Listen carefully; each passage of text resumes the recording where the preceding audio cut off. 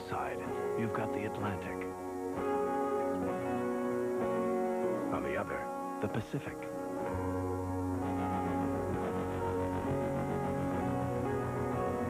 And in between, the wide open spaces of the Chevy S-Series. Pack your bags. Chevy trucks like a rock. Just underway here in Tempe, Arizona and Iowa. Arizona in the white uniforms, Iowa in the black. Quick pace here in the early going. Bill, we talked about this being a matchup between power and quickness. The first Arizona bucket on a fast break. The first Iowa bucket close to the basket on a lob. Millard knocks down the three. Millard really opened up the George Washington defense the other night with four three-point baskets.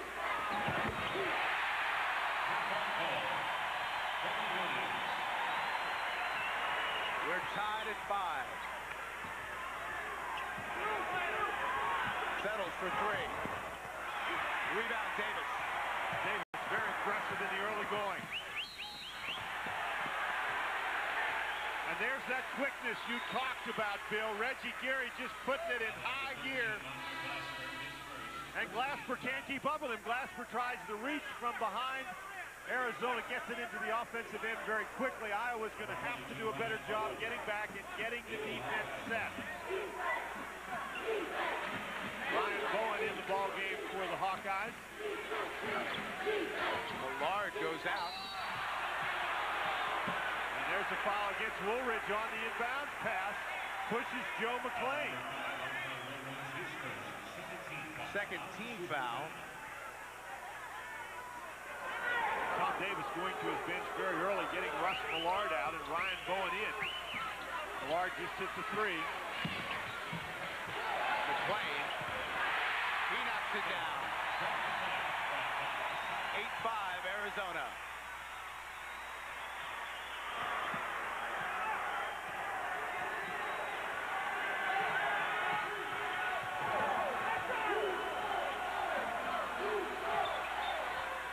These two teams, the lone survivors from their respective conferences. This is Murray. That ball short. McLean comes away with it. Good help defense.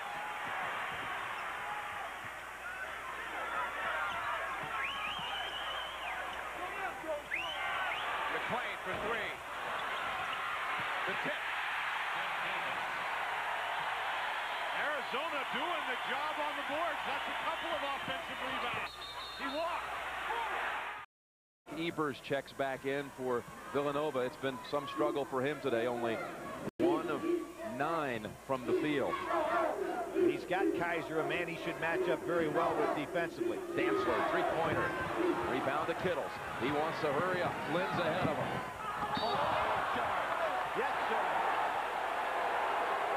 Flynn just stood there waiting for the Kittles move, and Kittles couldn't get his shoulder by him. You see it right here. He's waiting. Without question, it was a charge. Flynn just took a gamble to say, he's going to my right. If there'd have been a crossover, Flynn have fallen down. Boy, but Kittles really explodes on that break. That's a, a big uh, event, though, right there, Billy. Down 11, and Villanova comes away empty. 22nd timeout used here by Louisville. Now, Louisville on Friday came back from 12 down with 3.18 remaining. Today, Villanova will have to try to do the same thing against the Cardinals. In the Southeast, Cincinnati advancing today with its win over Temple. Second time this year they've beaten Temple. And Conference USA puts one into the Sweet 16 to start off with. And Georgetown, it was uh, quite a game there against New Mexico, but Georgetown advancing to the Sweet 16. By the way, Cincinnati, we saw that southeast bracket heading to Lexington, which is only 65 miles south. Well, a home crowd situation, Jim. Not a home court, but a home crowd, because you know they'll bring tons of people to Lexington. There's the situation in the West. Here's a nice move by Villanova, trying to get some intensity, a little half-court trap. Villanova wanted the call, and they don't get it. Thought it on the shot clock. Thought it was a double dribble. There's Kiser.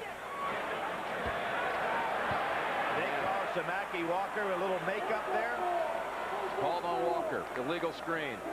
That's the first first turnover of the second half committed by Louisville. Lute Olson against his old team there with a 10-point lead. Been leading most of the way. Big. Georgia Tech 15 up on Boston College. Tick Rogers in. Well, isn't it amazing what Denny Crum has done, Jim, with this ball club? It is. Not a, not a deep team at all. Didn't miss Jason Osborne. Eric Johnson goes down with a knee. Alex Sanders out with a uh, academic problem as well. And he has taken this ball club and molded them beautifully. That was the front end of a one and one and only the fifth attempt from the line for Villanova today. They averaged 23 free throw attempts a game. You know, you wonder what some of the poundings, particularly the one that Georgetown gave this club at the end of the year and then in the Big East Tournament as well, you wonder what the, that took a, an edge off of Villanova. I mean, up to that point, they've been ranked off as high as, what, third in the country at one point. Beautiful job. Spin move by Walker. And it's back to an 11-point lead. Villanova now has got to start thinking about the clock a little bit. Start getting some defensive turns. Louisville has been very patient offensively. Kittles wants it down low. On the blocks, back over to Lawson. And offensive foul called against Jason Lawson. Kiser just was patient. Lawson put his chest into his chest. And watch it, as soon as he feels contact here, Kiser gets out of the way. That's the third on Lawson. Timeout on the floor. They are not picking up full court, allowing Louisville just to take time off the clock.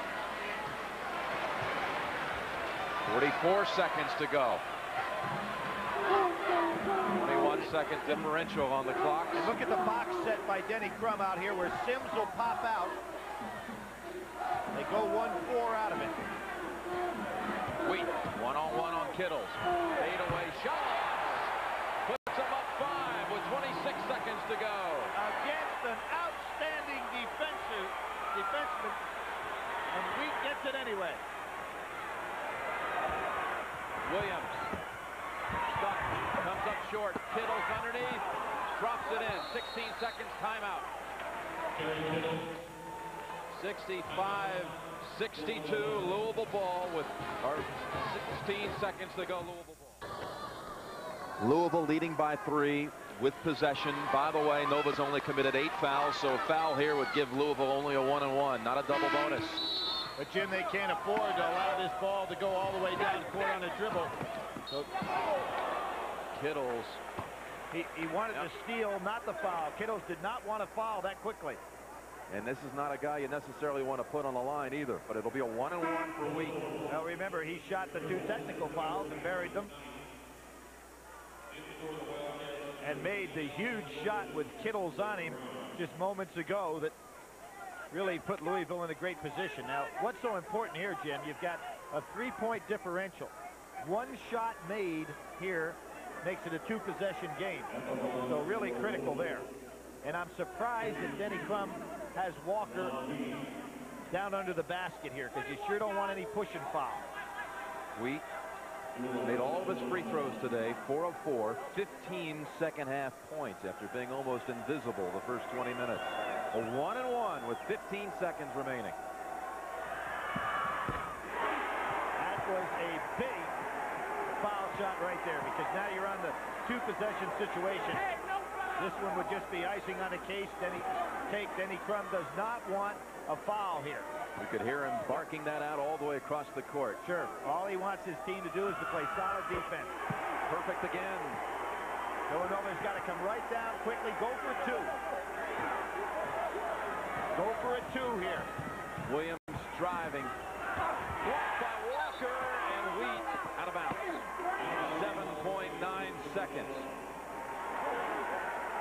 You go for a two here quickly, and that's what Williams did, but Samaki Walker came over with a great defensive play.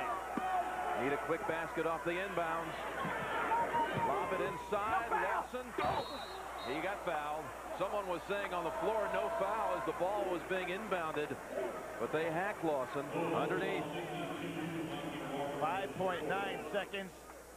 It's not a bad foul, though. It's only four on Samaki Walker, so he doesn't have to come out. Denny Crum's going to want a timeout to make sure everybody's on the same page. And, Jim, you know what this reminds me of? The intensity that built up for the Louisville match against potentially Kentucky back in 1983 what they called the game of the century in Kentucky. Well, they're on target. Yep. All-America Kerry Kittles came back for his senior year for one reason, to lead his team to a Final Four.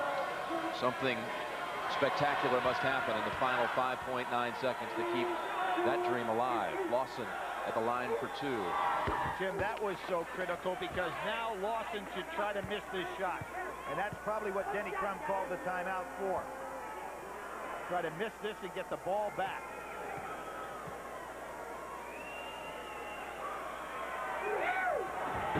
They made it. Three-point game, 5.9 seconds. Rogers, clobbered.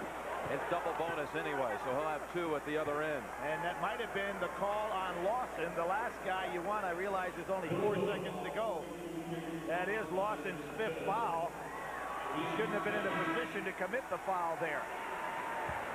Well, a 75% free throw shooter to the line for two. Jim, on that last situation, what you're trying to do is to keep the game alive if you're Villanova.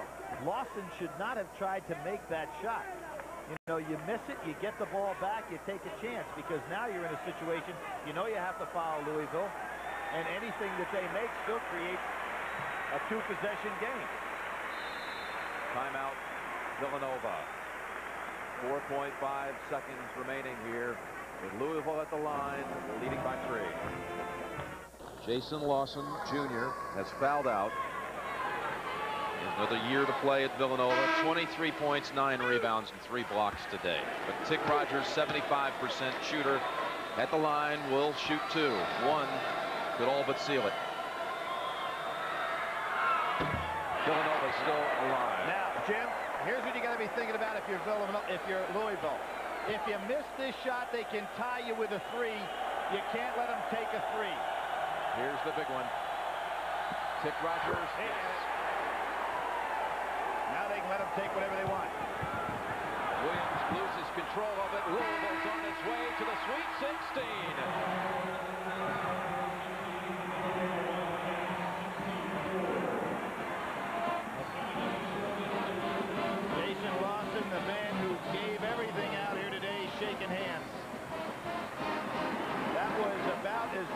Executed game as you could have on the part of the Louisville Cardinals. Kerry Kittle's magnificent career at Villanova has come to a close, surprisingly, in the second round.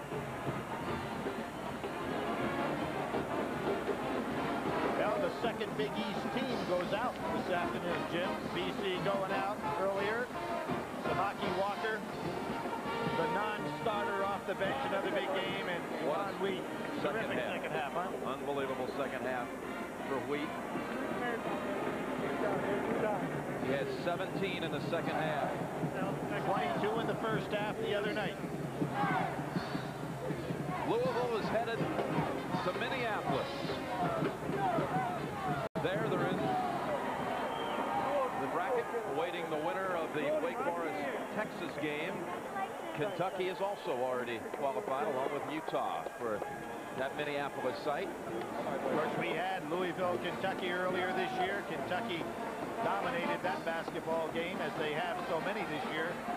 I'm sure these kids would like to have another chance. Face them up. Denny Crum was inducted into the Basketball Hall of Fame last May, and he has had a Hall of Fame season coaching the Cardinals this year. Well, he really has. We mentioned about Jason Osborne out, Eric Johnson out, Alex Sanders out, and he still takes his team Sweet 16. Amazing.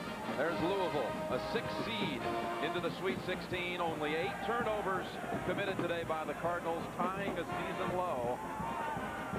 And they'll play the winner of the Texas Wake Forest game, which is coming up next here at the Bradley Center. DeJuan Wheat is the genuine Chevrolet player of the game from Louisville.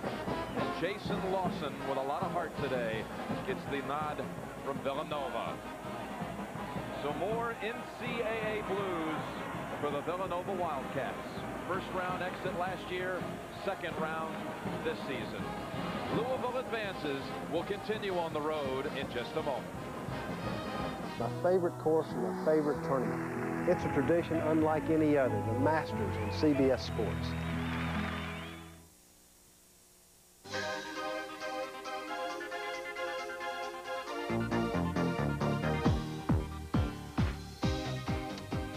More basketball to come here on CBS and the 1996 uh, NCAA tournament coming up at 455. Santa Clara and Steve Nash against Kansas and Jacque Vaughn. That'll be a good one at 455. And then Texas and Wake Forest, the Longhorns and the Demon Deacons at 508 out in the Midwest. Louisville and Villanova, there's a reason why Denny Crum is in the Hall of Fame. He beats Villanova 68 to 64, Clark. Boy, they had an outstanding game, shot the three-point shot extremely well. And after making a strong end of the first half run, they made, they kept Villanova at bay with good three-point shooting. 10th year anniversary of Louisville's national championship back in 1986. Arizona beat Iowa today, 87 to 73. Iowa's really never really in this game. Arizona got out of the gates quickly, and because Iowa was never able to establish an inside game or beat up the offensive glass, Arizona had a number of baskets in the open court. So Arizona advances, and now in the second half with 7.03 left in the game, North Carolina way down against Texas Tech in a game that was delayed because the backboard was broken, 72 to 49 there. And Georgia Tech and Boston College. This is the situation now. We are closing out this game, three minutes and 10 seconds left. Georgia Tech Stephon Marbury and Drew Barry leading 94 to 78. Here's Bill Raftery and Sean McDonough. Georgia Tech by 16. Seemingly comfortably on their way to the Sweet 16 with 3.10 remaining. Sean McDonough, Bill Raftery here at Orlando Arena. Second round action in the Southeast. And Once again today putting a lot of points on the board. They scored 90 in their opening round win over Austin Peay. 94 with three minutes to go today. Equal opportunity team. Distribute the basketball. And Keenan Jordan called for a foul, and immediately Jim O'Brien and Rick Boyages, his associate head coach, came flying off the bench to protest. It has not been a happy St. Patrick's Day for Coach O'Brien. As we look toward next year, Bill. He has his entire team coming back. No seniors depart. They don't have any.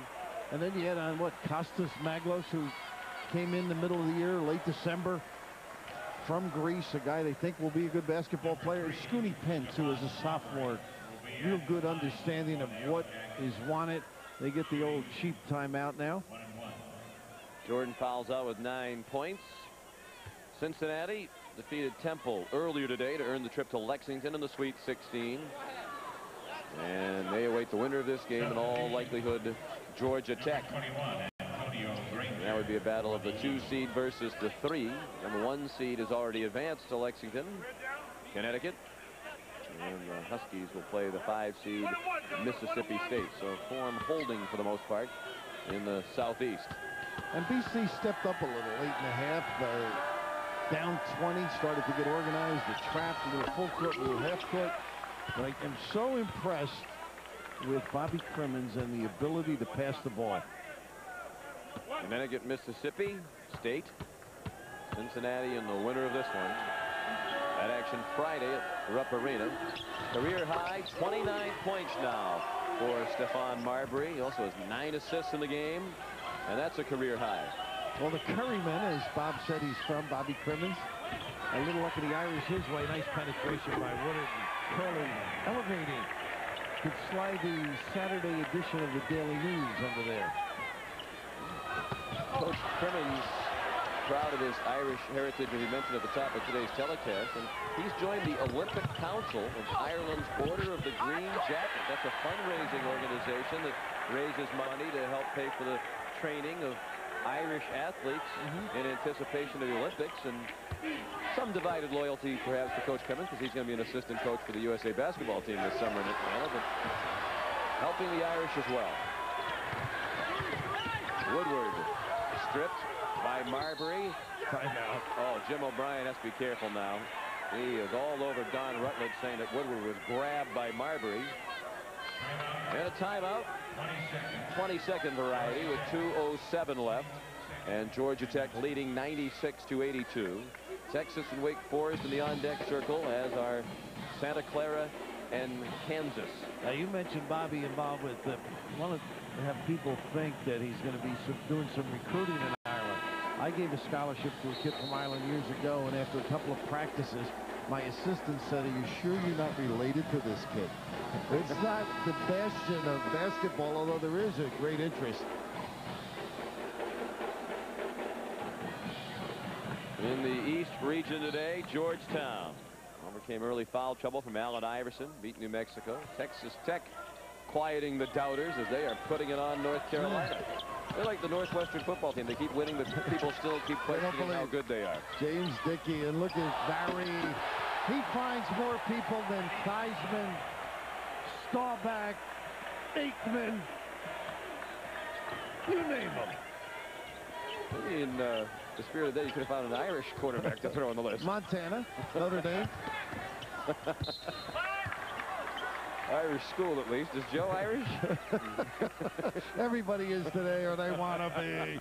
Well, Daddy used to put it on the platter like Drew.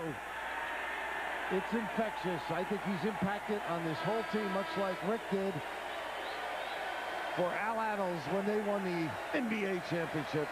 Eddie Electric has fouled out. Elisma with 14 points, four rebounds, six of eight from the floor. Eddie Elisma, the junior from New York City. He's the all-time leading rebounder still at LaSalle High School in the city. You know whose rebounding records he broke at LaSalle? Uh, uh, uh, the, You let's see, two. the pitcher, yeah, John Candelari. Candelaria, sure, the old pirate. Nine major league pitcher. Danny Buckley was the coach. Then Billy Aber was around. Now the head coach at LaSalle.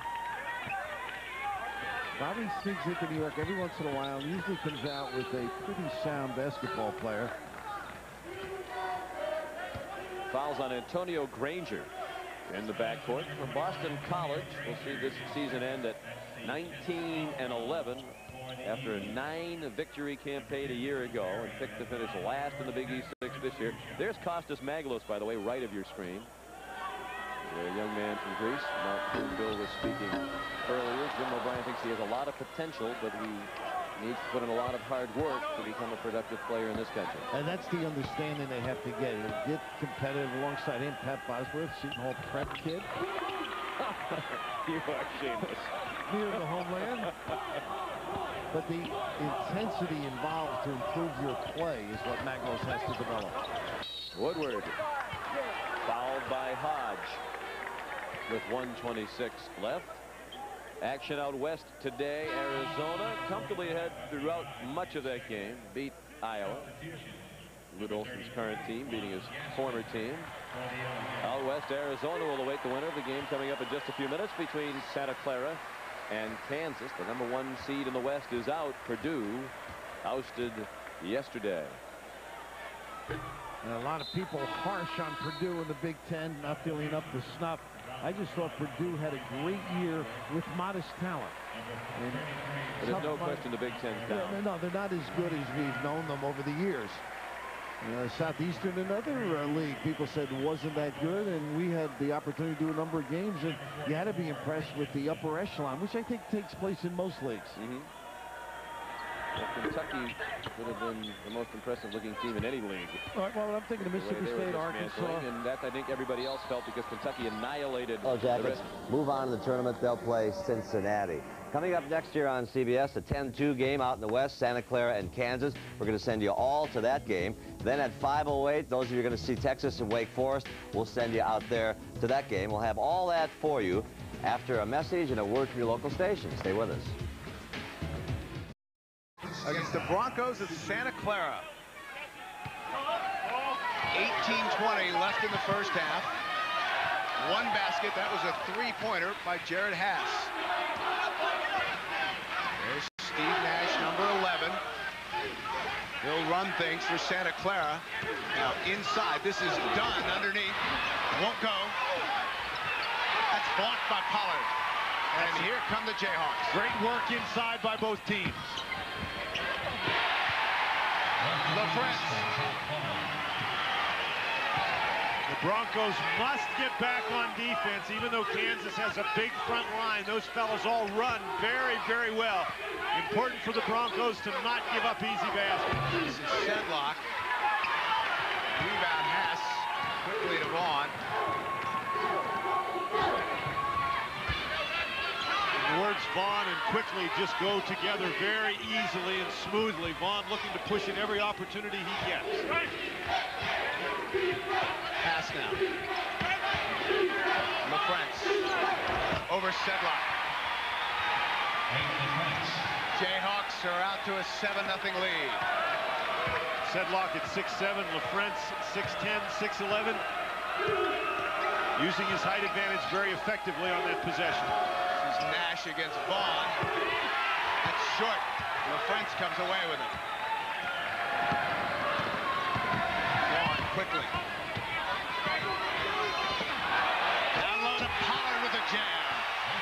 And Dick Davey wants a timeout right away. They're going to take it 20.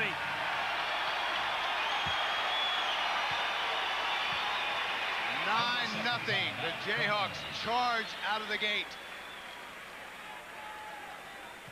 The Kansas Jayhawks can get the ball inside as well as run in transition. Too easy on that particular possession. Jacque Vaughn with a great pass. Well, let's run through our starters for Santa Clara. Graves, the transfer from Cal, anchors the middle. Dunn and Sedlock at the forwards, and in the backcourt, Nash and Marlon Garnett.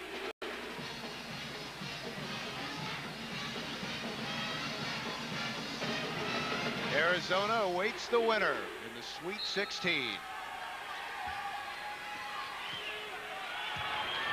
I think it's important for Santa Clara to get some points on the board early. You don't want to get yourself behind by 12 or 15 points to a Kansas team. Garnett for three.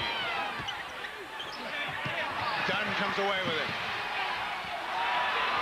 Throws it away. Hess. Uncontested. 11 to nothing. Kansas. And Steve Nash holds up his hand and tells his teammates, let's just calm down. They're down 11 to nothing. It's extremely important they get a basket on this possession. Uh, offensive foul. And Haase drew the charge, and he got hit in the nose doing it. They get Graves. That's his first. Haase comes with the help and just really gets an elbow right under the chin. We're told that the Kansas players went someplace to see the Tyson Bruno fight last night. They probably saw a few of those coming up under the chin in that particular event. Pierce.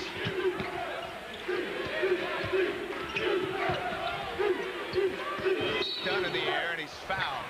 On the floor for Kansas, all five of their starters in double figures. They got that big front line. Frentz, Pollard, and Pierce. Vaughn and Haase in the backcourt. We want to remind you that in just a few minutes, we'll be sending some of you to see Texas Wake Forest. That's a 508 tip. And we'll keep you up to date on this game. The score and highlights. Pierce now, 57% foul shooter. That Texas Wake Forest game features the second game of the day between the state of Texas and the state of North Carolina. The first one, Texas Tech and North Carolina, working out very well for the state of Texas.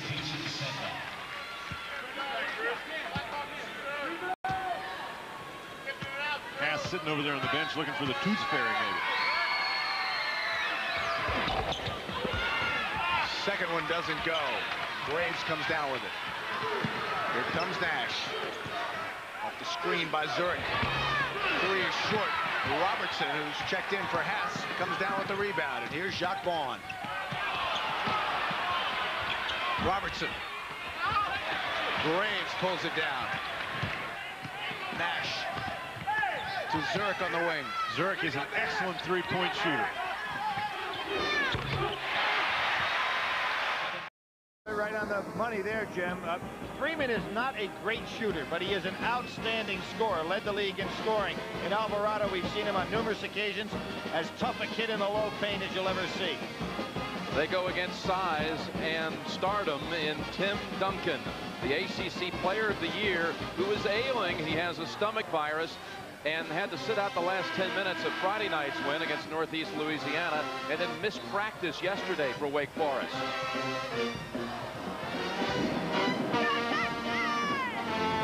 Texas starts two freshmen, Clack and Vasquez, and two seniors, Alvarado and Hill. Freeman's their leading scorer and only a junior. For Wake Forest, Tim Duncan, center, a junior from the Virgin Islands, and Rusty LaRue, the only senior starter on the squad.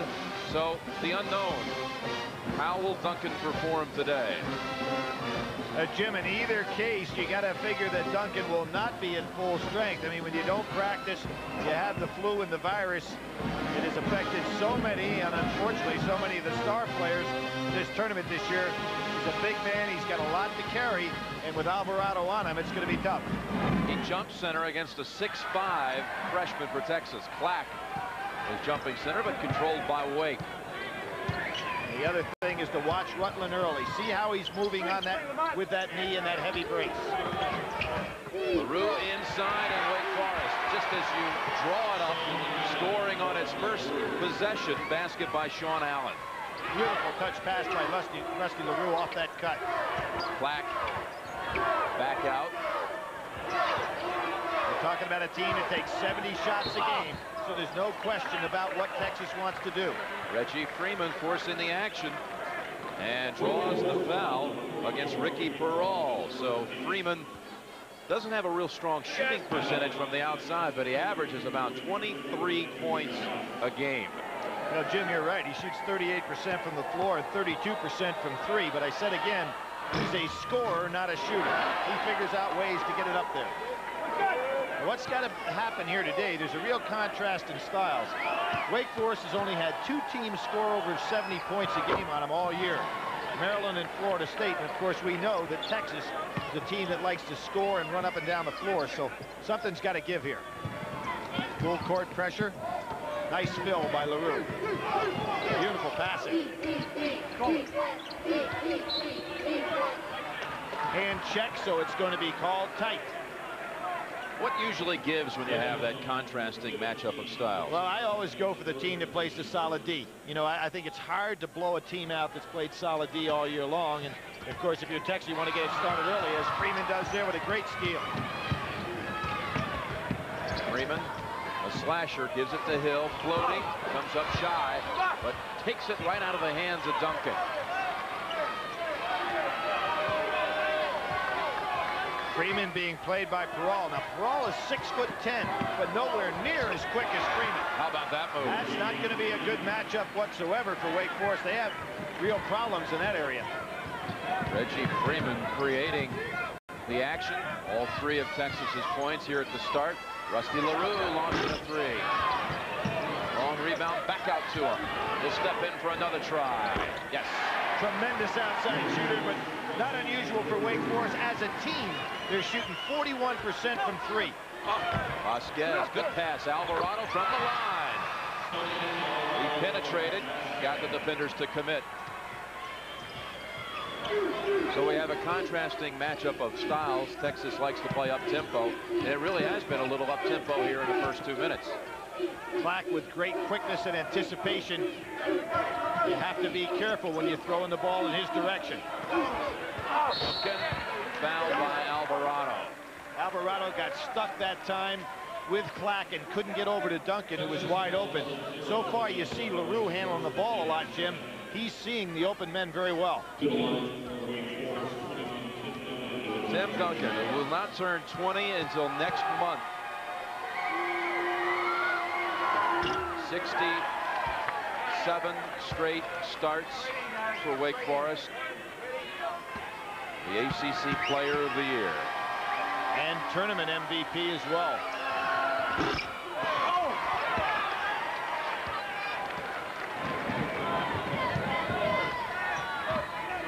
Straight man-to-man. -man. Let's watch this matchup on Freeman. Clack outside, freshman. Right on target. Three-pointer.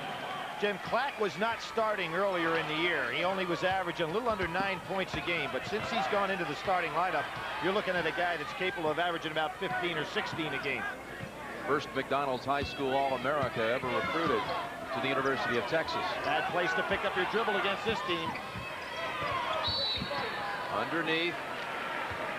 Boy, there are some strange matchups out here. That time Hill gets caught on Peral, giving up about uh, a foot.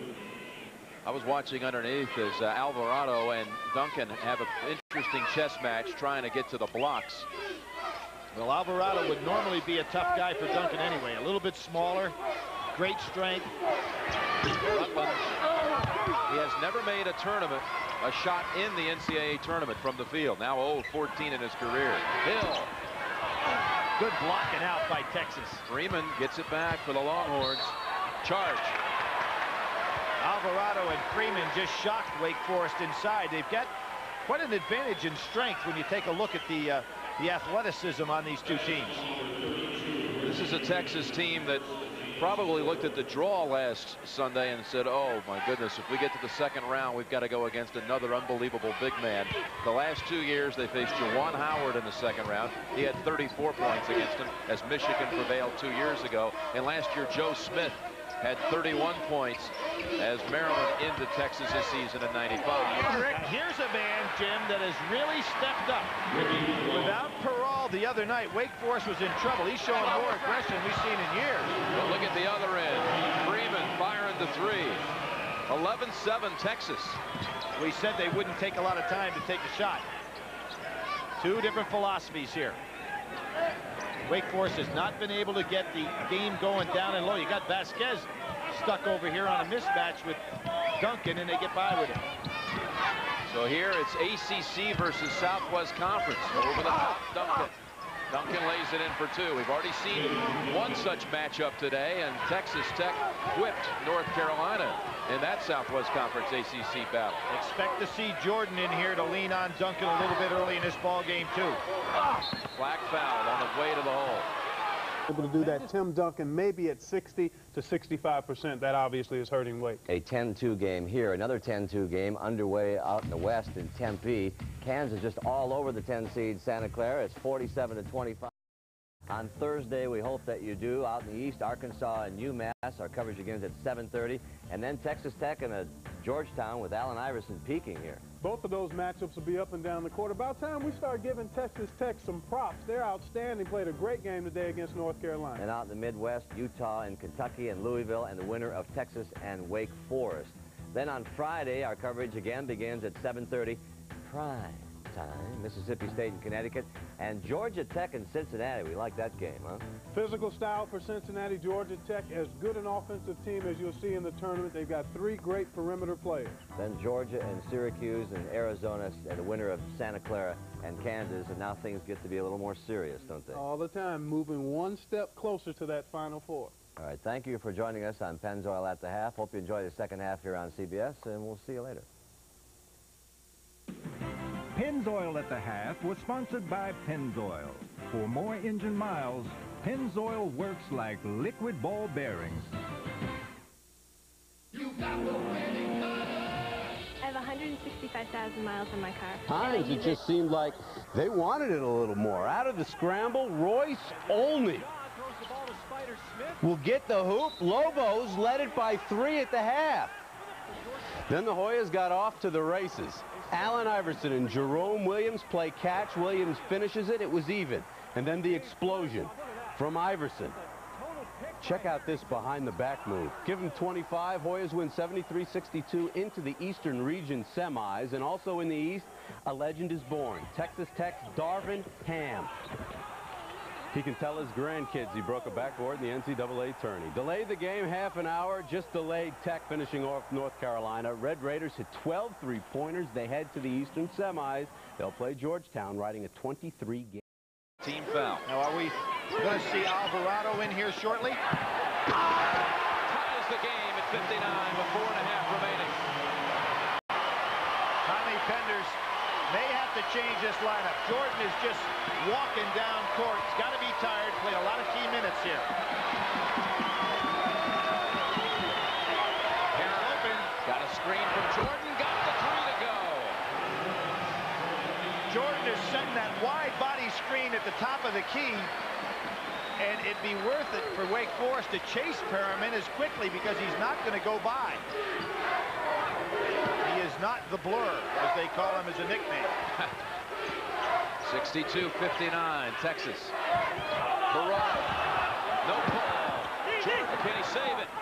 Yes, to Wake Forest, he saves it. Oh! He had a breakaway chance for a moment. Peralta in the corner. How did LaRue see him? Ties the game. The quarterback found his receiver buried in the corner, and he knocks down the three to tie it at 62. Uh, Jimmy set all-time NCAA records three games in a row with his passing, but none more pinpointed than that one. That was a touchdown strike. Now you can see what Goolsby's doing. He's trying to fight over the top of these screens, but it's much tougher against Freeman. Freeman challenging Duncan. This inside, and LaRue with the rebound. Is this a chance for Wake Forest to take the lead for the first time? You got it. Three minutes to go. Three minutes, three seconds, and a 20-second timeout called by Wake Forest. Tony Rutland says, hey, come on, guys. Get us through this week. Maybe I can play in the Sweet 16. Duncan will be healthy for the, for the regionals. Without question, Tim Duncan will be a different player than they'll face next week, but I'm sure he's wanting to gut it out right here now with 3.03 to go. Jim, one of the things that has happened to Texas is that they have become very standardized with Freeman trying to do so much off of that one play. They've kind of gotten away from their offense they used in the first half, which was a lot more slashing, guys going to the basket. Reggie Freeman 0 for 10 from the field in the second half. He's been very, he's been playing very much the same. He gets the ball on the right-hand side, waits for that solid screen, and then keeps going left. He hasn't slashed straight to the basket yet. All right, Wake ball looking for the lead. Steady, Rusty LaRue, the quarterback of the football team, quarterback of the basketball squad today.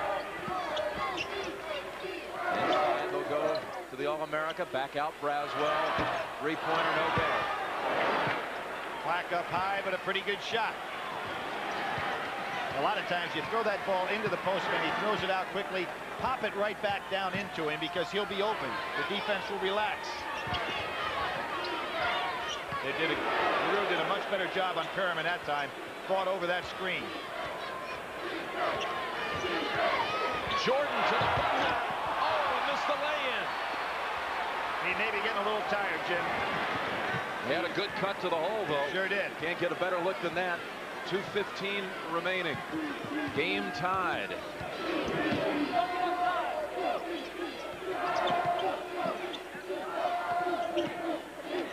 Well, Texas was extended by Michigan. Maybe they're getting a little weary in this ball game right now. That's why I thought we'd see Alvarado back in here. LaRue to the basket, and he'll go to the free throw line. Try to give Wake the lead. The best free throw shooter they've got. And Jim, that's what only the third team foul. That's just second, the second, second, second team, foul. team foul. But that was in the act of shooting, so LaRue at the line. And that's a huge advantage not to be in the one-and-one situation and be able to foul near the end of the game if it gets to be a close one. LaRue, who made the academic All-America team, announced this week a 4.0 average in school and triple letterman last year, the first in the ACC in 42 years. Starting quarterback, starter on the basketball team. Pitch for the Wake baseball squad. He hits one of two. And a timeout called at 20 by Texas with 152 remaining.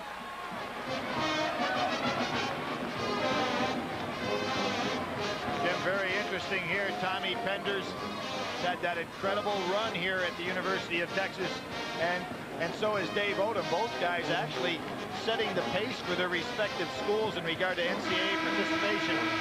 Dave Odom was six straight years now. Well, Pinder's a coach who really specializes in the upset of the NCAA tournament. Wife Susie, daughter Carly, here to cheer on the Horns. They go to all the games, as you would expect, also on the road. Susie's with them all the time. Now 152 remaining. And Wake Forest with a one-point lead. And it is Alvarado back in the game, fully rested now with Duncan. Goolsby and Freeman. Wake's first lead since 5-3 in the opening minute and a half. I think LaRue can let Perriman have that one from that far out. Alvarado on the right side. Clack is quicker than Peral. There he goes. Clack to the rack. Too strong. Alvarado battles, but into the arms of Braswell. 120 to go. Timeout Wake Forest. Full timeout. So the two seed in the Midwest has fought back from 12 down to take a one-point lead. Texas has brought in Vasquez and Jordan. Wake with possession, inbounding midcourt, one point lead, 116 remaining. Jim, dangerous pass here with all that quickness on the floor for Texas. LaRue, Peral, Duncan, Braswell, and Goolsby on the floor for Wake. And they have a lot of fouls to give here, Billy. See, that's why I said it was dangerous. You have fouls to give. You can go and try to make aggressive steals on the inbound passes as opposed to what he did right there. That's just a cheap one. Goolsby to inbound. That's only three team fouls on Texas. There's another one. Jordan I, committing that one. I don't know why they're doing this now. I think you should save them, play solid defense, and save them a little bit. Now they're going to bring in Alvarado for Jordan. I mean, go for the steal on the pass. Have one man back to block uh, anything else, but they're going to put Wake Forest in a position to be able to go to the line. Third time they force him to inbound it on this trip. Again, no problem getting it in. Alvarado with a handshake and steal. Alvarado got his hands on it. Ball's on the floor. And Goolsby comes up with it. And they beat the 10 count. They never changed the shot clock. So the 22 on the shot clock. They just got it across in time, I thought, I thought we saw about three fouls on that sequence. That's the third on Freeman, but only the fifth. Now what this also is doing, Jim, is taking time off the clock on all of these possessions. Still two away from a one-on-one. LaRue open. He'll go back outside with it. Texas. Oh, no puck. Texas makes the steal. And a timeout called by Clack. No call on the play. 52.4 to go. Horns basketball. Basketball, 32 seconds on the shot clock. 52 on the game clock. They are not in the one and one either. Texas trailing by one. And look at who's got the ball. Reggie Freeman. They'll let him operate on Goolsby. Now over to Hill.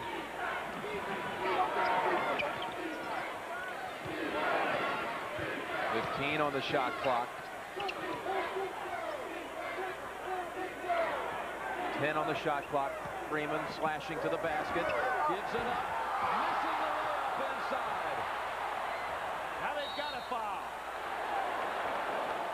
Boy, Alvarado was right there, Jim. A terrific pass. And he just couldn't finish it off. You couldn't have set it up any better. Freeman No. got him to commit. Alvarado came in and felt the presence of Duncan, I guess. Well, the presence was there, but still he had a chance to put it away. Still 21.8 seconds to go. Timeout called by Wake Forest.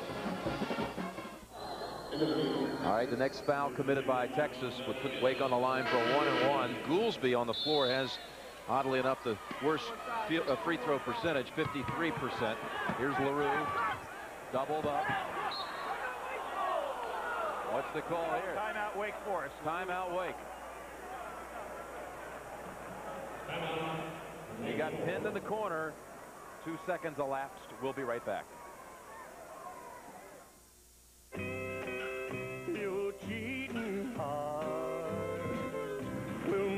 No more timeouts for the Demon Deacons. They do have the arrow.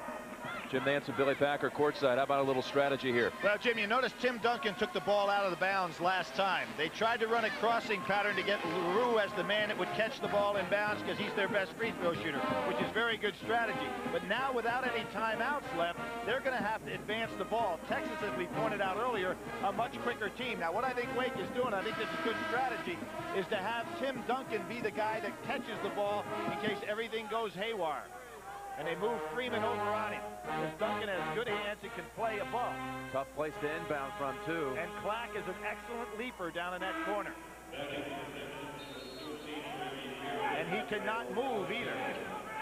Here comes Duncan. He'll throw up high. That's what I anticipated. And Duncan will go to the line for a one-on-one with 18.4 seconds remaining. That was a very subtle change in strategy by Dave Odom, realizing with no timeouts left, where is my safety net? And that net was the throw over the top of the press to the man with the good hands. But not having a good day at the line, only one for four. In fact, the Wake team is only 10 of 18 in this game. One and one. That's a problem that has been Texas's problem this year, shooting 55% in their losses. Texas calls a timeout. Longhorns are left with one. Well, 60 Minutes is coming up next, except on the West Coast.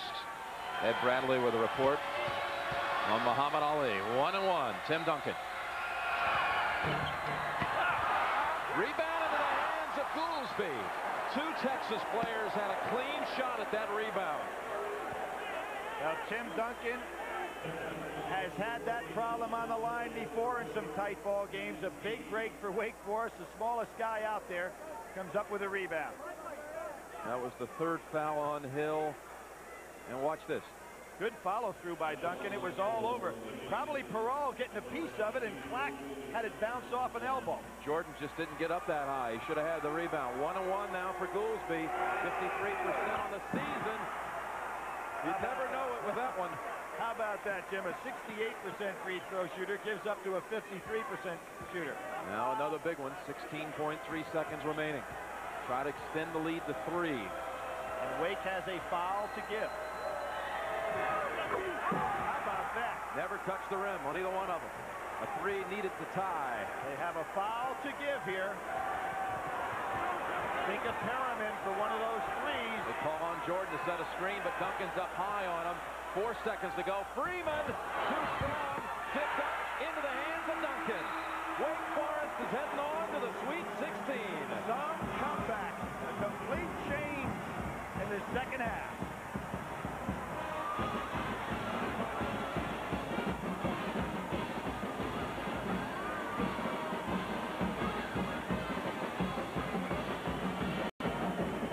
In Minneapolis, Kentucky will play Utah. It'll be against Wake Forest. The genuine Chevrolet players of the game are Kris Clack from Texas and Rusty LaRue from Wake Forest. Well, the big fella wasn't 100%. He should be next week. Folks, we'll look forward to having you back with us on the road to the Final Four. Jim Nantz for all of us. So long from CBS. This is CBS Sports, the home of the NCAA Basketball Championship.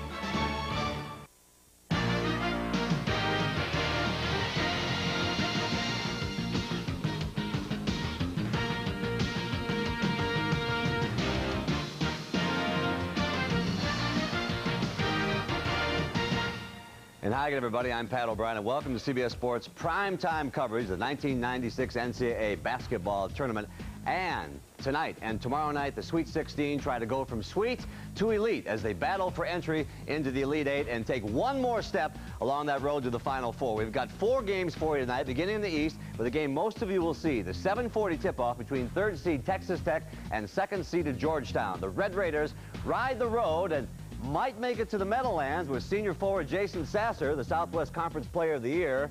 But the Hoyas have all everything. Allen Iverson, who despite early foul trouble in both rounds so far, is averaging 28 points a game in the tournament. He's a good one. At 8 o'clock, we'll be sending some of you out to the Midwest Regional to see the number one seed Kentucky Wildcats, who've won their first two tournament games by an average of 31 points. They take on a tough and determined team in the Utah Utes. And then in our two late games, the Arkansas Razorbacks continue their quest when they take on the UMass Minutemen, and Denny Crum and his Louisville Cardinals take on Tim Duncan and the Wake Forest Demon Deacons. And we'll keep you up to date on all the compelling action and we hope exciting finishes right here from Madness Control. And joining me to lend some sanity to the semis is my CBS College coach, George Raveling, and the man who's given the tournament its most thrilling moment so far, Princeton's Pete Carril.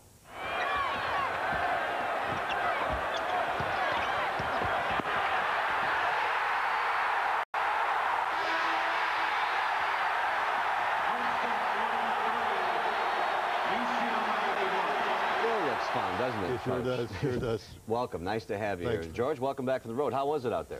Oh, it was cold and lonely, Pat. Oh, well, we're glad to have you back. Uh, Pete, what do you see in the games tonight when you look at the landscape? I like guards, and I think they've influenced college ball, and you've got Iverson, you've got Padilla, Travieso, Tony Delk. I mean, i i it's going to be a great night for guards. George, what do you see? I see a, bu- a eight high-octane offensive teams, Pat, will play good defense, but I sense an upset out there, Pat. Louisville over Wake Forest. Wow, okay. Thank you for that. You don't keep your brackets, do you? You don't do that. Uh, no, I, I just watched the game, okay? the road to the Final Four will continue after work for your local station. Stay with us. Should be a great night.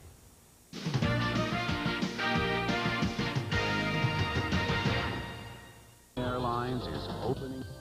Now it's game time. Coming up, we'll send you out to Atlanta and Gus Johnson and Quinn Buckner at courtside of the Texas Tech Georgetown game. For those of you expecting to see Utah against Kentucky, we'll be sending you out to Minneapolis for the tip-off of that game at 8 o'clock. Enjoy the games. We'll see you at halftime. CBS Sports exclusive coverage of the NCAA Basketball Championship is sponsored by Genuine Chevrolet, Bud Light, Intel, and by Fidelity Investments.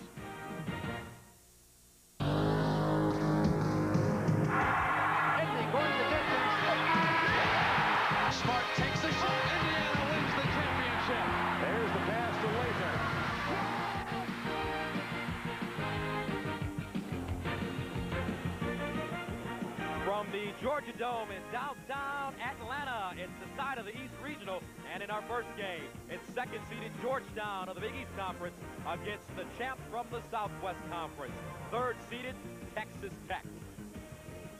Now later on this evening, number one seed UMass will take on Arkansas, a 12 seed. But right now, it's the Hoyas and the Red Raiders.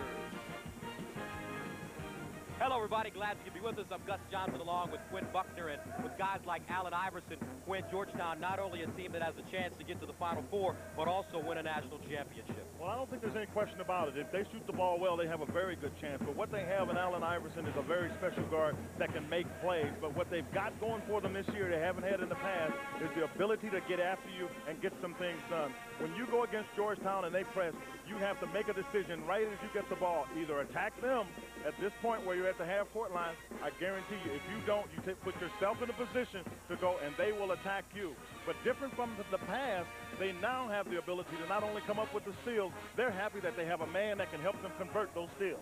Texas Tech, they're 30 and 1 on the season on a 23 game winning streak. That's the longest in the nation, and this may be the best little team that nobody ever gets a chance to see. Yeah, that's definitely true, and they're trying to get some respect. And if they're going to get it, they've got to get it from Jason Sasser. He's their leader. He's the guy that three years in a row has been all conference, can post down on the block and shoot the shot on the outside. He's the all Southwest Conference Player of the Year this year. He's the guy that's got to get it going for him. They have feed off of his energy. It's important to get him going early. And your starting lineups for Texas Tech. There's Sasser, who had 27 against Carolina, Ham, Battie, Smith, Martin. And for Georgetown, Jerome Williams, Al Harrington, Allen Iverson, and Victor Page. Your officials, Ed Hightower, Bill Gracie, and Zelton Steed. And Georgetown controls the basketball. Here's Harrington inside, and he knocks down the short one. And the Hoyas jump on the scoreboard. You see, they go right into their press. Officiating is going to be really important here in the tournament because if they let Georgetown play the way they play, they'll be aggressive. You see right here, they force Texas Tech to take a 20-second timeout because of the pressure. And all yesterday during practice, this is what James Dickey's team really worked on, handling that Georgetown pressure. You know, it's, it's one thing to work on it in practice, but you can't duplicate the pressure of Georgetown. We were talking about it today. When you're out playing against Georgetown, they come and attack you. Right here, you've got to turn, make a decision, they get it out. But you see coming over, Iverson is there. You got to back it out, back it away, or you got to break through hard because if once you don't, they stay on you. That's what's caused Jason Matthews to take a 20-second timeout. So Jason Sasser will inbound the ball. This is Jason Martin, the starting point guard. And Koy Smith in the backcourt for Texas Tech. Tony Battie, the center, 6'11". Here's Sasser guarded by Aw, and we get our first foul of the basketball game. That's Boubacar Aw reaching in. And the head coach for Georgetown, John Thompson, won the national championship in 1984.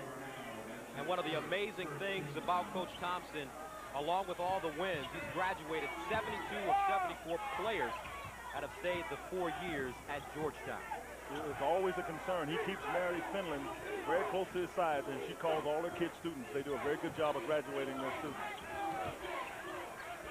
Here's Martin trying to dip inside, kicking it back out. Smith got a great look. Off the back of the iron, long rebound to Sasser. He'll pull up inside the free throw line. Smith again hanging in the air, and he got it to go off the glass. Georgetown's going to make uh, Texas Tech fight for everything they get. The question is whether or not they can last long enough in terms of the body. Great pass inside by Iverson as he whipped it to Harrington. And he'll go to the line to shoot two. James Dickey in his fifth year at Texas Tech won his 100th game against the University of North Carolina. He's the Southwest Conference Coach of the Year this season. 30 and 1, 23 game winning streak. He got some pretty good tutelage uh, in Arkansas. He was an assistant coach to Eddie Sutton. Went with Eddie Sutton uh, where he coached with him at, at, Kentucky as well. He has a brother, Randall, that is an assistant at Eddie at, at Oklahoma State. Very well respected up-and-coming coach, getting his respect as is his team. And there's Harrington. Knocking down the free throw. Georgetown quickly getting into the press the premise here in this press is to keep the ball out of Jason Martin's hands because you can see here Corey Smith is not the ball handler that they want to have it. Get it back to Martin and let him make plays, but Georgetown will double team it out of his hands as often as possible. On the season, Georgetown forcing 20 turnovers per game. The Texas Tech is not used to it. They only average about 12 turnovers a game themselves, so this will be a real experience for them. Iverson fading away, a little too strong. And here's Sasser running the floor on the right side. Sasser cutting in. That's a runner. Knocked out of bounds, and they say it's last touch by the Hoyas. That's a play that Jason Sasser had it to do again. I know you don't want to change your style, but I think it's important to stay smart. When you have one on three, bring that one back out to get an opportunity. Jason Sasser, the Southwest Conference Player of the Year, and he was voted a third team All-American so far Texas Tech one of four. The Hoyas one for two. And of course, out of the zone, they're trying to force the jump shot. Offensive rebound inside. That's Darvin Ham. He's the one player, I think, because of his overall strength that has a chance to play inside with Georgetown. And on the other end, Victor Page, another one of those athletic guards going off the window. And Iverson with the steal. Kicked out of bounds. Hoyas will get it back. Iverson was chasing Jason Martin down the sideline and just kept going because the smart thing to do is if you make your man come off, then Iverson just kept running and ran right into that pass. Have you ever seen a kid as quick as Allen Iverson? Not with the ball. And, and, and um, up and down the court, there are a lot of quickness, but he can change directions and stay under control better than anybody I've seen with the ball. Reminds me of the way Isiah Thomas has control of it. Here's Iverson. Rebound Harrington, jump hook inside, and he got the shooter's this week when news surfaced that Georgetown coach John Thompson had applied for a Nevada gaming license as part of his plan to invest in the business which controlled slot machines at the Las Vegas, Las Vegas airport. Yesterday, Thompson withdrew from the venture, but he told George Raveling that he was interested originally because this was a business in which so few minorities have participated. You see a lot of opportunities provided, and when those opportunities uh, are provided in some instances, uh, you, you, just don't see the African American uh, participating. And I always challenge that. You know, I, I, think that's my responsibility, that's my obligation. And then the opportunity was provided for me with something that I like that I knew was not illegal. You know, I, I do enjoy slot machines. I, I don't play the tables. I don't bet on sports uh, I love to play slot machines. When we talked Tuesday, uh, I was left with the impression that you were going to move full speed ahead on this. What caused you to change? Uh, I called Father O'Donovan and I asked him, I said, Father, would you prefer that I drop this venture that I'm involved in? I said, there's not anybody that I would do that for other than you. And he said to me, John, I, I am very uncomfortable with the perception that it has on you, the program, the university, which, you know, I'm not certain that I necessarily agree with that, but I have a great deal of respect for him, and I did uh, do it because I felt our sense of responsibility for my employer. John, what impact has all of this had on your basketball team? Well, I, I think as far as the direct impact on the team, I think uh, it's had very little. I, I, I have uh, always been known for isolating my team and being paranoid and protecting them from things, and sometimes I have to protect them from me. I feel very strongly that what I did was correct. Uh, if I have an opportunity to do it again, I will do it again. But I don't think uh, personally that it has rattled me one bit. Uh, I live in the eye of the hurricane. It feels, it seems unfortunately, you know, sometimes, but in the same token, I think I do the things that I feel that I ought to do and that I have a right to do as an American citizen. You know, I do stand uh, for what the country stands for, and that's freedom. George, I think Father O'Donnell had the right word perception because perception is... To exercise their constitutional rights. If you were an active coach right now, would you have done this? No, I, I wouldn't. I'd like to correct one other thing, Pat. It's been reported that the president at Georgetown told John he could not coach Georgetown if he continued to mm. pursue this license. That's absolutely untrue. All right, well, the headlines are gone for the moment on this one now. Now, John Third, John the Third, which is a sort of a deity name here. That's his son. Uh, he, you play, he played for you, and now he's an assistant coach there. Well, third is for being the third leading assist man in the history of Princeton. the other part of the third is because I guess there must have been two thirds before him. Will he make a good coach? oh, he's going to be terrific. He sees everything. He's got a great personality, a great way with kids, and he's going to be terrific. All right, well, his dad's got his hands full right now. He's down by three against a tough Texas Tech team. We'll see how it unfolds. Hope you enjoy the second half here on CBS. Pennzoil at the half was sponsored by Pennzoil. For more engine miles, Pennzoil works like liquid ball bearings. I have 165,000 miles on my car, and I use it to commute down into the city. I love my Let's car. put Cory Carr on Allen Iverson because Mason uh, Martin has has four fouls. So this is the best way to keep Martin from getting in the foul trouble because they know they need somebody to control the tempo. Texas Tech on a 23-game winning streak, the longest in the nation. Nine on the shot clock. Iverson trying to create. Fades away. Shot short. Somebody came flying in and put it back into the basket. That's Boubacar Aw. They're letting Allen Iverson do what he's going to do in terms of taking the shot, and then all that Georgetown is going to do is crash the boards, and that was Boubacar Aw that time. Got to block out. Eight points for Boubacar Aw. 79-76.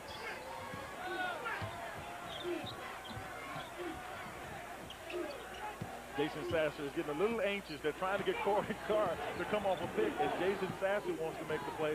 So he stepped out and he messed it, took the timing away from what Texas Tech had. Here's Martin. Carr rattles out. Scramble for the ball. Ham oh. trying to dunk it again. Mr. Ham tried to power dunk on him. Please. Jahidi White was there. Mm. I mean, he tried to hammer this makes a tough rebound, gets it, and goes to the side. You see Jahidi White there. He tries to power dunk it, got him on the arm. I mean, you love the fight in Darvin Ham. He's a ham, all right, but he's a ham that has some hops. Jahidi White just picked up his fifth foul. So now they lose both Jahidi White and Othello Harrington, their two best inside scorers, puts a lot more pressure on Iverson to have to not only control the tempo, but make shots. Darvin Ham, one of five from the free throw line on the evening. And the struggle continues.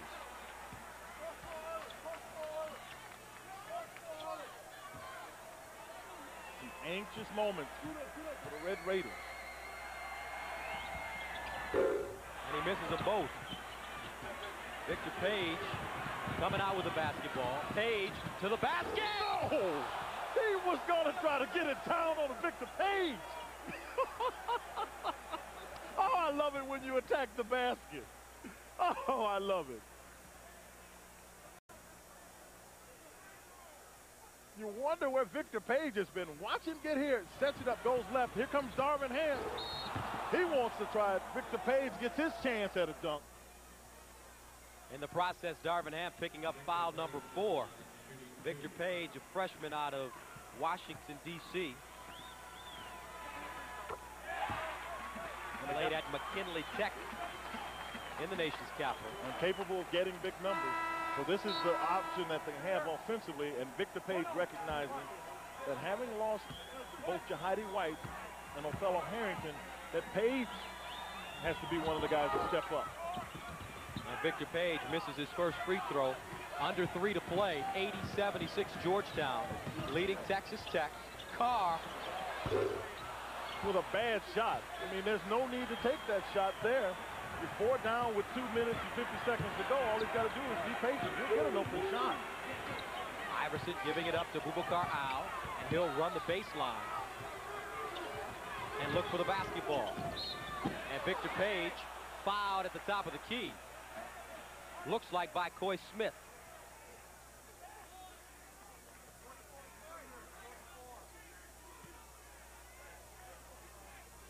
Koy Smith thought he had a clean steal. He, he almost got himself a technical foul, which would have been a real disservice to his team at this point. And, see, and that's what James Dickey is talking to.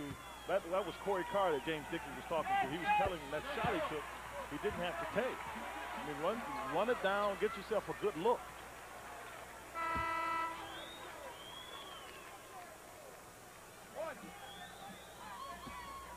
It's time for your star to step up if you're Texas Tech. Jason Sasser's got to get in the game and take over because right now Allen Iverson has been taking over and so has Victor Page and Page kept that alive. Jerome Williams with the offensive rebound. And he did not take kindly to whoever fouled him inside. And fortunately for Williams, his teammates stepped between. They protect Trouble. each other very much so. That's one of the things I, that I admire about Georgetown. You see the foul trouble there with Cooper and Battie out, Harrington and White out. Williams with seven rebounds. Both teams still playing very aggressive defense, and you see their players are starting to head to the sidelines. Well, both teams are going to stay aggressive. As long as Allen Iverson is on the floor, you know that Georgetown has a guy that can carry them. Carry them.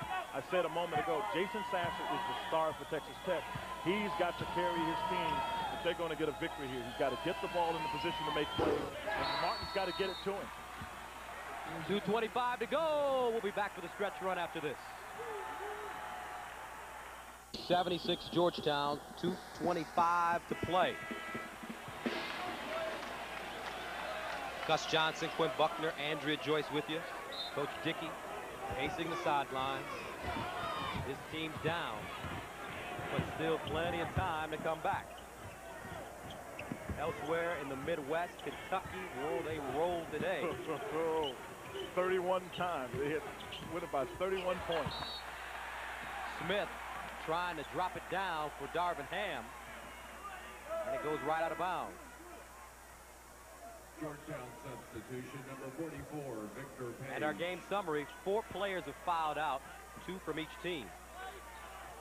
Texas Tech, 22 of 33 from the free throw line.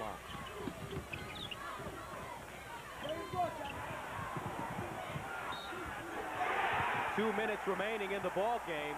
Georgetown gets it down low as they break the pressure from Texas Tech to Jerome Williams for the deuce. You can see Georgetown feeling stronger and stronger every time about what they, they're trying to get done. They make a play by pushing the ball up. You can see the disappointment on the face of the Red Raiders.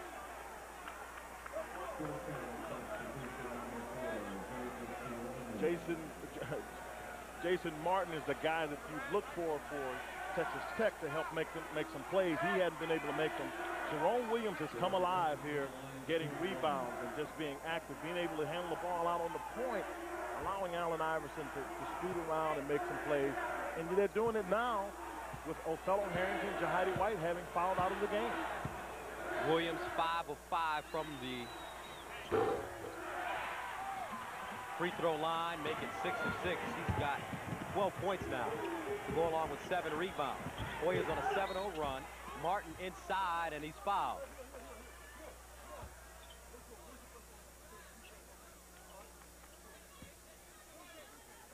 Now coming up next, UMass, the number one seed, will take on 12-seeded Arkansas, the only 12th seed remaining in the tournament.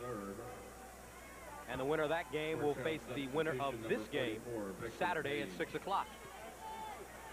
This moment, Texas Tech, Jason Martin is starting to do what I think they have to do. With a minute 53, you've got to start scoring some points with the time not running off the clock, which means take the ball to the basket, create some fouls, but their defense has been their staple for the year. They have to do it with Othello Harrington, the inside threat. James Dickey has a chance to be able to get to the basket a little bit more because Othello Harrington, having fouled out, takes out their, their shot blocker.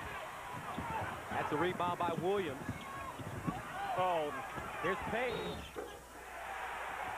Williams makes the play, though. When you've got a guy that can get the ball off the glass and push it up, it puts a lot of pressure on the defense to get back. Williams had the ball out, and three people tried to take it from him, and by the time they were able to get close, they got to Victor Page, who went to the basket strong. The advantage of a rebounder that can pull it out. Now, one, two, he's by those guys. When you reach for it and don't get it, Martin makes a, a good try. It just doesn't work for him. Darvin Ham tries to come over and get the block. Instead, he gets the foul, and he's just fouled out of the game.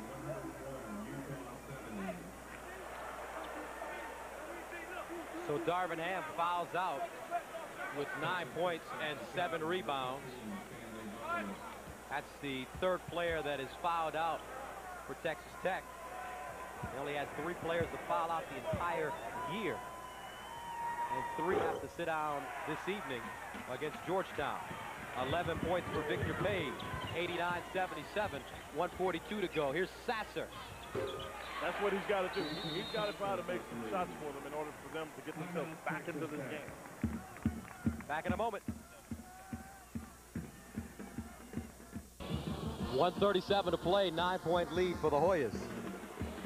Texas Tech is going to come out. You can see the timeout situation.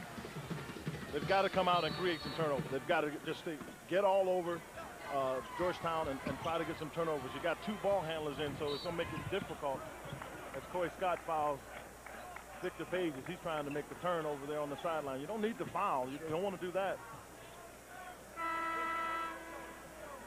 And that is the fourth foul on Koy Smith. 10th team foul called against the Red Raiders. So Victor Page will shoot two.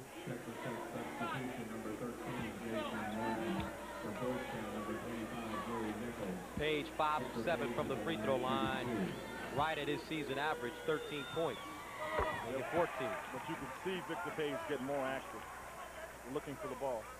Now coming up tomorrow in the Southeast region in Lexington, Kentucky, Connecticut, Mississippi State, followed by Cincinnati and Georgia Tech. I mean, those will be some fun games to watch because you know UConn with Doron Sheffer and what they're, they're going to do. We watched Mississippi State and, and their example here. Cincinnati's an interesting team. You look at them and what they have inside with Danny Fortson. But Matt Harpring is a guy I like for Georgia Tech. He's a guy I really like in the tournament that most people don't know about. 91-82, 126 to play.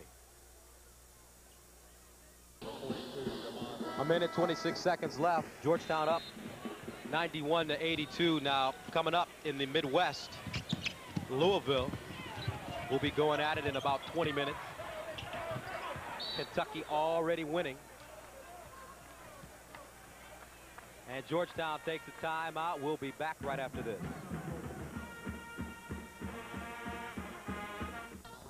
119 to play, 91-82 Georgetown on top of Texas Tech. Hoyas with the basketball. Lobbed inside, and it's off the hand of Jerry Nichols. Hoyas turn the basketball over. A little bit of miscommunication as you look coming up next in Arkansas, Massachusetts here, and then Louisville and Wake Forest. Louisville's the team. You really like them? I like Louisville. They're, they're the team.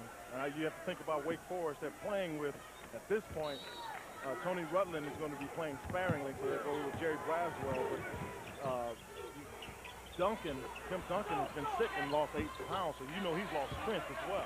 Troy Smith on the follow. 107 remaining.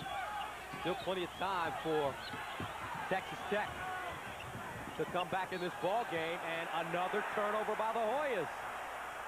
Jerry Nichols this time tripping a minute remaining 91-84 Jerry Nichols tries to, to, go there and it looks like there was a little touching of the feet if you will by Jason Martin. Jerry Nichols looking for the foul instead the ball goes out. It's Texas Tech's ball. Under a minute to play. Here's Martin. To get a shot off quickly. Martin off the glass, rebounded by Victor Page. And Page is fouled by Sasser. Jason Sasser is, disappointed because he wanted to get the shot, but Martin was, was trying to get it back out. Jason Sasser tried to pop out.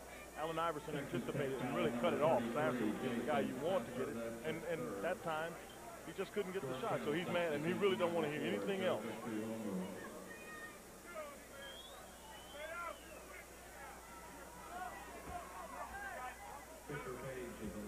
Texas Tech. 48.2 remaining. They still have the longest winning streak in the nation at 23 games, but it looks like 23 is where it will end. But it's been a great season for the Red Raiders, and also they've proven some things for the conference, and also proven some things during the tournament. Well, you know, if they're not able to get this done, one of the things you look at, and this is, unless they can, you know, start getting more offensive power, you're looking at what could, is the close of a, of a of a long history of the Southwest Conference. This is the last team in the Southwest Conference, and if they don't win this game, that's the close on almost 70 years, 70 plus years of history of the Southwest Conference, of which Texas Tech here this year has represented, I think, admirably. They've shown teams they come to play because they they've pounded North Carolina. And that doesn't happen very often.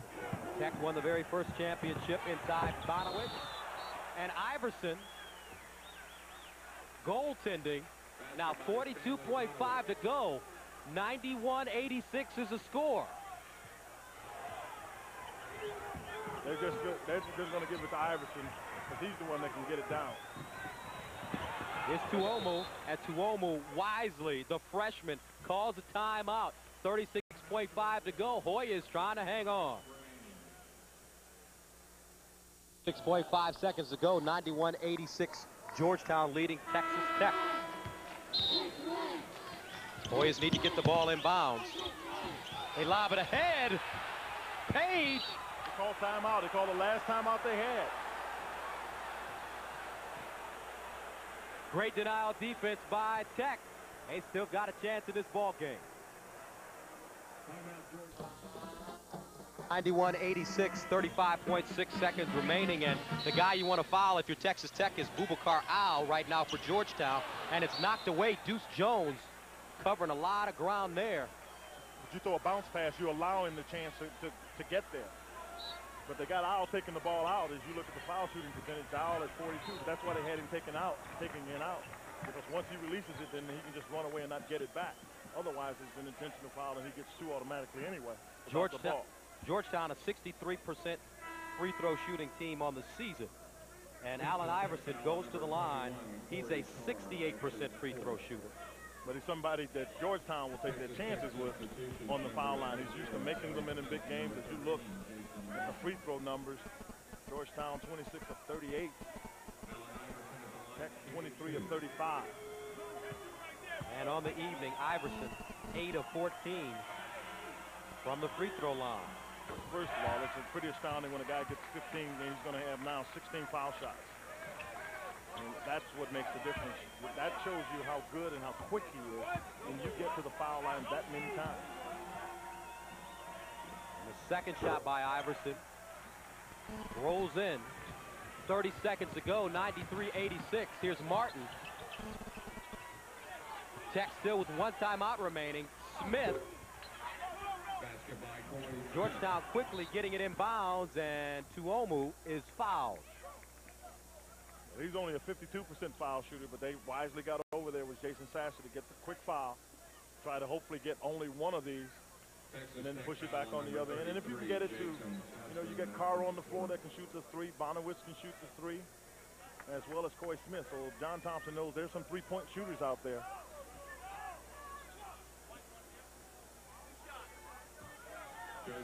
Now don't forget coming up next, Arkansas and UMass right here, and Louisville and Wake Forest. Joseph Touomou, no points. This is his first free throw attempt. And he makes it good. Knocked it right down. Been a great season for Texas Tech, but you look into the eyes of the kids on the bench, you know they know it's about to come to an end. They know it's an uphill battle going against the Georgetown team because of the way they defend. And I just said the bodies were just going to start to wear and tear for Texas Tech. Georgetown just has too many big, big bodies they can come at you with. Martin straight to the basket. And a quick timeout by Texas Tech. 15.4 to go. Hoyas by five. 15.4 seconds remaining in this ball game. Georgetown up by five. Our Chevrolet players of the game, Jason Sasser for Texas Tech, and Othello Harrington for Georgetown. 23.6 rebounds, two block shots, despite a fantastic outing by Allen Iverson with 31 points. Seemed as if Othello held this Georgetown team together, especially in the first half. No, I don't think there, there, that I would say, I would agree that he held it together, not even seemingly. He did. Because when they needed baskets, Othello Harrington got those baskets, came back in the game and played seven minutes with uh, four fouls and was able to make plays for them. The two blocks, six rebounds. Offensively, that was a good evening for not only Othello Harrington, but the Georgetown Hoyas. So Allen Iverson, 31 points, 10 of 29 from the field, 10 of 16 from the free throw line. And he'll get the first one to drop. Coming up next, UMass and Arkansas. That game was scheduled to begin at 10. 30 minutes will be taken between games, so they're not going to get on the floor until maybe 11.05, 11.15. But one of, yeah, it may be about 10:45 or so. But one of the things that the advantage of playing in tournaments, as they both have, uh, you know, their conference tournaments, is you know that periodically you got to stand in the tunnel and wait for your game to go on. That, that, so they, though this will be somewhat of a late game, the routine is something that they're familiar with. So Jason Sasser fouls out of the ball game. 25 points, eight rebounds for the Southwest Conference Player of the Year and also a third-team All-American. Sasser is a senior from Dallas and his college career coming to an end on a personally a high note, but team-wise a sour note. Well, he may debate the personally high note with his team doing badly today. I would think that those, 25 rebounds. Yeah, but I would think that he would like to have, if he had his choice between which he would, would rather have, I would think that he would like to have his team going on facing the winner of the next game. So Georgetown, 7.1 seconds away from advancing to play the winner of UMass and Arkansas. Baseball pass ahead. Intercepted by Iverson. What a catch. You can see some defensive back skills there. And Allen Iverson and the Georgetown Hoyas go on to win it by a score of 98 to 90 for Quinn Buckner, Andrea Joyce. I'm Gus Johnson. Let's go back to New York and Pat O'Brien. All right, Gus. So Georgetown holds off Texas Tech by hitting 15 of the last 20 free throws down the stretch. UMass and Arkansas a half an hour from right now. And Louisville and Wake Forest about to get underway out in Minneapolis at the Metrodome. We'll have that game for you. Those of you expecting UMass and Arkansas, we'll have that game for you in a half an hour. We're going to send you all out to Louisville and Wake Forest after a local station break.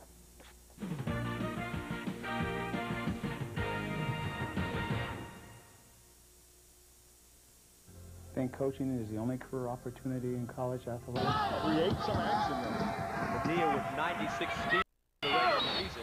Inside, Dana Dingle, and one. They've had an answer every time Arkansas has tried to make any kind of move. You got to have somebody that can handle the ball for you in the NCAA tournament. You see, Padilla make a little decision right there. Draw Robinson. Dingle gets position left-handed, able to get it up and off the glass. So Dana Dingle steps to the free throw line with nine points, three of four from the stripe.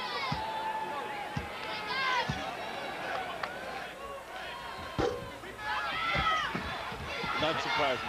He got his own rebound. Thing you like about Dingle is he, he's a hustler. He, he's a guy that goes after the ball. He's, he has probably been the most consistent player from his position, making things happen.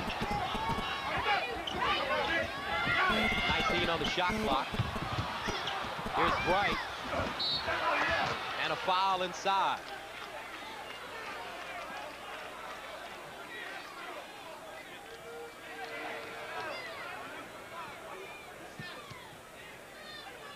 UMass foul on number 50, Inus Norville. So Enos That's Norville his picking up the foul. And he's got four fouls already. and we're still in the first half. now this is what's happened thus far in the East here in Atlanta. Georgetown snapping Texas Tech's 23-game winning streak, which was the longest in the country. And UMass and Arkansas going at it right now. UMass the number one UMass seed. Arkansas number a number 12, the only 12th seed remaining in the tournament. They are the lowest seed left in the tournament. At number 12, Towns got a good off the front of the rim. Well, Ollie Thompson been really active for them in the offensive end. He's chased down some loose balls, giving them some opportunities.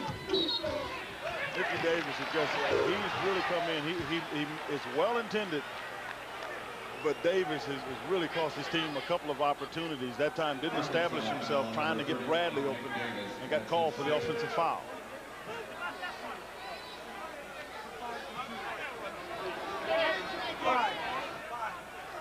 And already you can see the teams are totaling 25 fouls here. It's a little bit like the one we saw uh, with Georgetown. A lot of fouls. But Arkansas and, and Nolan Richardson, when you play the kind of defense where you're trapping and doing those kind of things, you're going to foul because you've got to have your hands out. Coach Richardson, I see that uh, another one of those real sharp suits. Great tie. You can talk to coach. Get, You know, you, I get you going a little bit. No, I, you know, Coach Richardson can he can carry those those suits. I mean, some people can. I'm, I for one can. Now you can. But I have to say, as much of that is, is has to do with UMass as it has to do with Arkansas. Donta Bright taken off. And he's called for the offensive foul. And they wipe away the basket. I mean, that's one where Bryce just got to pull up and shoot the shot. He picks up his second foul. Nice kick right there by Dana Dingle. Bright takes the shot, and there's no question about it. Nikki Davis is standing right there in position. You just pull up and take the little easy jumper. Eight seconds remaining in the first half, 40-24. Reid picks it up. Here's Reid. Picks up his dribble. Lobs one at the basket. One second. Here's Clark from half court. And he came close. So at the end of the first half, Tyrone Weeks and the Minutemen from UMass take a 40-24 lead into the locker room. CBS Sports exclusive coverage of NCAA basketball will continue after this message and a word from your local station. Knotted at 49. Let's go courtside. Bill Raftery and Sean McDonough. And a bucket by Sean Allen has given Wake Forest a two-point lead with nine minutes remaining. Louisville has led only once in this game. It was moments ago by one point. And Walker trying to get them even. Samaki with a miss from in close, and Sean Allen rebounded. Foul difficulty a story at the moment. Two Cardinals with four fouls. Bozak Smith and Alvin Sims, and Ricky Peral is on the Wake Forest bench with four. Tim Duncan has three. Samaki Walker is three. For those of you enjoying this contest between Wake Forest and Louisville, we're going to keep you up to date on UMass Arkansas. We're going to keep you at this game, so enjoy it, and we'll talk to you later. Anyway, charging into traffic and was fortunate the foul was called on Wake Forest. And then a moment ago, Tim Duncan took a finger in the eye, but he appears to be fine now. 19 Not much has bothered Duncan tonight. A double-double, 24 points, 10 rebounds, with six block shots. He averages a double-double for the season. This is his eighth in a row, 23rd for the year. He also had a triple-double this season against Maryland with 14 points, 15 rebounds, 10 block shots, the first triple-double in Wake Forest history. Flynn made the first free throw. It's a one-point game. Kentucky awaits the winner. The Wildcats blew out Utah in our first game here tonight. We'll meet the winner of this game in the Elite Eight Saturday, 3:40 Eastern Time, here on CBS Sports. High game at 51. And showing the full court pressure now. It's been a factor, cause a turnover. Here's another one. Good, solid defense. Whether it's the zone or the man-to-man. -man. Tick Rogers hurt his left hand, Sean. He had that injured on a layup earlier and stayed in the game, but he just got another hit. You see him going out, but they have stepped it up now, causing the inability to make the good, strong chest pass. Nice little play by Flynn in the middle of the zone. Wake Forest led by three at halftime, and they've shot seven for nine from the floor in this half. They've only taken nine shots in almost 12 minutes of action because they've committed nine turnovers. So despite excellent shooting, they've squandered the lead due to the turnovers. Walker, couple of fakes. Duncan with the block, and he's called for a foul from the official on the side, and that has Dave Odom absolutely livid. And not fair. Just keep the whistle in your pocket. That was a legitimate block by a terrific performer inside. Inside. The read, he stays on the floor. You can see that's all basketball. I mean, the tendency of some officials is you react. Let it happen. That's terrible. Yeah, that is, and it uh, puts them in a difficult hole. You notice Perrault came back in on the last pass inbounds. It was Duncan who turned it over. It may be Perrault who takes it out. He's such an important guy in passing the ball. Walker makes the first. And Louisville has just its second lead. Should they make this free throw, they'd have their largest lead at two points. And he does, and they do. It's a two-point lead for the Cardinals with 7.59 remaining. And now if you'll follow me... And then initial trap, one, two, one, one. And then back to their straight-up man-to-man. Louisville has not given Walker the touch. Ooh. And then LaRue batted it out of bounds out of the hands of Flynn. Only 14 on the shot clock. 3.06 left. Second half. Louisville by two. Tim Duncan has gone more than nine minutes now since his last field goal.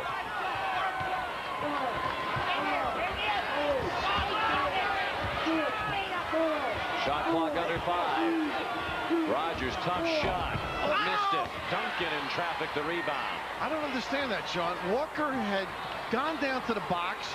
Get him the basketball. Braswell guarded by Wheat. Goolsby guarded by Flynn. Ripped it away. Flynn the push and a travel. Well, I think the banging caused the walk, if that's what they want to do.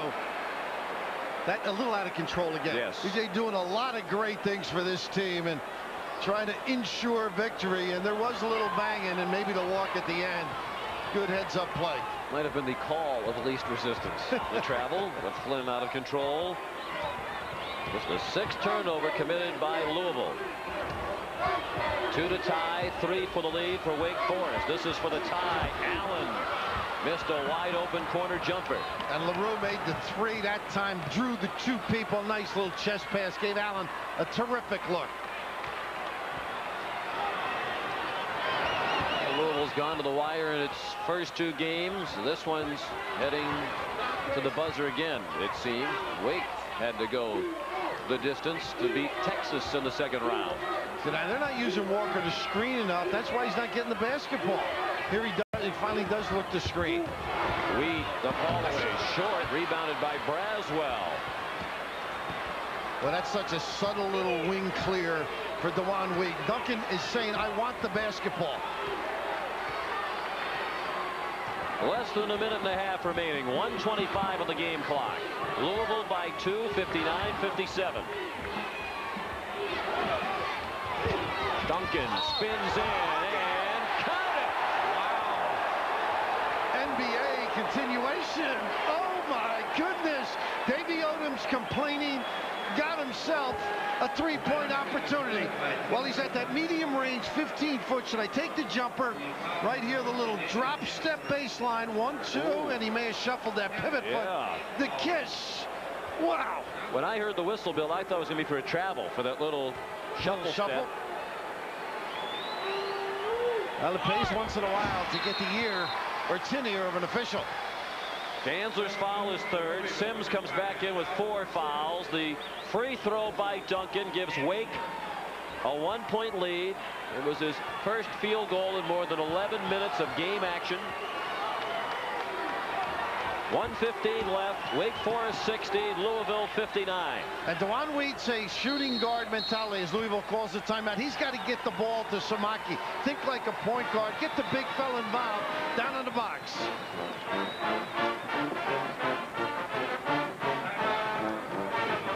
Razor shaves closer. With an ample supply of timeouts.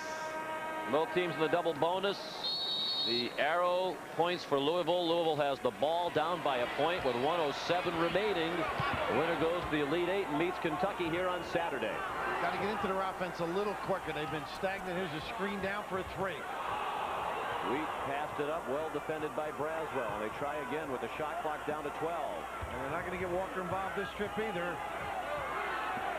Walker up high. Duncan has four fouls. They haven't really been able to take advantage of that. Wheat, a tough three that missed, and Allen a big rebound. Settled. They settled the last three or four trips. LaRue's got to handle, obviously, but make sure the first free guy gets it. For Louisville. As Wheat went flying. What a get back for Wheat. I mean, he had been coming up short, the baseline jumper, the pick and roll high. Oh, does this hurt Wake? Good, quick feet. And, I like it. The absence of Rutland. It sticks out at key times. Well, Louisville's gotten this season this far because of great defense and a terrific reaction by their leader in the backcourt, Devon Lee. Because it was a player control foul, no shooting. Louisville will inbound near midcourt with 30 seconds left. This is their 22nd timeout. And they break the huddle with Rogers and Wheat, Flynn, Sims, and Walker. Goolsby, Braswell. Offense, you just want to make sure you get a good opportunity. Here's a little shuffle cut and a screen down. This will get Walker to the ball. He fouled. He got away with one. And Flynn got knocked to the deck in the corner. Shot clock is off. Game clock down to 10 seconds. Louisville with the ball down one. Wheat working on LaRue and Leader wouldn't go. Rebound Allen. Rode the wrong horse all the way down the end there. Walker should have been involved. Very tough situation. And Louisville every opportunity, the joy and triumph.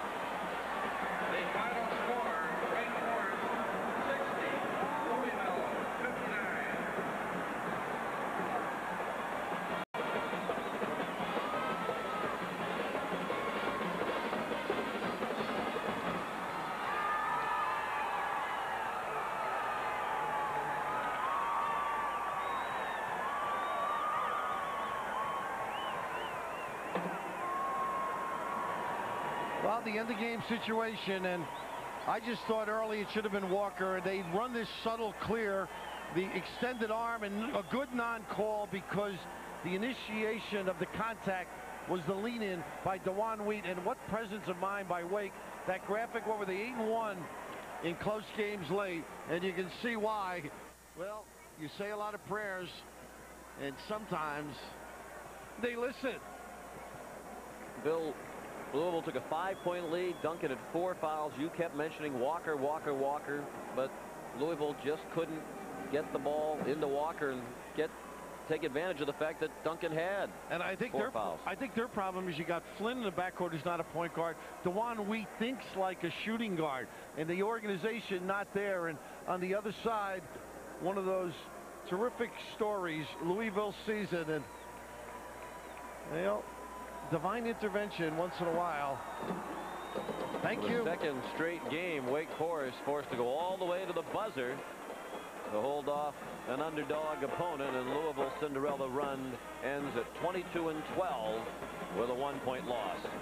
It'll be the top two seeds in the Midwest for the ticket to the Final Four as Kentucky and Wake Forest meet in the Elite Eight Saturday at 3:40 Eastern Time here in Minneapolis. The genuine Chevrolet players of the game, Samaki Walker and Tim Duncan, they waged a great head-to-head battle tonight.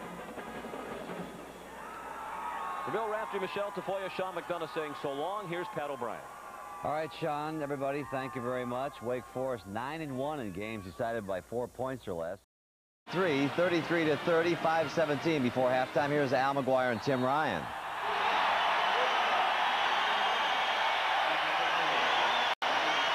Thirty-three to 30 with a timeout. Arizona, 22nd, with 5.17 to go. Kansas has cut the lead. Arizona led by 12. But the Jayhawks now trail by only three with 5.17 to go. And here's a look at the bracket here in the West. Syracuse advancing to the Elite Eight, defeating Georgia in overtime. And Arizona, Kansas, the two and three seeds, battling for the right to face the Orangemen Sunday at 2.40 Eastern Time here from Denver. And now, how about this tempo for Arizona? Is this going to be a problem? Yeah, Arizona's getting themselves in real trouble here. They can't play this quick. Come the second half, they'll be uh, they'll be tired, really tired. Geary for Dickerson. Dickerson's three won't go, and Vaughn rebounds. As I said from the top of the show, you cannot run with Kansas. Nobody can, maybe the exception of Kentucky. Bad miss there by Pearson, Sean Pearson, in the lineup for Kansas. Good pass. Geary to Dickerson. He missed the shot. That was a foul out of frustration. Dickerson thought he should have scored. Unbelievable pass from Geary into Dickerson. Watch the smoke on this ball. Watch it. Boom, he sees the guy open. He thought he should have scored there. Out of frustration there, just foul. Second on Dickerson. Both teams are in a one-to-one. Jacque Vaughn. Don't go for him, and the French knock the rebound out of bounds. The Arizona ball. I say it again. I repeat myself too often in these games, but basketball is a simple game. Arizona, to win this game, cannot play this pace, even though they're winning by three points. They'll show up in the bell lap, the last 10 minutes of the game. Geary slowing it down here on this half-court offensive play. Feed inside, missed. See, they come right down. See, Vaughn will take that ball, come right down and back you. You don't go back on defense, they'll kill you. Pollard from Vaughn. Geary now signaling to his teammates, let's slow it down here. It's a one-point game, Arizona. We work the clock a little bit, then try to kick it down low to Big Ben. Ben has position down low. Oh. Kansas ball. 3.53 to play, first half, Arizona by one. Now, in terms of egging his ball club on, asking them to compete. And they're doing it. They're responding. 21 points, second half lead. Down to 12. And Elisma trying to crash after missing the front end of a one-on-one. And Harpring kept that ball alive, just banged it up on the boards. Burton, who has not gotten untracked in this ball game offensively. Here he comes looking for his jump shot. Burton, no, this time. Elisma with the rebound. Jim Nantz, Billy Packer from Rupp Arena. It's been Cincinnati double-digit leads almost the whole game. From the corner, Tech trying to keep it alive. You'd have to question, Jim, with 7.30 to go, why you would take that quick a shot. Georgia Tech does much better when they occupy the ball for a few seconds. Cincinnati jumped ahead 13-2 and then led by as many as 17 in the first half before Tech cut it down to 10 at the intermission. Here in the second half, it's been as large a lead as 21. The Tech now within 12. Long. Fortson too strong to keep up with him. And it's up to 14. Maddox rolling around his body, but just couldn't get there in time. Fortson asking to come out right now. Bobby Cremins 1 to 20 seconds. Fortson with the rebound. He said, wait a minute, he pushed off, but he has 15 rebounds, does Danny Fortson. 68-54. We saw a flurry, uh, Billy Packer there by Georgia Tech. But with seven minutes, two seconds to go, you know, can they possibly come Coach, back? Jim, here's the case where if you're playing against a Cincinnati, and let, let's think of the kind of teams that should do well against them, and although Denny Crum beat them up at Cincinnati, it should be a team that can come in off the bench with three or four guys so that you can keep your guys rested. What's happening to Georgia Tech right now is that their guys conserve enough strength to make a run for two or three minutes, but then all of a sudden they're worn down completely. They have no place to go with energy, and Cincinnati then picks back up the lead. The look of exhaustion. Three wins to go if you want to win the championship. UMass, Kentucky, Georgetown, Wake Forest, Syracuse, Mississippi State, Cincinnati. You know, Jim, both of these teams were in the Metro. When you think of what Conference USA made and all the big changes, probably in college basketball, Cincinnati has been in the middle of some huge changes in the game in college basketball. You know, the Metro, then then uh, the great, job Midwest. yeah, the great Midwest, and, and now Conference USA. And Bobby Huggins won every single tournament championship in the four years of the Great Midwest, and now he starts off Conference USA, wins that one. So he's got five straight postseason conference tournament championships. But Georgia Tech, before they came to the ACC, uh, were members of the Metro with, uh, along with uh, Cincinnati. 84-67.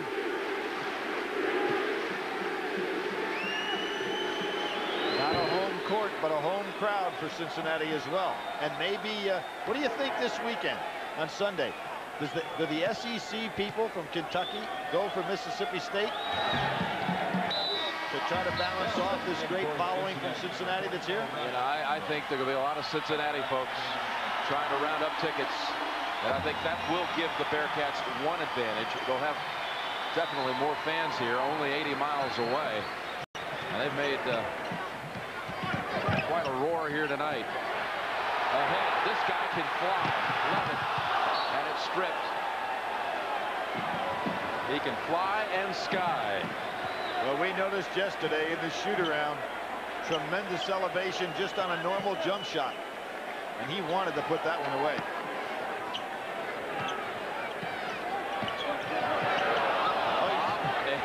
and he was able to catch it flat-footed. Levett lays it in. And the assist to Terrence Davis. The other end, Brannen missing. But Johnny Williams with the rebound and Tech scores. Well, those are the ones you tell your grandkids about. It was in the NCAA tournament. Rupp Arena hit the jumper from the corner. Yeah, that was Ryan Murphy. But Cincinnati's Bob Huggins to the final eight.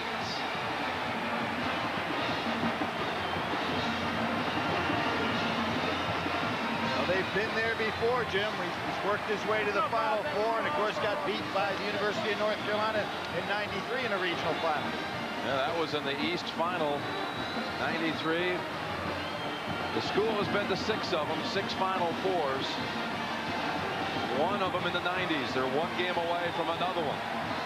Mississippi State, Cincinnati, all set now for Sunday afternoon back here at Rupp Arena.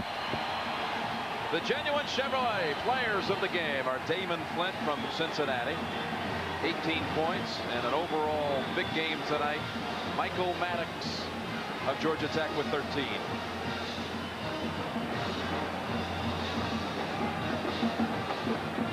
Cincinnati and Mississippi State advance out of Lexington. And right now, let's send you back to New York and Pat O'Brien. All right, Jim, Billy, thank you for your work tonight. We'll see you on Sunday, and so make an adjustment on your brackets at home as we are doing here in our studios. Cincinnati advances, as Jimmy said, they will play Mississippi State on Sunday. Let's go out to Denver now, where Kansas leads Arizona by a point. Here's Tim and Al. One point game with 16.55 to go second half. Kansas 48, Arizona 47, the two seed against the three seed in the West. Williams going out for Arizona. McLean returns. The starter who has been spotted in this game.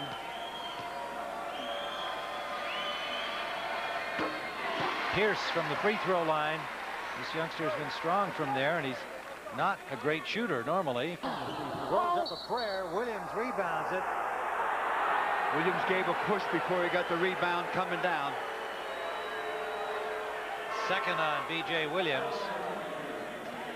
And our game summary here in this half. Arizona with only seven rebounds to 17 by Kansas. And look at B.J. Williams off the bench, 16 points, eight rebounds, eight of 12 from the field. It's just an outstanding performance for B.J. Williams, who averages 4.4 points a game, the junior from Wichita. Davis will be at the line for Arizona. He has eight points. It's been quiet since the first half. Arizona is giving McLean a rest. They put him back in in the, in the final rush. I would say with about three and a half minutes to go, he'll come back in. They've given him a lot of rest. And of course, uh, no doubt, due to the, the uh, dehydration he suffered. Although Dickerson does get a lot of time off the bench and has played well here in the clean spot. Davis makes it a five-point game. 5.02 to go. Hold on to your hats. The crowd's coming to its feet here. The Kansas fans exhorting their team. They do not want to see a Cincinnati-Georgia game a finish like that one. I mean, oh, he laid it high on the backboard. He had to get over uh, Ben Davis coming in, so he put him about three feet above the rim, off the glass. Referring, of course, to the Georgia-Syracuse game earlier here this evening. Near steal by Robertson. Terry, he's short. Pollard has it. Vaughn slows it down. Watched by Jason Terry. 74 to 68. Watch all the screening down low, back screening and picking. Constant moving with the Jayhawks.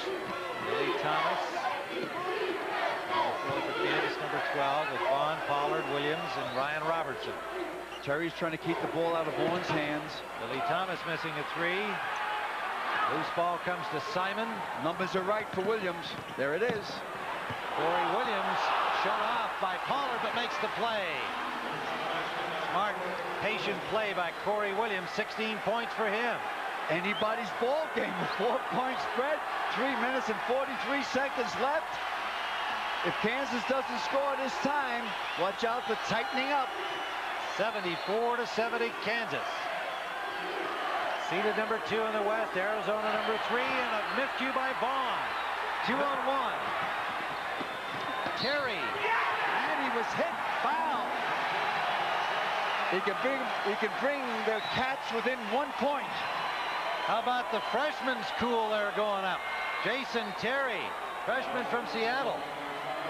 Uh, the turnover here, they create their fast break, is kicked to the left, but Simon now feeds it to Terry, which we call socks. Two-point game. Lute Olson fired up himself, and his troops fired up. Well, let's see what you can do, Socks. Let's get a little picture of those socks there from the camera people. There they are. Terry, he of the Sox on the line. Three-point play by the freshman. One-point game. Kansas 74 to 73. 324 to go. A one-point game. Kansas on top. 324 to play. Arizona hanging in there. And three full timeouts each team has remaining. Each has their 20s. Possession hour belongs to Kansas. 3.20 to go.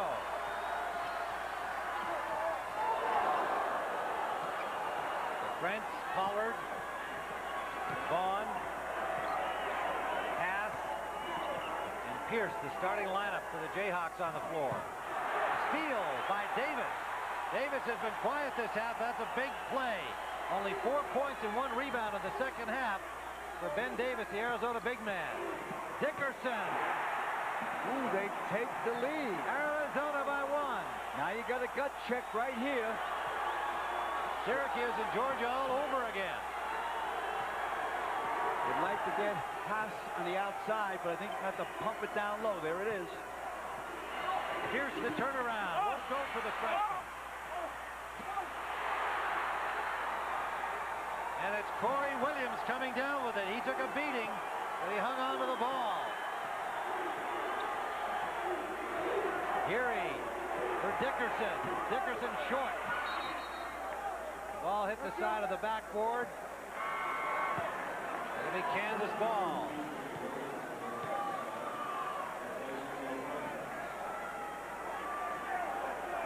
Arizona by one, 2.15 to go. Right decision we made by Jacque Vaughn. Look for the penetrating dish. Now watch double team by Dickerson and Davis. There's the dish. Pass. In and out.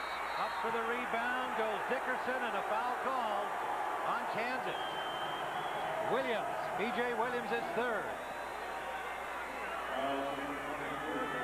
Two shots. Ten team fouls for Kansas. The bonus foul. Shoot two shots no matter what foul is called from now on out. Dickerson, a free throw shooter at 73% for the season. He's had a big game for Arizona. He's got 19 points. He averages 11-6. What he has, what he has, Tim, even his outside shooting, his foul shooting, tremendous trajectory on his shot. Watch how it goes up about two-thirds of the way, then drops down at the end. Bang! Now, he shares time with Joel McLean, but he's been the main man today because of the illness suffered by McLean, who's not played a lot. Too early to go for the three. I just go for a score. There's plenty of time left. Three-point game. This is Vaughn feeding it off. No basket. Ooh, I thought they were going to call a walk. They called a foul. That is the 19th foul on Arizona, so it'll be a one and one, I believe. Simon. Nice penetration that time by Jacque. He dumped, he dumped it down low to Williams. So it's a one and one, not the bonus foul. Next will be the bonus foul. B.J. Williams, 16 points. The free throw line, he hits. Two-point game. Arizona led in the first half by 13. They trailed by 10 here in the second half. And a 20-second timeout called by Lute Olson in Arizona. Wildcats up by two. 142 to play. Well, Jim Boeheim, he says, hey, this is deja vu, and if he was Berra, he'd say all over again. But you know what? You know what's difficult about it? He doesn't know which one to root for or which one to overscout. What you're doing is in a situation like this, you take two of your staff to scout Arizona, uh, Arkansas, Arizona, and two to scout Kansas, because you don't know who's going to win, but you want to have the reports proper. Jim Boeheim Syracuse team outlasting stubborn Georgia Bulldogs team in overtime. First game here tonight in Denver. Roy Williams. These guys, have, they've been working hard tonight, Williams and Olson. Williams with that beautiful arc that Al McGuire talked about from Dickerson, a similar arc from B.J. Williams. Arizona by one. 134 to go.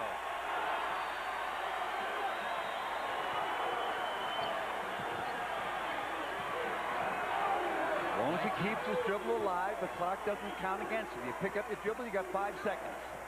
14 seconds on the shot clock. Tight checking by Kansas. A foul called. And it's Haase. Jerod Haase. Four on him.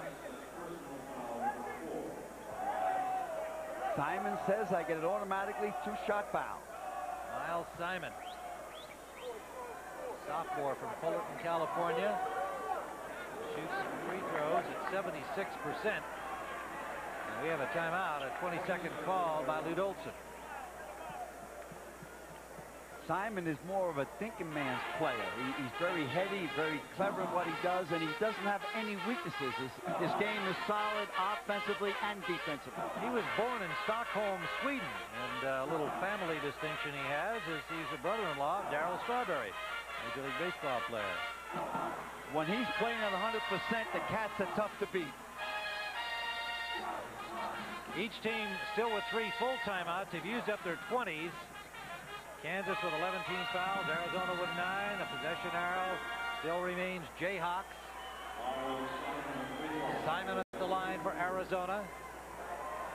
Kansas has scored only one field goal in the last five minutes and 50 seconds. Simon,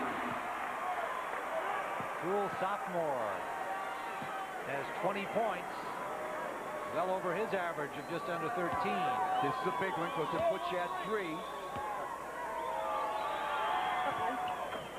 Okay, now, now I, I would think maybe look for the three, but if it's a simple deuce, go for the deuce. Right, look for the three. Nice back door. Oh, oh what a block. Woo. Reggie, Reggie, my man. It came from downtown from the backside. Watch Reggie come from the backside in this block. Up, up and away. Where's your cape?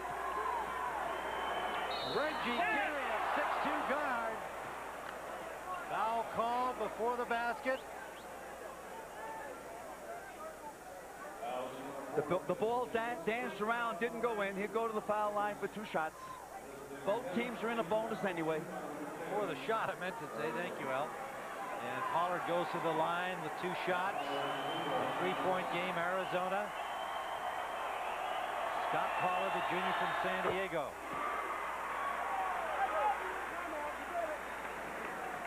One of the characters on the Kansas team. He and Vaughn are roommates, and they say that's quite a combination. We've got a timeout, 108 to play. Arizona by two.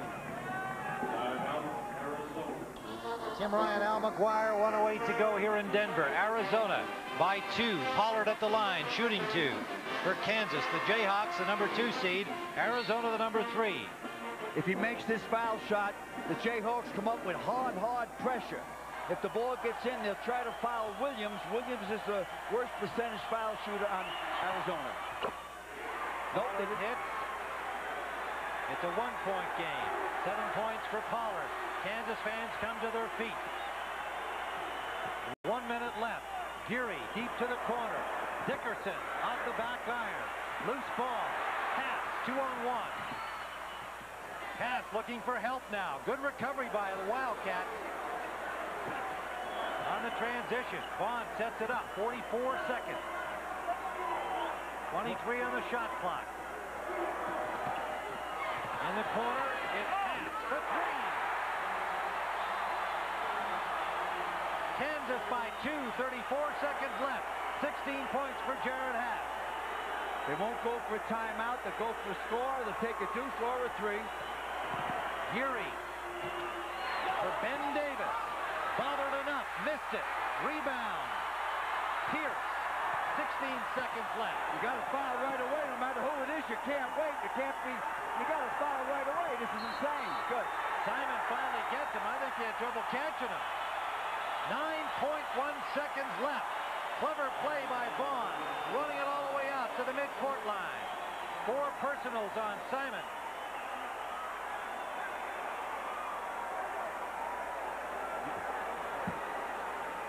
They, they know he's spotted up in the corner. Zip. Now watch the bench react. There, there, a little bit delay on that. Jerod Haase to put Kansas in front. Vaughn at the line. This outstanding backcourt delivering the goods here in the final seconds. Three-point game. This is the big one now because if he makes this one, becomes a two-possession game for the Wildcats. Timeout, 9.1 left. Jacque Vaughn will penetrate into the paint and then kick it out to Haase. Here he goes. There's the kick out, and there's the bury. Now here's a low angle look at penetrates in the middle, kick out to one of the best disciplined point guards in the country with Vaughn, hitting his three-point spot-up man, Haase. Jerod has 16 points, four three-pointers, none bigger than that one, an 82 to 79 lead with the free throw from Vaughn. He's got another one coming, remember. We've had a timeout between the two. Vaughn looking calm, cool, and collected. 12 points he has. He has to make this one. It's a two-possession game. He makes it. It should be all she wrote. And he does. Jacque Vaughn, 13 for the game. A big-time pair of free throws. 9.1 left. Simon kicks it off. Oh, Three is off the mark from Dickerson. Bad foul that time by Williams. He pushed off before he went to the rebound. There's still hope here. What they'll do, they'll make their first foul shot. The second one, they'll miss on purpose. 3.6 seconds left. Four-point Kansas lead. Here's the shot. Catches a piece of the rim. Williams pushed off before. Didn't catch it in that shot right there. Now the man goes to the foul line. McLean goes to the foul line. The idea is to make the first foul, miss the second, and try to get the rebound.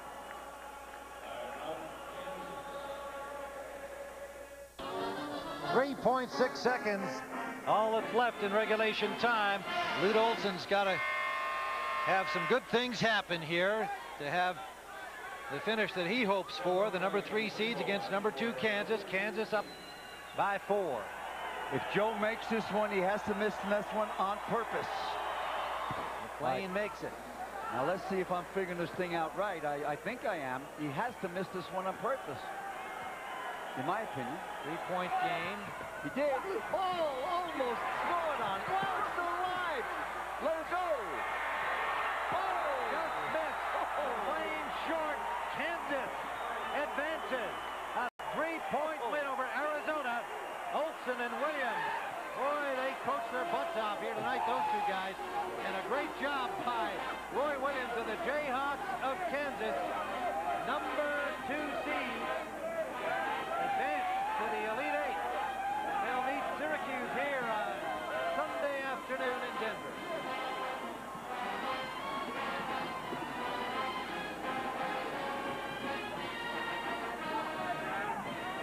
Disappointment for Lute Olson. Joy for Roy Williams. McLean got the miss that Al McGuire said he had to try for.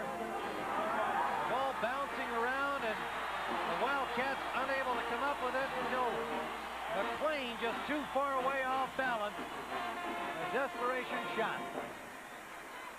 So the happy Jayhawks hold off the Wildcats. Another thriller here in Denver. Syracuse escaped from Georgia. Kansas did the same from Arizona. And they'll meet at 2.40 tip-off time Sunday here at McNichols Sports Arena in Denver. Our Chevrolet players of the game.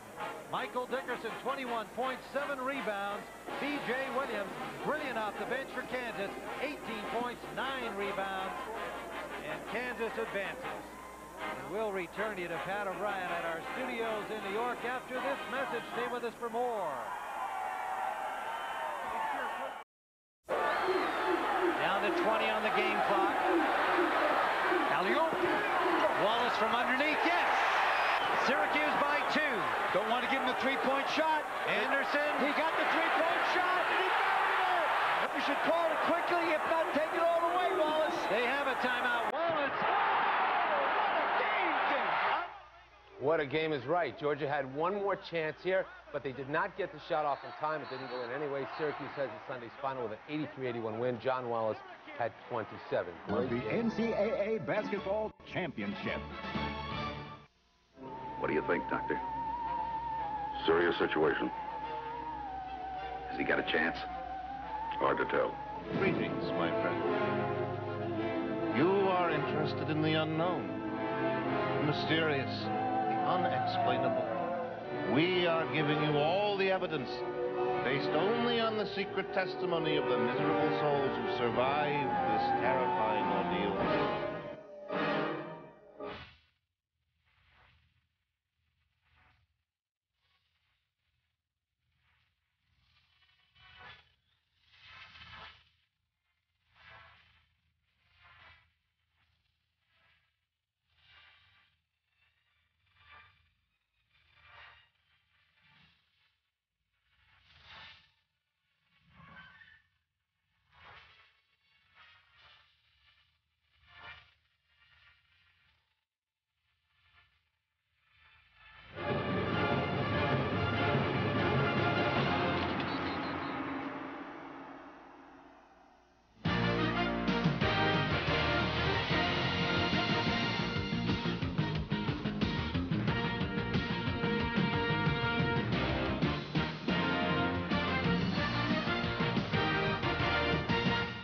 And good afternoon, everybody. I'm Pat O'Brien. Welcome to Regional Finals Weekend here on CBS as we continue our walk together down the road to the Final Four. Well, what was once an eager 64 is now an Elite Eight.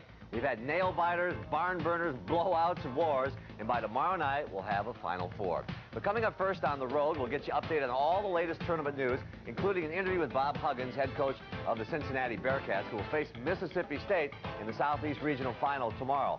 We'll also have George Raveling's conversation with Georgetown's John Thompson, and we'll take a look at this year's senior class of those Kentucky Wildcats. Then, we make our way to Minneapolis with a 340 tip of the Midwest Regional Final, the second seed Wake Forest Demon Deacons against the top-seeded Kentucky Wildcats.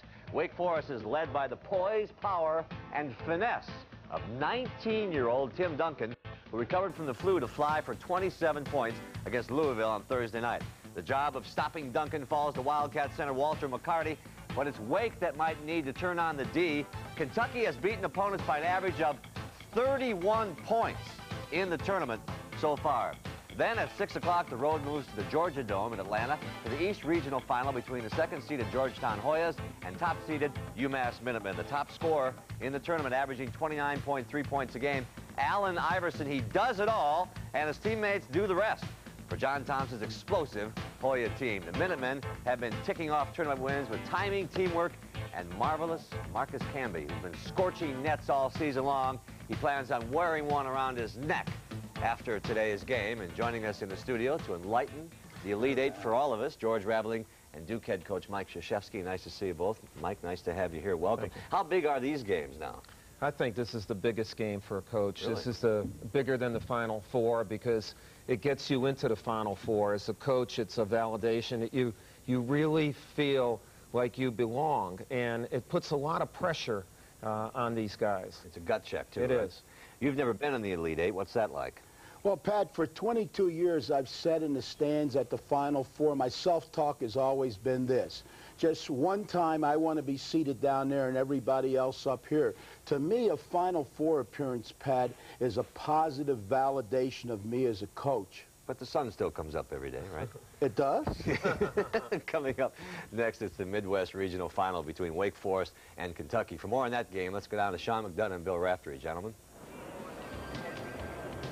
Patrick, thank you. Today here in Minneapolis, it's the top two seeds in the Midwest region who advance to the regional final as number one Kentucky takes on second-seeded Wake Forest. Sean McDonough and Bill Raftery you expect a battle of contrasting styles today. Kentucky, as Pat told you, an explosive team, averaging 92 and a half points per game for the season.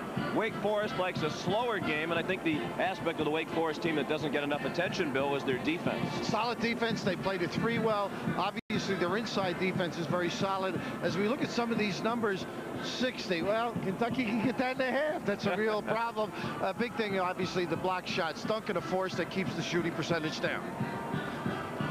If you're going to play good defense, uh, Duncan's going to have to get some touches. They're going to have to have good, solid shot selection. He'll attract two, occasionally three people, but he makes adjustment. He sees cutters, or he can kick it back out to the excellent deep shooting here.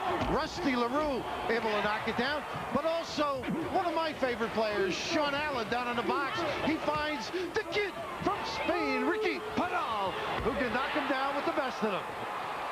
And those of you who have watched my partner Bill Raftery over the years know he has his own distinctive language and manner of speaking. Raftisms, we like to call well, them. quickly, Metaman, it uh, proves I didn't go to high school, I guess. Send it in, another report. What with the kiss and to the goal? And they say imitation is a form of flattery, and if that's the case, Bill is flattered by the performance of Sean Allen of Wake Forest. The big fellow utilized the kiss and no jump hook he finishes strong, rebounding a physical presence down low. Peral, the big fellow from Spain, strokes it, scintillating. What else does there say? Physical presence, strong, bruiser, rebounds, gets it out of there with authority. Well, I think it's obvious that uh, they ought to isolate and get Sean more offense. Let's speak to Dave about that. He's my favorite player on Wake. and here's our favorite host, Pat O'Brien. Thank you guys very much. And man-to-man ref, you're the best. I like that a lot. Let's break the game down for everybody. A couple of points on the game, George. Well, for Wake Forest, I think the key is number one, they've got to shut down Kentucky's inside post-up game, and number two, they've got to successfully attack Kentucky's press. For Kentucky, they've got to keep Pope and McCarty out of uh, foul trouble, and they've got to continue to shoot the ball well. Mike, break it down. I think this is the worst game to have Rutland uh, hurt because they have Wake has to reduce turnovers. Kentucky wants a lot of shots. They don't want, they want a, up-tempo game. They've taken uh, 2,200 shots this year. Wake has taken 1,500.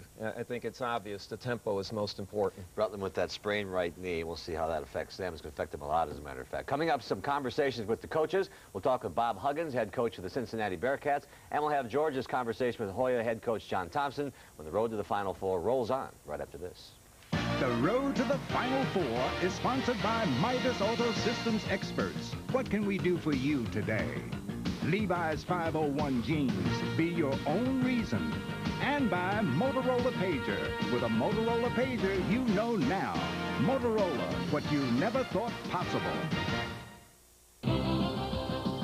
The road to the Final Four is sponsored by Midas.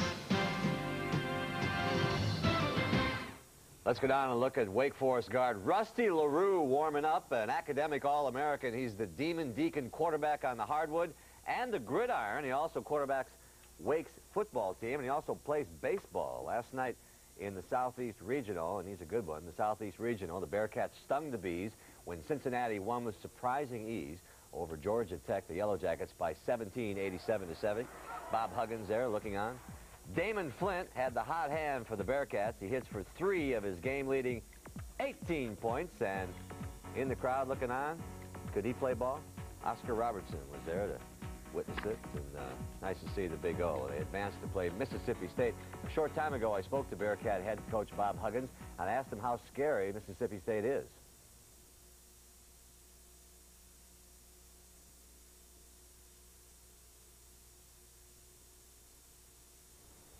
And uh, he said they're very scary because here's a team that beat Kentucky and UConn, two of the top teams. And how scary are they, Coach? Well, they're as scary as you can get because they, they can match up and play any type of tempo, and they can play they can play physical, which is what uh, the Bearcats do. So he's going to face a team that's not going to back down against them. What do you see in this game today? Well, I, I think a big key is how Wilson shoots uh, for uh, for Mississippi. Anybody got a question? I think this is of interest to uh, our viewers and listeners. What is your uh, feeling about these types of press conferences? I'd just like to say that I appreciate this press conference being handled better than the last NCAA tournament press conference. Who the hell told you I wasn't going to be here? I'd like to know. Do you have any idea who it was? If there aren't any, if there aren't any more questions, uh, I, I just soon pack it in. All right? Thank you, Coach. Too much time on our hands, by the way. By the way, what's the last thing Dave Odom says to his players right now? Pass the ball to Wake players, not to Kentucky players. And what's the last thing Pitino says? Take no prisoners, man. They've been doing that. Should be a good game. Coming up, the Midwest Regional Final between top-seeded Kentucky and second-seed Wake Forest. Sean McDonough and Bill Raftery have the call after a message and a word from your local station. Enjoy the games, everybody. We're here all day with you.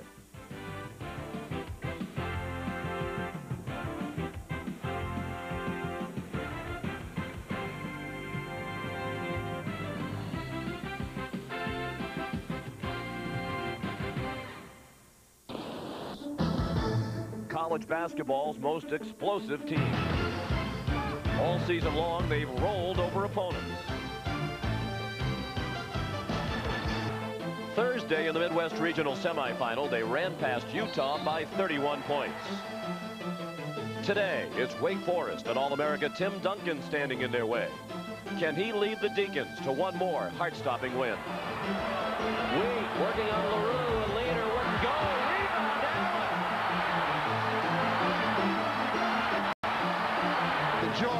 triumph. Two teams with one goal. The first spot in the Final Four is on the line. As Kentucky takes on Wake Forest next.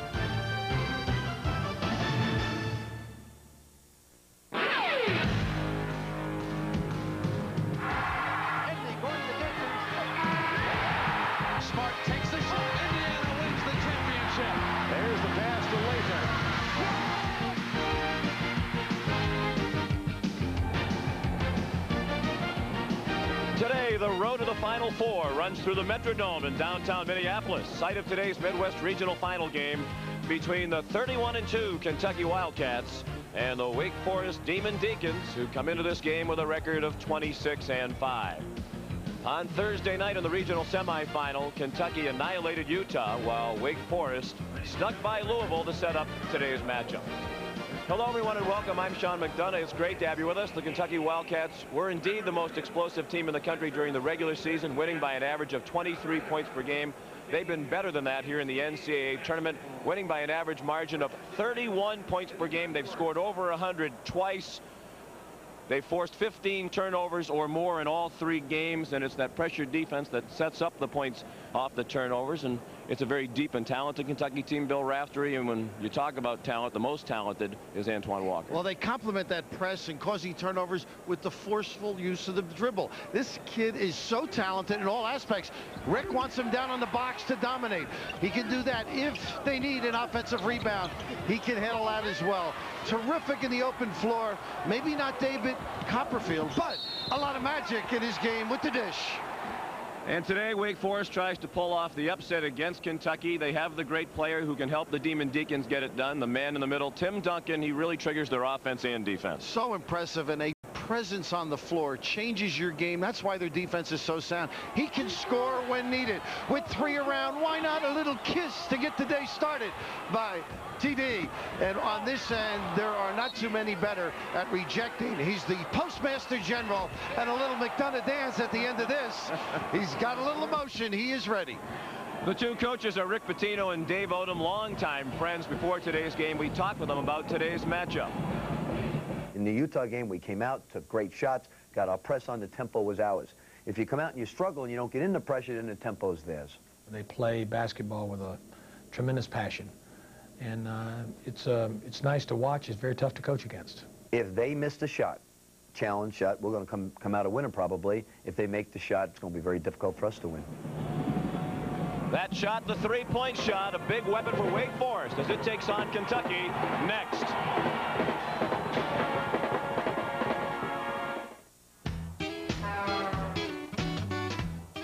When you buy a computer first, The whole team was in a zone. That was the start of my career. It's just like a fairy tale. They'll never forget their road to glory.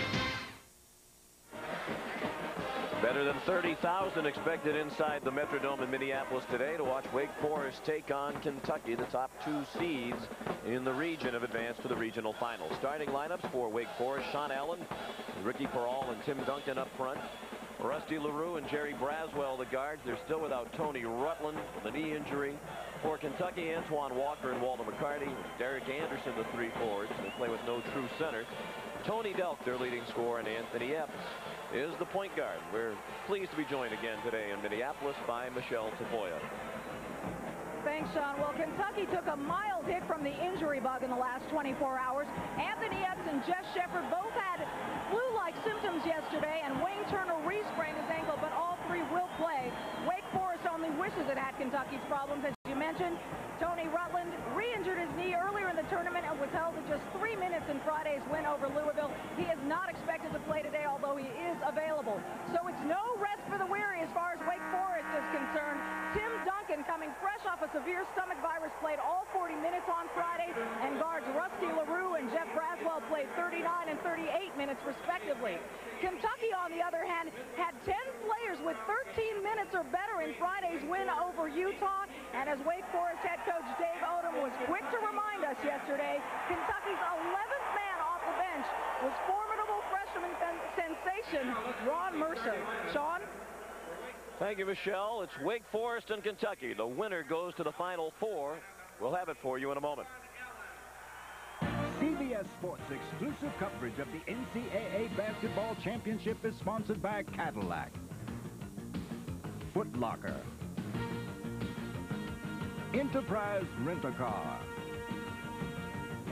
and by Pizza Hut. Kentucky and Wake Forest in the Midwest Regional Final here at the Metrodome in downtown Minneapolis. The winner goes to the Final Four. There's the road to the Elite Eight for the Kentucky Wildcats. They have not been seriously tested.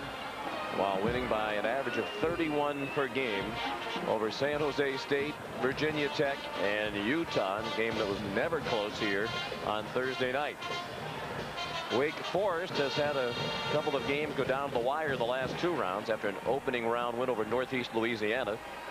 They went all the way to the end against Texas and Louisville, and Wake Forest trying to beat a number one seed in the tournament for only the second time. They eliminated number one DePaul in overtime back in 1984. Jim Burr, John Cal, and Dan Chrisman, our trio of officials. Jim Burr to throw the ball in the air. Duncan and McCarty on the jump. Kentucky dressed in white. Duncan controlled the tip, and we're underway. And the Wildcats straight up man-to-man. Sean McDonough get Duncan some touches. Very important. They double kick it out. The three-pointer will be a key today. Wake Forest, a 42% three-point shooting team, and everyone on the floor can shoot the three for Wake. And Sean, the amazing thing is they take two-tenths of a point more three-pointers. He's got to find people if he doesn't have it. And Duncan's turnaround shot spun out to Antoine Walker. They're going to try and drag Duncan away from the goal. McCarty with only two points in the win over Utah, showing Kentucky's depth. They can win when one of their key players does not have a great game. They like to pass, get a little bump, get him to the box. Peral, good. They're going to harass the pass to the post here. He can shoot and find people. Rusty LaRue tried to feed Duncan, and the pass missed him. McCarty with some nice hands there created the lurch forward for Duncan. Big thing, I believe, for Wake is to play good, solid defense, make Kentucky take some time on this end. Obviously, be prepared if they do score to set up their offense versus a press. Good cut. And Delk the layup, and Kentucky has a 2-0 lead. And more importantly, you got McCarty. They'll show different looks on the ball, off the ball, pressure points. And Duncan's going to help out quite a bit, according to Dave Odom. It could tire him later.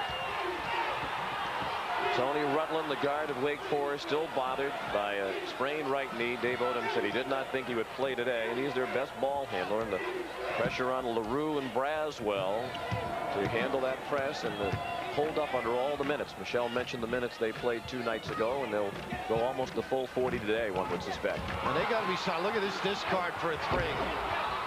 LaRue missed the three. Here come the Cats. Anderson fouled by LaRue. Getting back and identifying, so important. Threes, running them down on misses, very important. The ability to use the post rub. Kentucky lifts all help. Everybody high, medium post. You can't get down from weak side. And Dave Odom, he taught Rick Pitino a lot of things years ago in the five-star camp. They both were counselors, and of course Howard Garfinkel's turned a lot of guys into the intercollegiate arena, five stars where they invite some of the premier athletes as sophomores, juniors uh, to come out and play amongst the best. And coaches get a chance to look at them during the course of the summer. One out of two at the line from Derek Anderson, and Duncan rebounded the miss. You mentioned Braswell too, and he's got to be sound. They're going to look like some friends of ours late at night trying to beat the press, staggering over the timeline. I mean, it won't be pretty, but there's a unfortunate play. Ricky Peral, uh, some theatrics by Derek Anderson. Dave Odom watched Peral foul out on Thursday night against Louisville. Almost two and a half minutes into the game, and Wake has not scored. It's 3-0 Kentucky. Now they're going to permit Walker to take the deep one. And this is in the ball game for Tim Duncan. And defensively, he's been able to stay inside. His matchup is McCarty. Now let's see, they go a little zone now, Michelle, and they they get a kick on this one.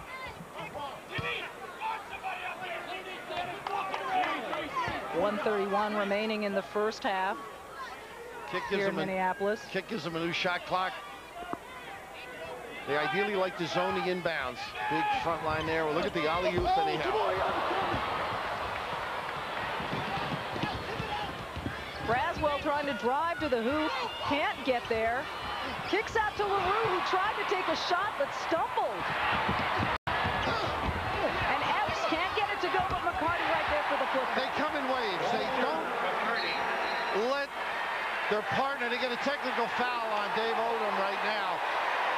Brendan Brown up to try and calm him down. On breakaways, a lot of teams, well, the, the guy will finish it. Not Kentucky. They play it as though they're not sure whether it's going to go in or not.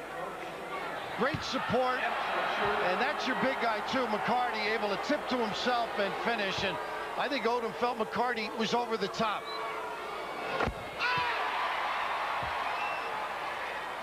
Epps well, makes the first of the two free throws. they look like they're they're halfway there, and they almost are. Well, they want to go east. You can see that in the way they played this tournament. The SEC, Rick Pitino said, championship that they lost may have been a good thing for them. A different looking team, much more aggressive, confident, extremely unselfish. Epps made both of those free throws. He, another one who felt foolish yesterday, and a foul call. And LaRue inside with his fourth foul, if it is him. Or they were already lacking depth in their backcourt. That really hurts Wake Forest.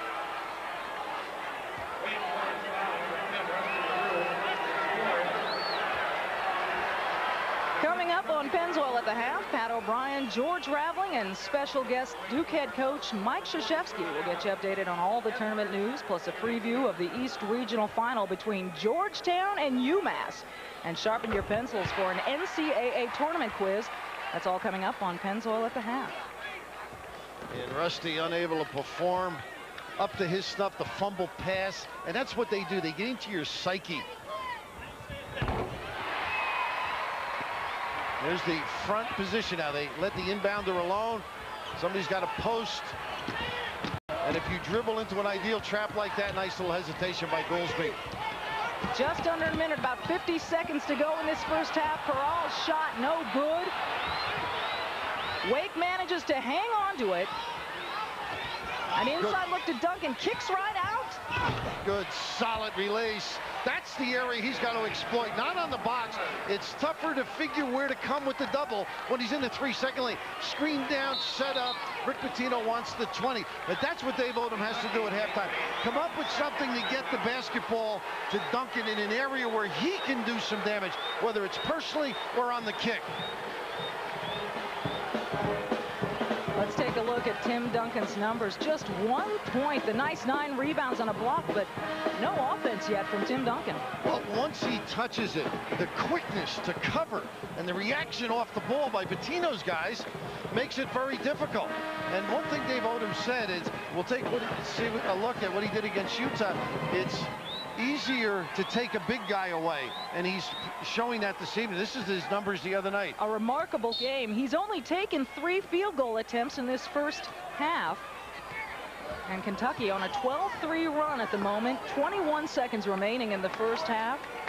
And Anderson out front. He's a slasher, good with the bounce. Peral at a disadvantage.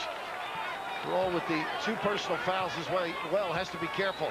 Drive, draw, and kick. See almost no difference on the shot clock and game clock and another easy deuce for Kentucky. Well, like everything else in Kentucky, speed wins, huh? Bloodlines and a finishing kick. The Cats on fire.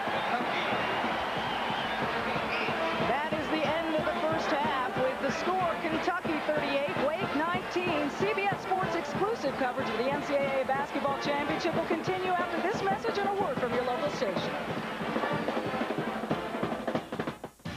CBS Sports exclusive coverage of the NCAA Basketball Championship is sponsored by Pontiac, Burger King, Gillette Sensor Excel, and by U.S. Postal Service. Oil at the half, sponsored by Pennzoil. For more engine miles, Pennzoil works like liquid ball bearings. Walker and all ahead of him, huh? Of course, Mashburn left early. Delk's got the full four. Blocked by Pope as he swatted a shot by Braswell. He just keeps on trucking. One of the great attitudes on this team. Fought Duncan, then helped out. Contributors, that's all they look for. 13-point game. 240 left. 70-57 Kentucky. And Delk so active off the basketball. They run it down to 10 with the bounce. Maybe Walker to the goal now. Duncan at a disadvantage. Charge. Good call. Yep. Jimmy Burr right on top of it. Rick Pitino way out of the coach's box to point at John Cal as if to say to Jim Burr, Cal had a different call. Gotta call it. Gotta call it. And now the officials are going to confer. Now, Dave Odom is furious because he got one, and that's a simple one for the official. Yeah, he walked yeah. almost to the midcourt line, did Pitino, way out of the coach's box. He might have a legitimate point because John Cal, it appears, was making a different call. And now they're just diffusing that issue totally with Dave Odom. John Cal saying he had it the other way. You're going to have the jump ball or possession arrow situation here. Uh, Rick. Uh, he's very lucky. Yeah, he ducked. He, he's got away with it. And the officials are still conferring. Jim Burr who was the official on the side, called a charge. John Cal was under the basket and apparently was going to call a block. Burr, I thought, had the right call. And if this call goes against Peral, which could be if they change it, that's I'm Peral. That's five, and the uh, possession arrow is Kentucky. So that's what's happening. They both get one. They've announced the foul on Walker so far. And the foul on Peral. Which is five, right? That's well, they compromised or copped out, depending on how you look at it. Uh, Rick Pitino got after John Cal, who had made a signal and then ran out of the box. So he got the best of the entire deal. Yes, I believe did. it was a charge by Burr, and I think you'll concur. Mm -hmm. Jimmy Burr had that call. Yes, he did. And now it should be the technical foul. The two shots. I mean, all of this. That's a charge. Yeah, that's that's a shame. And, and is John Cal, oh, in the back, underneath the basket, is coming out. He's got his hands on his hips. And you see Jimmy Burr into your screen. So not a good play for Wake, or not a good turn of events. And they certainly needed it to go their way down by 13 now with 2.20 left. Peral fouls out for the second straight game. He had 13 points in this one. The foul on Walker, his fourth. And trying to go a little bit of a zone. It's going to let them bring the clock down. And they're trying to bump in the corner. And they get it for Delk. Smart team. They get the foul as well. Oh, a major. Goolsby, foul. And the fourth on Steven, who's given Wake Forest a big boost off the bench. He averages four points a game and a rebound and a half, and he's had 12 points and five rebounds today. And the three foul shots on this attempt. The key point of this game, little trouble. Kentucky looks to the bench, comes in with Walker and Delk. Solid understanding. Seniors stepping up. I believe Anderson's the guy that came in at that time, too, as you look at these seniors. And so touching what Rick Pitino said about these three. He said he'd be happy if his sons grew up to be like any of the three of them. He has such high esteem for the kind of people they are, Pope, Delk, and McCarty. And having met them uh, during the course of this season, a number of times you would concur, as I would. And they have given up maybe their selfishness or their mm-hmm. self-interest would be a better way for the common good. They want to win the NCAA championship. Duncan can't get the peak under the basket. Goolsby. The tip by Allen. And a timeout, Wake Forest. With 147 remaining, Kentucky leads by 14. McDonough with Bill Raftery and Michelle Tafoya back at the Metrodome in Minneapolis. Kentucky is surviving a spirited second half run by Wake Forest in large part due to the performance of Tony Delk, 25 points today, and he will finish his career in fourth place with a maximum of two games remaining in the final four. Not enough time to score the nearly 200 he'd need to move up to Jack Givens. It is a Kentucky game, though. yes, it is. The home run. Uh, clubs have tried that against them. I think what they do, they like to give you a couple. They speed up the tempo of the game when you do it against them. Braswell in traffic. It gets tipped out and controlled by Goolsby, then blocked by Delk. Minute 25 left. 16-point lead. Joseph Amonette just into the game. Missed that shot. He's a freshman, Birdstown, Tennessee. Seems very limited action this year. But due to the absence of Rutland, foul difficulties in this game, he's in. And the Cats sense that they are on their way to the Final Four. And they also will have posted a history-making win. This will be all-time victory number 1,648.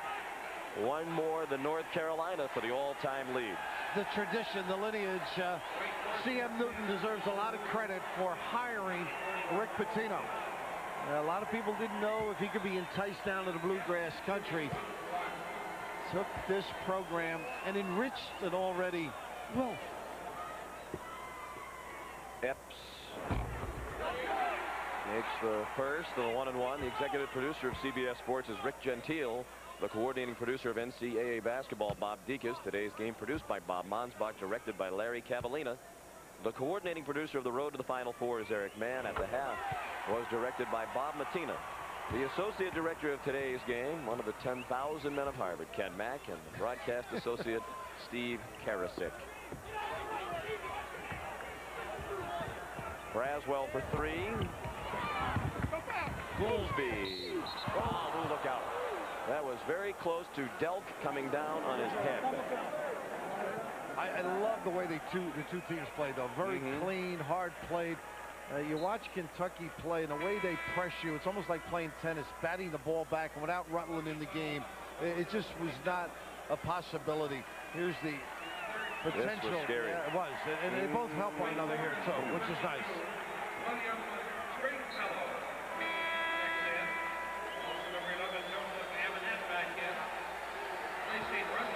Fortunately, Delk had the right arm out to break his fall. Goolsby at the free throw line. He has 13 points now. Talk about the pressure on Kentucky, the pressure to win it all. More pressure on this team than any other team in the country, and that really trickles down to so many people, including Coach Pitino and his family. The immediate, uh, here they go for the home run again. I think they're as loose as they've ever been. Mm-hmm. And I- I've been fortunate enough to see Kentucky each year that Rick Pitino's been down there. They're so relaxed and confident. And here Here we go. comes. Bill, make a play. Not bad, Walter, huh? Walter McCarty says, give me some of that. That's the did. first You rebound. I went up against Duncan. McCarty, undeterred. Final 40 seconds, and Braswell called for a reach in on Epps. The genuine Chevrolet players of the game from Wake Forest, Stephen Goolsby, 14 points and a career high seven rebounds. And for Kentucky, Tony Delk at 25 points, now fourth all time at Kentucky. Nine out of 13 from the floor was the senior, Tony Delk. Epps makes the first. And Oliver Simmons comes into the game. And Walter McCarty gets a big hand as he goes out. And I think his personality there, where is Rick? A little bear hug for O'Brien as well. And Pope, uh, this team's together. Uh, great giving, concern for one another. I think it emanates from Walter in a lot of respects. He not only can sing with a high octave, but he plays at a high octane. Walter McCarty has sung the national anthem before UK basketball games and at gymnastics meets on campus. He has a wonderful singing voice. And you talked about the pressure on the family. You can see the relief and the happiness all over the face of Joanne Pitino. And alongside her brother, Bill Minardi, a friend of Rick's from when they were kids. So you mentioned from top to bottom, they feel it as much as anybody a relief. Pal Lillian alongside there. So the Cats are back in New Jersey, and uh, probably the only problem Rick Pitino has is finding enough seats. And the net, long heave, Anderson. For Anderson, sends it in, and a pose for the agents.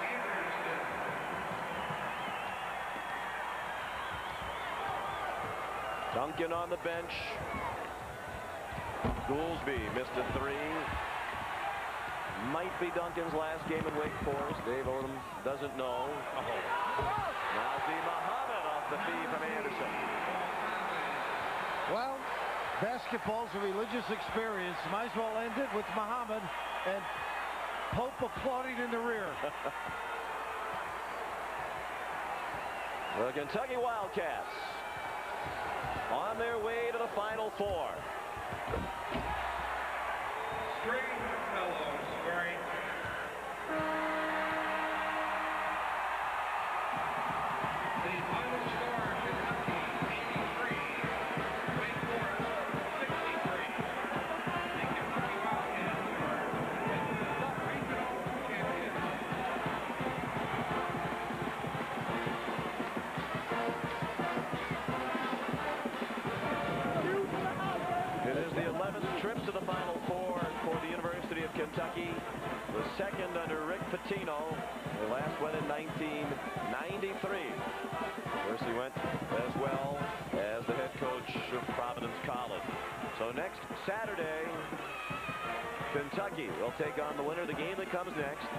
between Georgetown and UMass. Congratulations to the Wildcats. Now 32 and 2. For Michelle Tafoya and Bill Raftery, Sean McDonough saying so long. We'll join Pat O'Brien after this.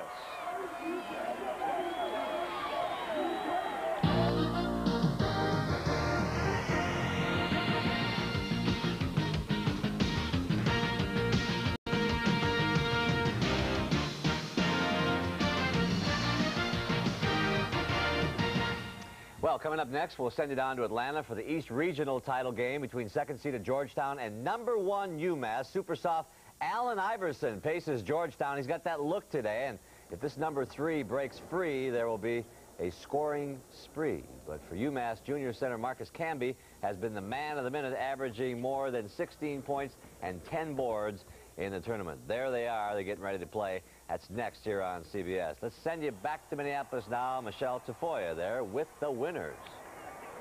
All right, Pat. Well, I'm with Tony Delk. You had 25 points, and in the excitement, I'm not even sure you noticed. You moved into fourth time, all, uh, fourth place all time on the scoring list, tied with Jamal Mashburn. Now, that's a great feeling, but I would all the coach and the coaching staff and to my teammates, and I thought we played extremely hard out there, and our defense really was uh, the key to us going on a big, big run like that.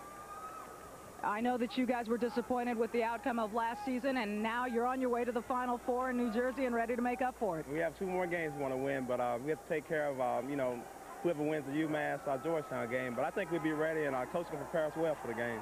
Congratulations, Tony. Thank you. Coach Rick Pitino, just another win, but you know Wake Forest wanted this one too. They went on a nice run there in the second half. They certainly did. They deserve a great deal of credit. You know, at halftime, I thought we, we played one of the better games of the season. And our guys were docile, somber. And I said, guys, you just played the best half of basketball. Yes, it wasn't acrobatic. You didn't have all these incredible dunks. But you put on a clinic defensively, and you're not sky high. I said, they're making you play semi-their style. You just held a great basketball team to under 20 points. And then suddenly they, they realized what they were accomplishing, and they were remarkable on defense in the first half. We had to withstand a tough playing with a lead against a good team. We will see you in the Final Four. Congratulations. You have any tickets? Pat will be back with you after this.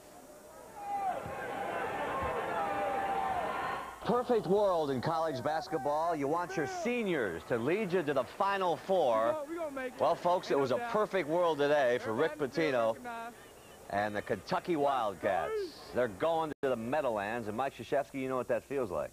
Well, it's great, and you can watch those kids, their, their smiles, they're, they're, they're so satisfied. They had a great defensive effort. It was an unbelievable uh, game plan by Rick and his staff, and they executed. That's one of the reasons they feel so good. And you make a point about winning on Saturday. It's kind of fun to win on Saturday. Yeah, then you watch everybody now, and you, you know you're going to the, the Final Four. Now you, you, you get, a, a, I think, a better better atmosphere, a better feeling for it than the other teams. All right, George, we haven't forgotten you. Coming up at 6 o'clock, UMass and Georgetown. The winner here will meet this Kentucky squad. We'll be back to talk about that one in a moment. Stay with us.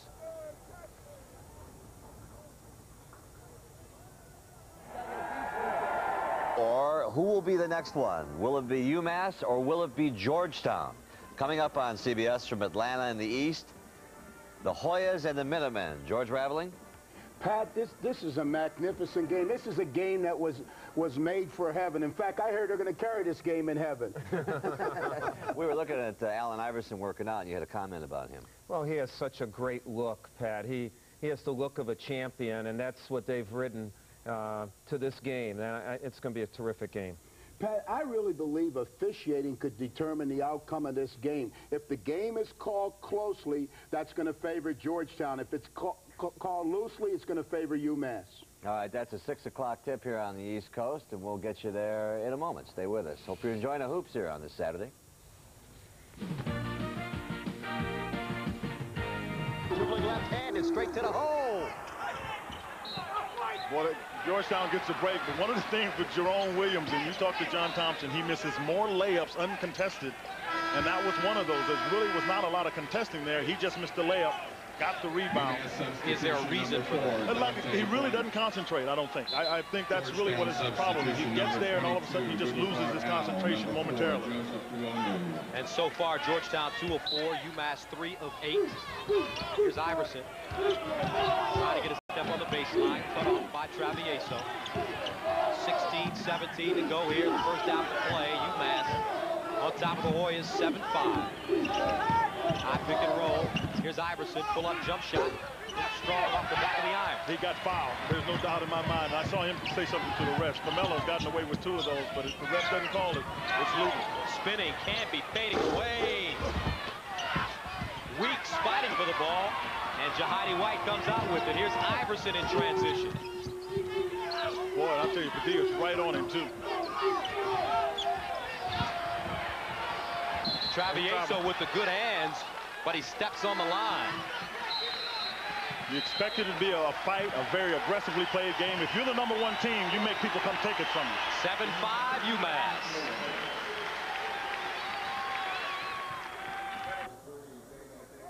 Back in Atlanta, we got to remember these players are still just kids, and both coaches were a little concerned coming into the game about nerves. John Calipari reminding his players, this is what you live for. Don't be rattled by the challenge. John Thompson began calming his troops yesterday in a slightly different way. The Hoyas spent the first 30 minutes of their practice just sitting on the floor. He told me it was his way of pushing minds, spirits, and emotions back in order, and at this point of the tournament, Gus, he says that's probably his most important job. Back to you guys. And as Andrea pointed out, important for both coaches to really get into the minds of their kids and settle them down. Th these opportunities, you know, for anybody can be a little unsettling. And I think what both coaches did was know you got to have your players with emotion, but controlled emotion, so they know how to respectively get their players to get to that point. Or the jitters like for you. 76. Uh, you, I mean, you got butterflies like you can't believe. Even though you're anxious to get out and play, you just sometimes your your mind is ahead of your body. So that's why you'll see some turnovers here early, and soon the guys will settle down. 15.03 to go in the first half. Here's Bright. Little strong, rebounded by Boubacar Aw. Aw running the break for Georgetown. Gets in deep off the glass. A little too strong. But you know what? The officials are letting them play because they're getting little bumps that are, are, really not affecting the game. And the officials are doing a good job of, of letting inconsequential things just go, and I think that's important. So far for Georgetown, four turnovers for UMass, three. And the Minutemen with a 7-5 advantage. You're playing Tyrone Weeks with Jahidi White. A little bit of a chance to give, you give a break to Marcus Camby, but now he's bringing him back in. You can keep Tyrone Weeks on him because you don't want Marcus Camby trying to guard Jahidi White. He's got big shoulders and he can create fouls for you. So Victor Page quickly gets the basketball.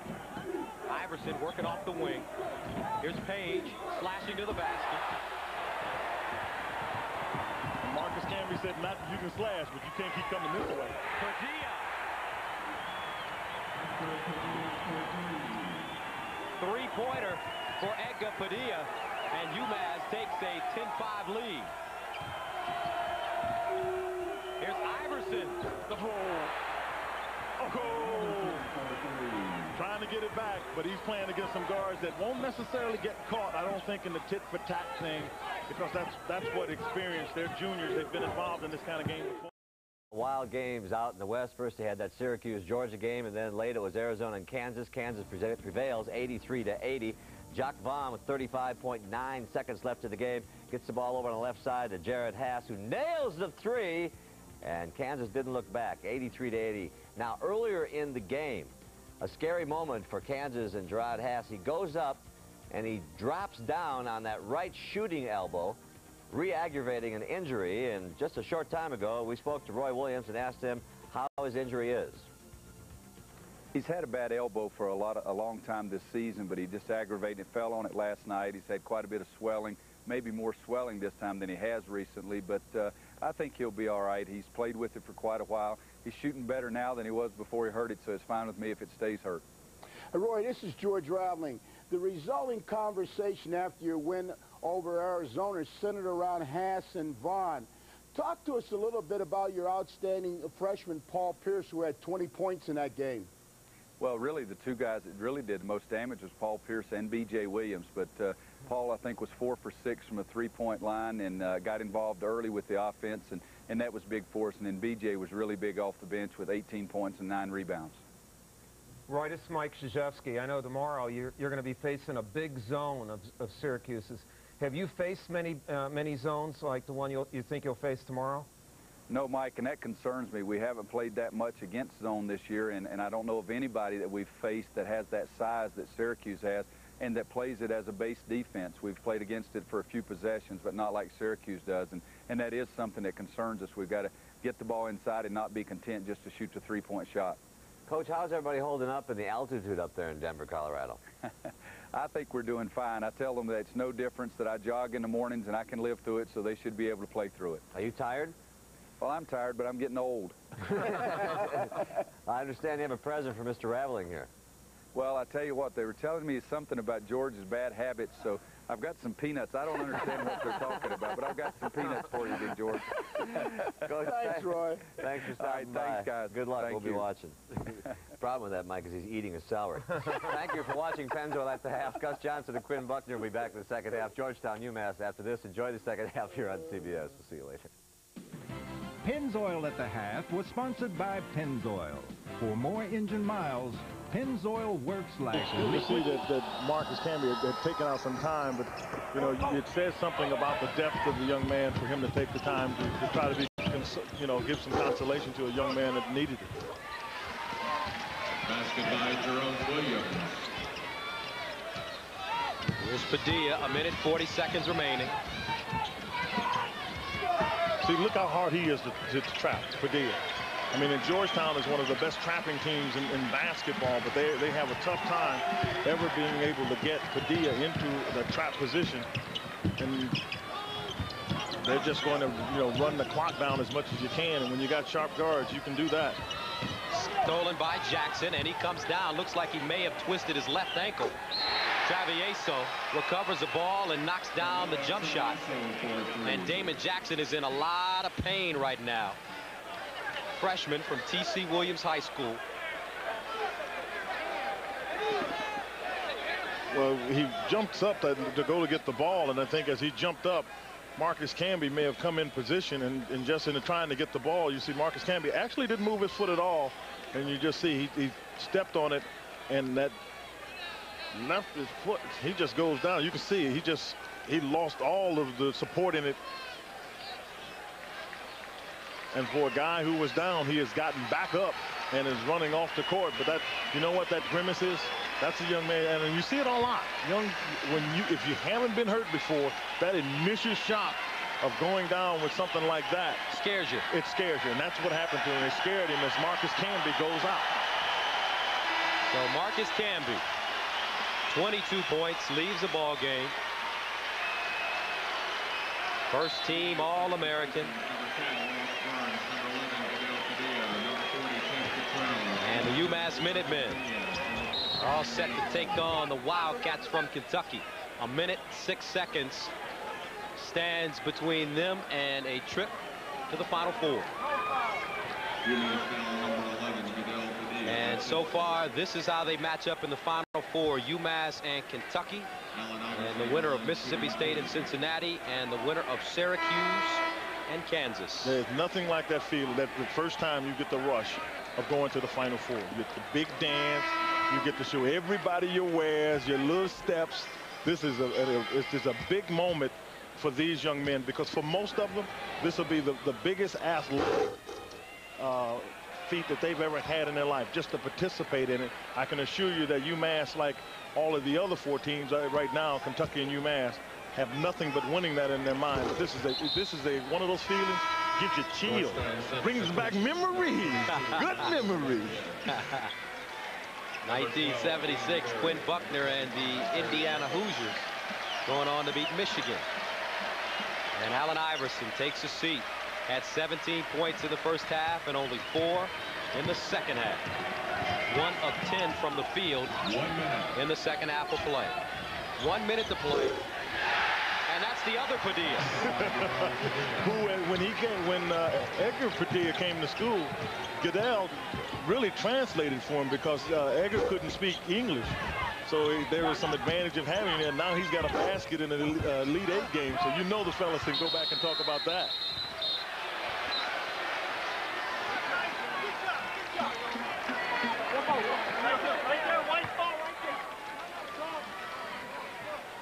Forty-one point one seconds remaining, 84 to 62.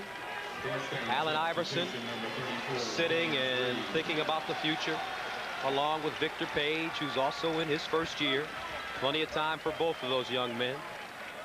And a good learning lesson of what it when you put a team together. I think there are a lot of things that they learn. I think Iverson learned that when you've got people coming at you with that kind of strength, that he, he needs to work on his strength because he has the skill. On the break. the bench is standing up.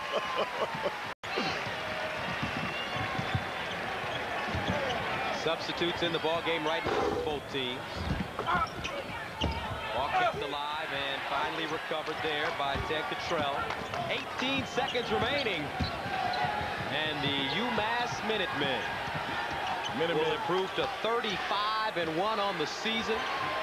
And their first Final Four. Their first Final Four in the history of the program. Now that's got to make one man proud. Julius Erving. And that's it.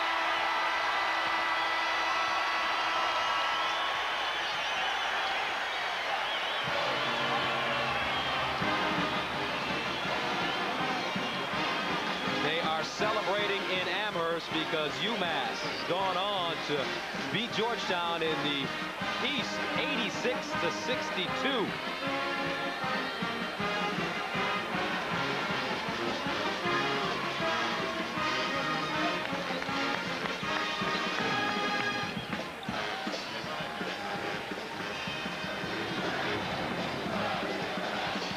The Chevrolet players of the game are from Georgetown, Allen Iverson, 23 points, and from UMass, those great guards, Edgar Padilla and Carmelo Travieso, totals 28 points and 10 assists. Coming up, we'll head back to New York where Pat O'Brien is standing by for Andrea Joyce, Quinn Buckner. I'm Gus Johnson. So long from Atlanta.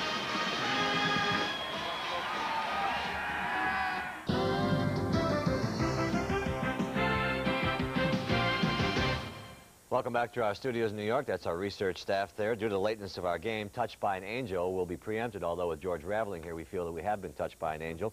Next up, it's Dave's World on CBS, Dr. Quinn, Medicine Woman, and Walker, Texas Ranger. Tomorrow on CBS, please join us at on the CBS Sports Show at, uh, well, 12 noon Eastern Time for Alpine World Cup skiing. Alberto Tomba will be along to ski for us. We hope you'll join us for that. At 1.30, it's the Bruce Naismith Award Show as the top players and coaches in men's and women's college basketball will be honored. Follow at 2 o'clock by the Road to the Final Four show as we get you ready for all the latest tournament news and uh, talk about the games with Mike Krzyzewski and George Raveling. Then the games at 2.40, Syracuse and Kansas, a 4-2 game out west. And then in the southeast, the big guys, Mississippi State and Cincinnati, and what a battle that'll be. And then on Monday, April 1st, no fooling, Road to Glory, 8 o'clock Eastern Time, and uh, then we'll have the national championship game on Monday night here on CBS. Right, that's March 21st, by the way. I'm already looking ahead to the championship game. That's the 25th. All right, Georgetown and UMass today. The final 86 to 62. And let's go back out to Atlanta and Gus and Quinn. And thank you very much, Pat. Right now, John Calipari and the winners in the East, the Minutemen from UMass. Good feeling for you. Kids played so hard. You know, I, I think you talk about defense today. They knew that's what it would take and great rebounding. And we had foul trouble, but guys responded. I'm just proud. I'm just happy to be the coach of this team. And, and they're, they're special. They're special and unique. I can tell you that. I got to come here. Tell me something. You had the chore, Carmelo Travieso, you had the chore of guarding Allen Iverson. What did you try to make him do? I have not seen defense like that in a very long time. Just make it real hard for him. Um, I take a lot of pride in my defense. We all do. We helped each other out. It wasn't just me. The whole team came in and helped me out, and I just made the, hard, the game real hard for him. All right, well, let's go over here and see what the big fella has to say. Gus, you got Marcus. Well, Marcus, last year you guys came up a little short against Oklahoma State, didn't advance to the Final Four, but just looking at the way you guys came out in this particular ball game, uh, you could tell that you were determined to get to New Jersey. Oh, yeah, that was our goal all year. Um, last year our goal was to get to the Final Four.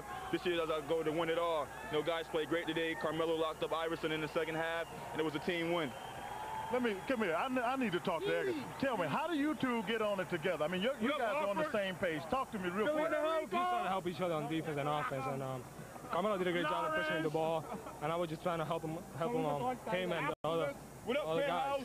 You guys, you're going. You got Kentucky. You ready for that show? Yeah. Yeah. We have been in once, and we're looking forward to beating them again. What up, Philly?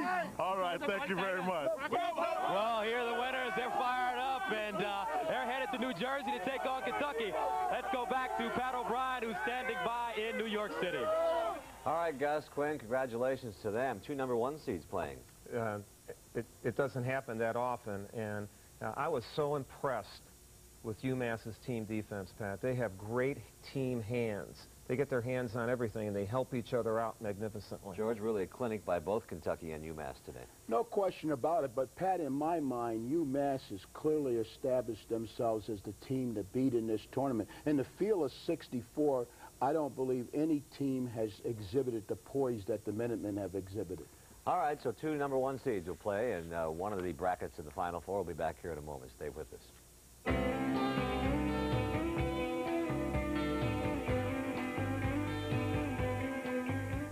Got as much out of this season as they possibly could. We ran against a team that's a great team. John's done a good job with those kids. The thing I'm most impressed with is both defensively and offensively, how unselfishly they play with each other. So, uh, you know, I, I, think we got beat by a better team tonight. You got a young team that doesn't have as much tournament experience as UMass. Do you think that factored in?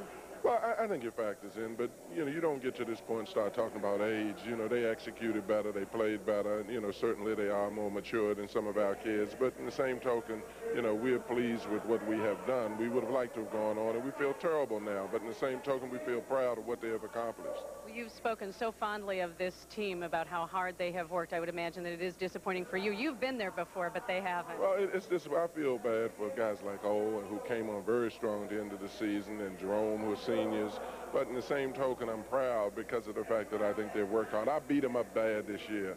But in the same token, I think they responded and worked hard. So now you get to be the expert analyst and telling us what you think of the UMass-Kentucky matchup. Well, I, I, think it's going to be a tough game, but Kentucky is deep, and, you know, this team is mature, too. It's going to be interesting. I hate to uh, say who is going to win the ball game. I don't want to be in that situation, but I think UMass has already beaten them, and I think Kentucky will remember that. All right, Coach, thanks so much. Congratulations, a great okay. season. Thank, thank you. you. Back to you, Pat. They thank you, Andrea. They made a tough, tough, UMass team today. No shame there. Earlier today here on CBS, Kentucky and Wake Forest, it was a blowout, really. 83 to 63 was the final. Wake Forest was looking for a big game, but they just couldn't get it done against uh, Kentucky. Just has so much pressure and defense and offense. Here's defense leading to a Wake turnover. Walker to Allen Edwards for the score, and Dave Odom just, you know, what am I going to do here? Anthony Epps Watch him flip it over to Derek Anderson. He shoots a three right in. And then they get Tim Duncan involved, George. Well, they got Tim Duncan involved, but it was too late. They, they had a tough time solving the double team by Kentucky.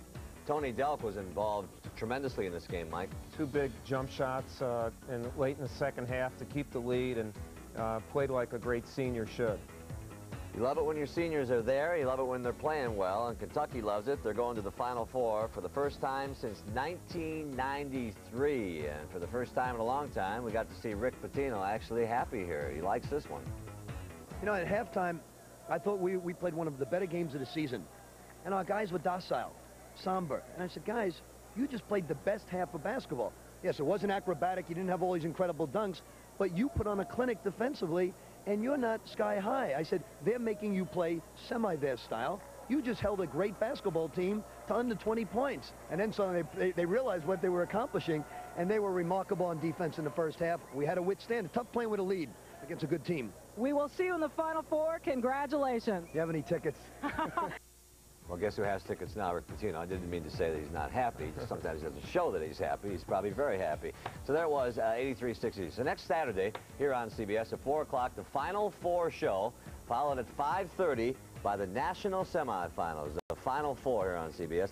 Then on Monday night, April 1st at 9 o'clock Eastern Time, prelude to a championship, and then our national championship game following that. There are the brackets. UMass and Kentucky are set. Two number one seeds are playing in the Final Four. And tomorrow we set the other two teams, Mississippi State or Cincinnati, and Syracuse and Kansas. Let's talk about UMass Kentucky first, George. UMass Kentucky, I believe, will be a, a very difficult game, but I believe that UMass will prevail again. Both teams play excellent team defense, and both teams are unselfish. Uh, I think it's it's a jump ball. Now, let's talk about tomorrow. Let's take Syracuse and Kansas first. Well, I think the thing that uh, Kansas has to do is get Syracuse out of that 2-3 uh, uh, zone defense. Kansas hasn't seen a team all season long whose basic defense was a zone, and this could be a problem for Kansas. What's the key to that game, Mike? Yeah, I, I think it's not so much how, how they're going to shoot from, Kansas is going to shoot from the outside. Watch how Roy Williams will attack the inside of the zone with his two big guys who really didn't come up big for him in the win over Arizona. Speaking of big guys, everybody's talking about the big muscle game tomorrow, Cincinnati and Mississippi State. Well, Cincinnati reminds me of, of the U.S. Marines. They, when they attack the, the backboards, they attack the backboards in waves. And they're an extension of their, their coach's personality. They're mean, they're tough, and they come after you for 40 minutes. Be like the Giants Bears, right? Smash mouth basketball. Pretty right? much like it. But Mississippi State has, has poise, and they can play a number of different styles. Speaking of poise, both of you had poise all day in the face of all we do around here. Tomorrow, lots more basketball. We'll see you at noon for the sports show. So long, everybody. Be careful tonight. Syracuse 54 to 52, 348 to go. Kansas shooting at only 37% from the field.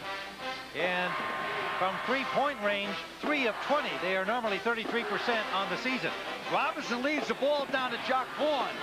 Good no call here and a possible charge. He passed it behind the back, and all of a sudden, all of a sudden, the Ides of March appear. Here's another angle on it. He just couldn't get the handle of the ball. Billy Thomas suffering a little March madness. Kansas scores 81 points a game. Syracuse scores 77, and we only have 3.43 to go, both under 60. Syracuse coming to march like a lamb, but they're going out like a lion. Cole feeding inside. Wallace takes it up. Wait on this foul. May have been off the ball. It is Pollard.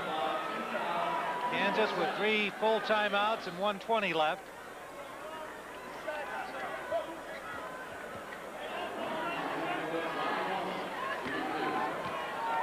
I'm not looking to hex someone, but it seems at this time of the game, Wallace all of a sudden concentrates and doesn't touch anything but net. Let's see what happens.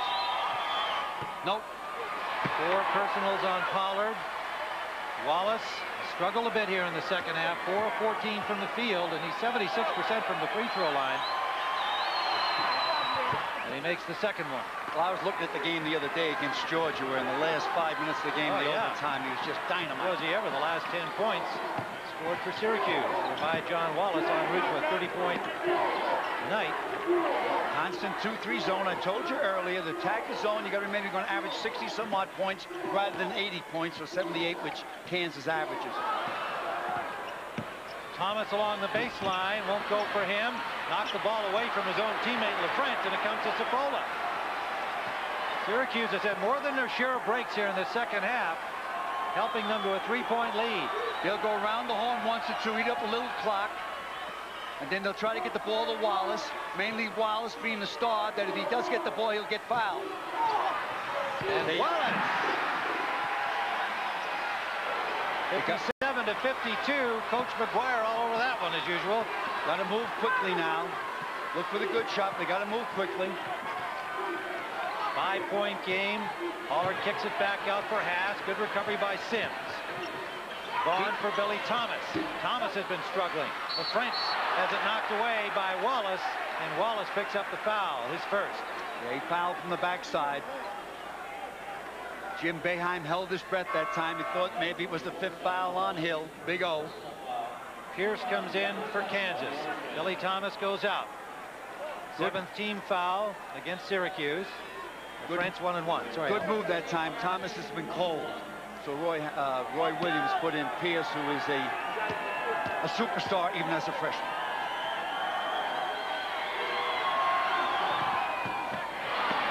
French. Pollard had it knocked away. Good defense. Cipolla, I believe, the man who got a hand on it, knocking it out of Pollard's hands. As we get to the two-minute mark, you're in a two-possession game. Sims a long pass, too long, intercepted. Is out of bounds off the hands of an Orangeman, Otis Hill. Give him E for effort. What a game Hill has played. Absolutely. Two in a row. He was excellent against Georgia. Taking charges, putting back rebacks, doing uh, defensive uh, work.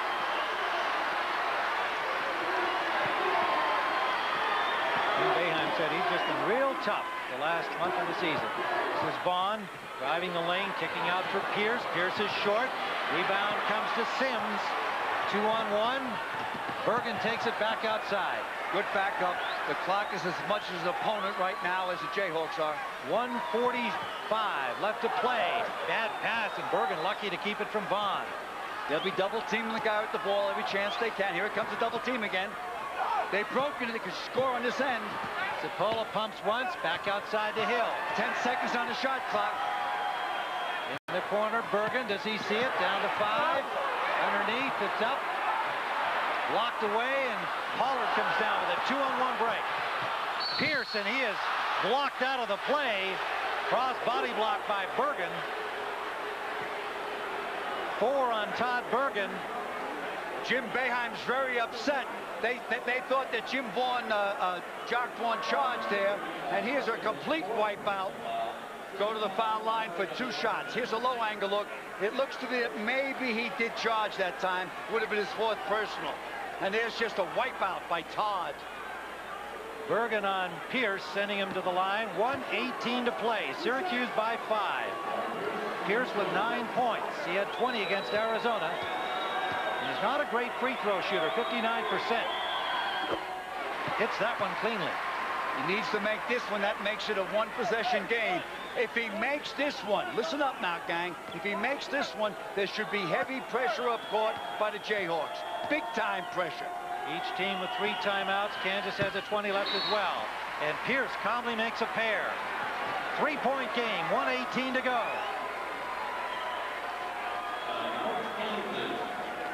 You got to remember they lost to Temple. Temple played them physical. So if you can play Kansas physical and face them with a zone, it gives them major headaches. Alley-oop pass all the way. Burgan, what a pass! John Wallace with another strike, throwing it like John Elway might right here in Denver. Again, Jim Boeheim's uh, talking to the referees. He wanted that to be an intentional. That would give you two shots and a ball out. Here comes the touchdown pass from the end zone. Burgan. And he's fouled by Powell. Pollard, that'll be his fifth, and he's out of there. That's a strong arm to be able to pass it that far. Ran into Donovan McNabb in the elevator the other day uh, between the Georgia game and this one and asked him if he had been working with Wallace, and he said, oh, of course, we work all the time. McNabb, of course, the quarterback of the Syracuse football team, and a very good one, and a reserve on the basketball team. Now, with the key here, he has to make this one because it makes it a two-possession game for Kansas. Nope, it's a one-possession game. Still a three-point margin. Kansas dodged the bullet, although Pollard's out with five fouls. 109 to go. Jacque, you got to take over. You're the man. Haase missing the three. Push off by Williams, B.J. that time, I believe. B.J. Williams, one of the heroes of the Arizona win off the bench. He's got three personals. Now, you think they understand what I'm saying here about possessions, Tim? In the possession, yeah, Williams pushes off after this shot. But now they got to make one shot down the other end. That means that Kansas has to have the ball at least two times, and there's only a minute left to go. And a three-point lead for Syracuse. Trying to get to the Final Four. Burgan at the line. He's not a great free throw shooter. You saw him miss two. And that's in and out. And another bullet dodged by the Jayhawks. Under a minute we go. Ryan Robertson, the freshman, kicks it out for Haase. Here's Vaughn, the main man, watched by Wallace. They want a three. They want to hit from three-point land, three-ball land. Clock starting to dig down a little bit. 15 seconds left. I get it to Robinson in the corner if you can. Or Haase, Robinson or Haase. Robinson, let Here's Robertson driving the baseline, kicks it out again. Three seconds Clock the two. Haase gets it up and a miss off the hands of Wallace. It appeared. No. Good timeout by the Jayhawks. Alpha Jayhawk. It'll be Syracuse ball with 23.2 left when we return to Denver and a three-point Syracuse lead. Robertson drives the baseline. There's two seconds left the clock. He kicks it out to Haase. Haase kind of puts off an off uh, bend shot there. Didn't go in. And the ball went off Kansas, even though it appeared uh, when we saw it that it was Wallace's hand. It went off the hands of B.J. Williams, so it is Syracuse ball, 23.2 to go. And remember, if Kansas fouls, they're in the bonus now. They'll be automatically two shots. Wallace the pass for Hill. Fouled immediately by half. Syracuse 57 to 54. Both Roy Williams and Jim Boeheim have been to the Final Four twice. Syracuse getting knocked out in last year's tournament by Arkansas in the second round in overtime. This Jim coach, Boeheim he's done a great job, Tim, in a lot of areas. You know, the last three times that they got knocked out of the NCAA, it was in overtime. Lost to UMass in overtime, Missouri in overtime, and Arkansas last year in overtime. Two shots coming from Otis Hill. Three of five, make it four of six. This guy has just been a pillar of strength, to use a cliche deliberately, because he has shown that in the last two games for Syracuse. Tons of confidence, and it's a four, five-point game, Syracuse. 59 to 54. You don't need the three, you need a score, so go for the two or the three. Vaughn with a clutch shot. Jacque Vaughn. Timeout with 13-3 left. Syracuse by two.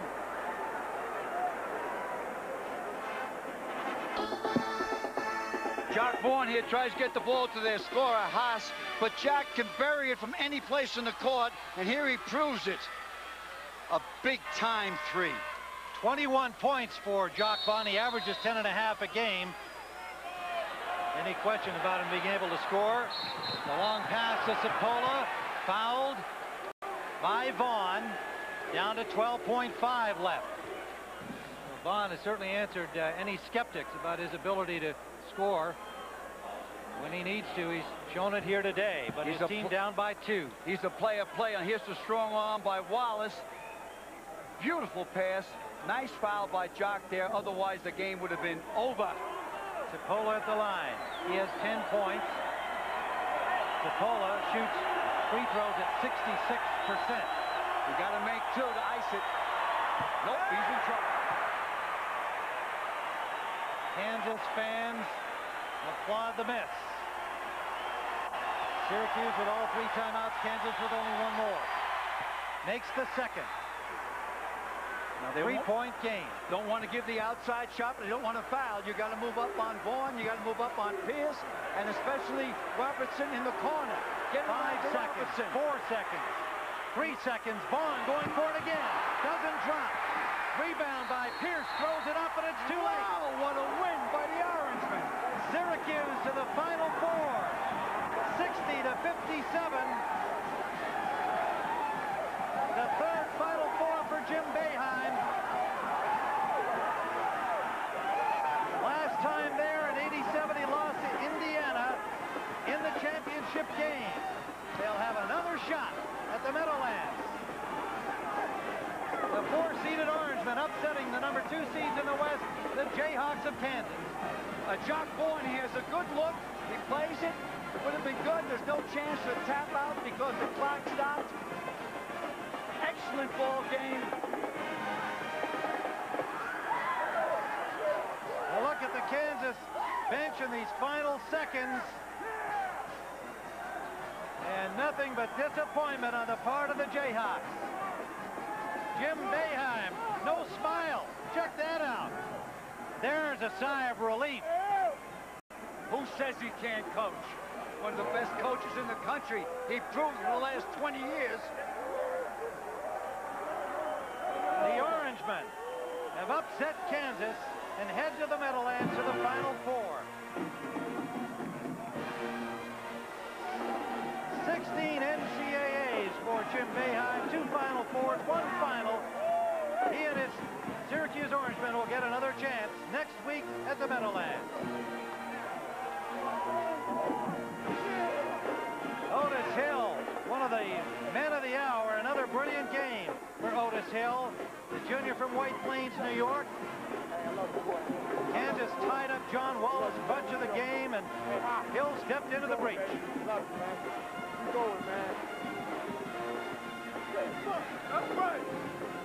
Our Chevrolet players of the game from Syracuse. Otis Hill with 15 points and six rebounds, following up his great effort against Georgia. Jacque Vaughn, brilliant today in the losing cause, 21 points, four assists. He did everything asked of him against the Syracuse zone. He simply couldn't do more, and it turned out to be not enough. Syracuse into the Final Four. UMass and Kentucky are already there. Coming up next on CBS, Cincinnati and Mississippi State will fill out the fourth member of the Final Four. Stay with us for more on March Madness here on CBS.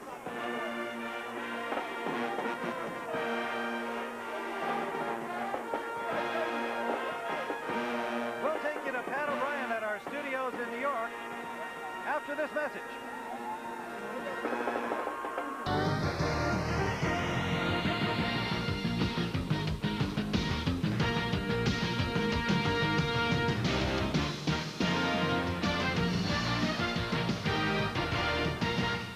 Resembles a dance floor sometimes, doesn't it? Coming up next, we'll send you down to Lexington for the Southeast Regional Final between fifth-seeded Mississippi State and number two Cincinnati. Despite donning the double zero, Daryl Wilson has put up the numbers for Mississippi State, scoring a team-high 27 points in Friday's upset of UConn. But junior Damon Flint has sparked the Bearcat attack, leading the team with 58 points in three tournament tilts. Uh, excitement out in Denver. Let's go right back out in Tim and Al. Tim?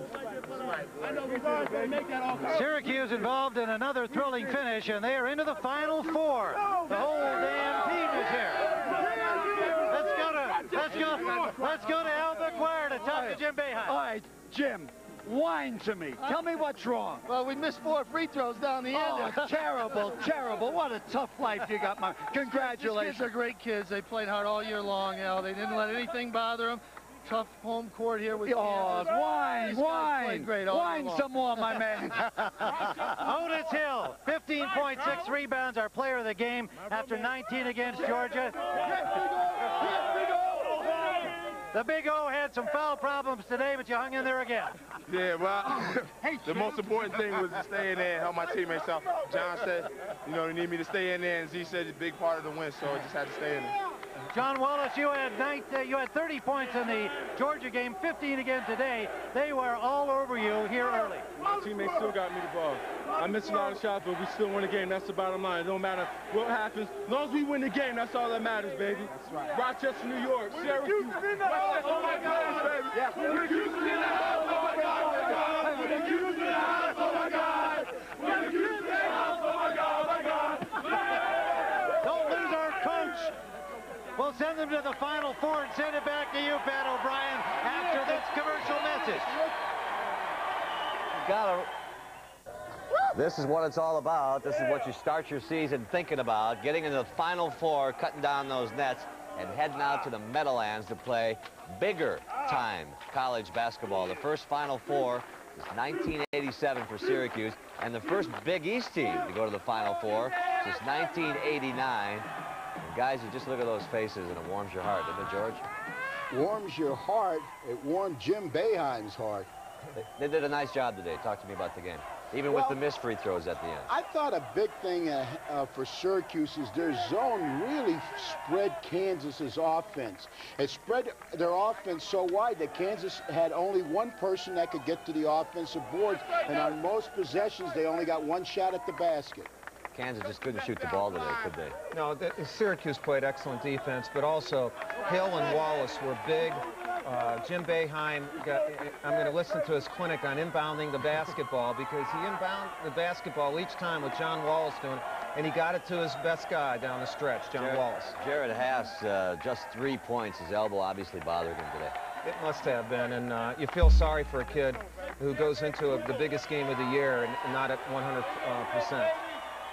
So there are the Orangemen clipping the nets down, and uh, Mike Krzyzewski, you've been there a few times, and that's just got to be a great feeling. Uh, another development here in New York is we now have a replay of Al McGuire's dance out there. We're going to put it on the telestrator and see what we can see up close and personal with Al. Go well, ahead, can Mike. Can we stop it right here? Because take a look at his hand movements. Now, he's not a one-dimensional player. He will also put some facial expressions in. Now, you have to watch both, and it's like these modern dances, no one's paying attention to them. Here we go. Uh, See those hand movements, and look at his face right right here, and watch watch Ryan, and, and then he falls down at the end. He tried to put a break dance in at the end. Look at these two guys. Those are our guys. We love them. We'll be back in a minute. Stay with us. Coming up, more basketball.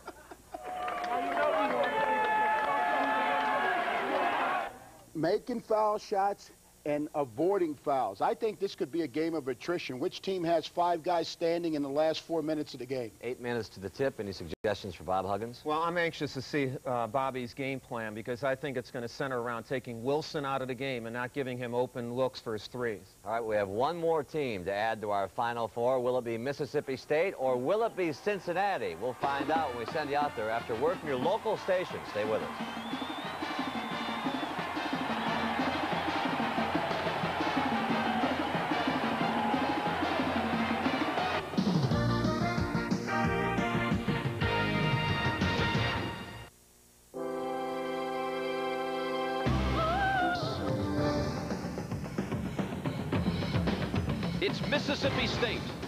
Cincinnati in the final scene from the Southeast.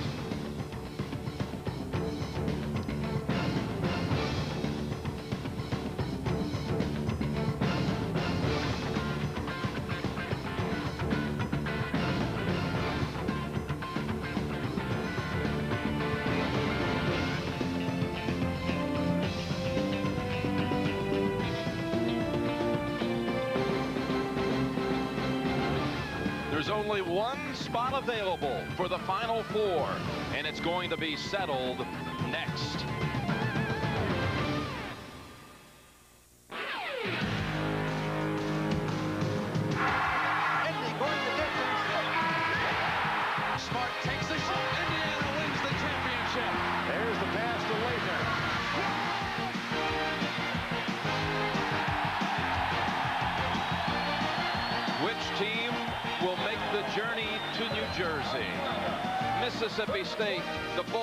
The five seed in the Southeast, against the second seed Cincinnati Bearcats. Already UMass, Kentucky, and Syracuse are all set for the Meadowlands. Here they will battle like cats and dogs. Cincinnati and Mississippi State. Jim Nantz, Billy Packer courtside. Billy promises a little dance of his own by game Well, I want to assure Pat McGuire that he's now off the stretcher. The oxygen has been taken away, and Al is okay. You know, I mean, the old fella just got by. Can you top that, you think? No, no. All I don't even want to try. We have a team here that knocked out the number one seed on Friday night. I'm talking about Mississippi State. But there's a big following here for Cincinnati. That school located only about an hour and a half drive from here. And how about this uh, this matchup we have? Jim, I think you put it very well. I mean, just seconds ago, you said this will be like a Cincinnati home game, but there's a tremendous contrast here. They talk about the beef, but I think we're seeing a finesse team that has size playing against a power team in Cincinnati that does have the beef, and they bring it forward. They got Dampier and Walters inside for Mississippi State. Art Long and Danny Fortson, second team All-America for the Bearcats.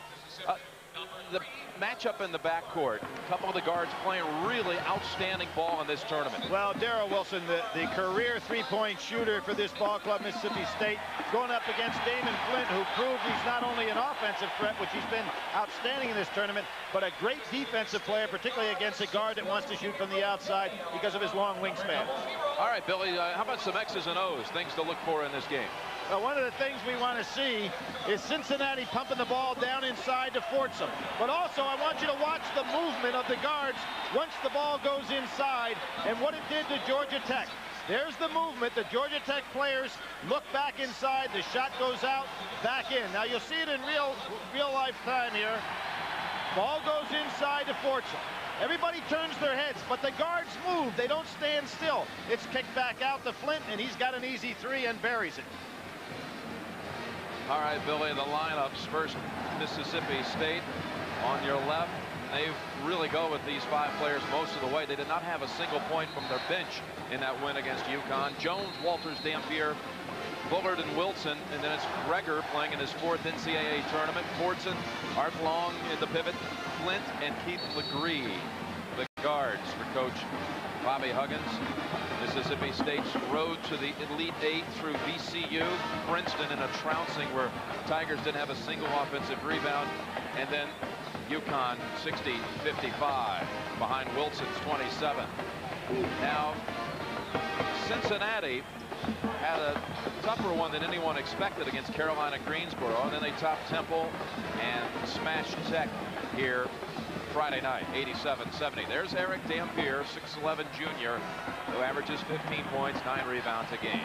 Andre Patillo, David Dodge, Ted Hillary, the officials, as Cincinnati is in quest of a seventh Final Four in school history. Mississippi State playing in its first Elite Eight game ever, looking for a first trip ever to the Promised Land.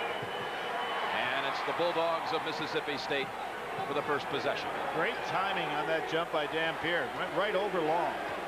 And Jim, much like the Kentucky-Wake Forest game, officiating early on will be important in this one. Remember, Fortson has been in foul trouble. Now Dampier lost it on the way up. He had position on long outside. Dontae' Jones, who has been starring for this team since he was the MVP of the SEC tournament two weeks ago. I think he just likes playing anywhere where the name Kentucky shows up, huh? Well, he had 28 against Kentucky in that SEC final. Keith Legree in the paint. Comes up way short. Rebound by Walters. Great blocking out by Mississippi State on that play. This team has been putting on during the SEC tournament and the NCAA tournament great blocking out situation and tremendous defense in regard to what they're doing to people with a field goal shooting percentages. Greger came in to help out and they almost stole it. Mississippi State 25 and 7 on the year. Cincinnati 28 and 4. Mississippi State is fourth in field goal shooting percentage defense in the country, right behind Massachusetts, and they're already in the Final Four. No double down here on Dampier. Little late coming. Shot clock about to expire. Jones knocks down a three at two seconds to go on the shot clock. And Dante Jones drilling five points here at the start. Jim, that was a poor decision by Keith Greger. If you're not going to double down right away, you can't get caught in between as he did there, leaving a shooter like Jones wide open. On the block, Fortson, two players on him. Bullard got a piece of the arm. He came down to help out. Bullard better be careful. You don't need to start this with a technical. The officials keeping their eye on him right away. Fortson had, that time, kind of surprisingly, Dampier up in the air. Dampier with 105 blocks on level. That was Jones with the block. Good piece of footwork by Hughes to save it to a teammate. That may be Fortson's fifth. Wilson got hit on the neck. So the former junior high school math teacher can add it up quickly. 68-59, Richard Williams' team inching closer, just 40 seconds away from a school first Final Four. He started coaching in junior high as an assistant, and he kept stats for the team. You know, that math background, eventually head coach, on to an assistant coach at his alma mater. And then 10 years ago this week, he was named the head coach in Starkville. Jim basically had to replace three starters from last year and blend in a top-notch junior college player, move some people around in position. So this is not like a team that was totally intact from a year ago. Burton again. Boy, everything he shoots is online. Second try tipped in Fortson. 31 seconds to go. Over the top of the press they go. Dampier can put on a shot. Big man runs the floor, doesn't he? Knows how to conserve his strength, but when it's time to move, he's there. Levin. Rebound Wilson. Jones broke early. He was wanting to slam. 20 seconds is all that remains. Nice sportsmanship there. Fortson and Wilson. That's his fifth.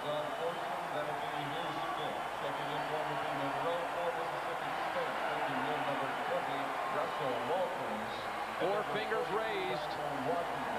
Also checking in is Bart Tice. Dan Peter will be coming out along with Dontae' Jones. At the line for the Dogs is Darrell Wilson. He'll shoot two. Well, Jimmy, over 300 schools try for this thing, and only one comes out on top. Four more left, so they're going to be three with heads down like that. But they won't be down for long because they've had a great year. That young man will have a tremendous career. Darrell Wilson raising his total to 15 on the game.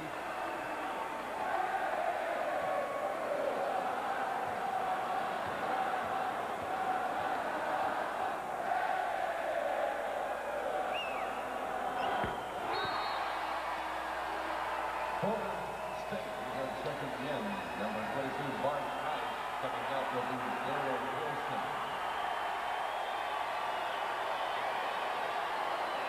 Well, they made all the right moves, Jim. When they went to the, to the bench, guys produced. Starters were there. Monroe on the slam. Billy, they come to Lexington. An underdog in both games here, and they never trailed for a single minute against UConn or Cincinnati. This gives them, what, uh, four straight on this court? Three straight. Kentucky here last year on Valentine's Day. And there you go. From Starkville to the Garden State, they will make the journey to New Jersey for the first time. A maiden voyage coming up for Mississippi State in basketball's promised land.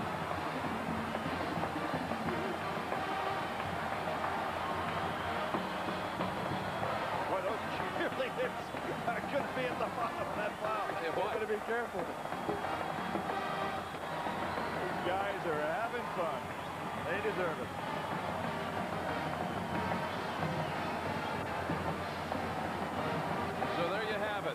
Does your bracket look like this at home? I'd love to see it if it does. UMass, Kentucky, Syracuse, and Mississippi State will all get together next Saturday at the Meadowlands. The genuine Chevrolet players of the game are Dontae' Jones. Good evening. I'm Pat O'Brien. Next weekend, CBS Sports will bring you the Final Four. Mississippi State, Syracuse, UMass, and Kentucky will meet for the right to play in college basketball's national championship game. We here at CBS Sports have been covering the NCAA tournament for 15 years, and oh, what a run it's been.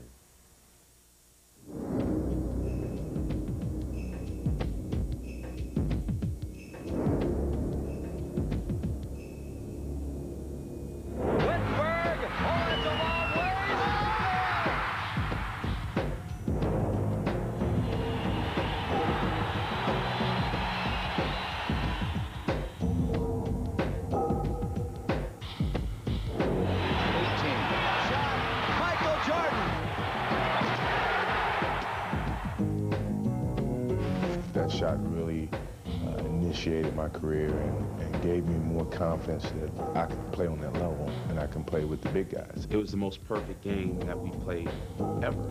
I called timeout. I lost the game.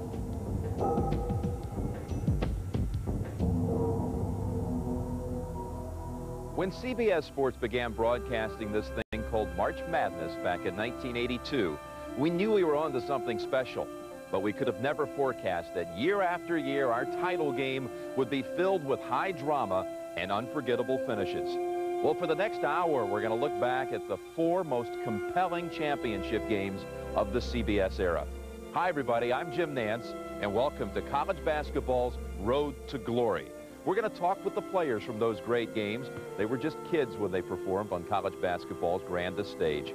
This year marks my 11th year of covering the Final Four on CBS, but my partner, Billy Packer's been there for every single one of them, and I know you have so many memories. Jim, I do, and when you think of all the sports, college or pro, nobody has had the finals like we've had in the NCAA Final Four. You think of Michael Jordan, Keith Smart hitting those shots, Danny Manning putting a team on his back and carrying them to a championship, the great Cinderella stories of Rollie Massimino and Jim Valvano. It has been some kind of run. We were scratching our head. How would we pick just four? We, yeah, we didn't just arbitrarily do it. What we did is we assembled a blue ribbon panel of 13 sports writers from across the country. They've been covering Final Fours for years, plus the two of us got to vote as well.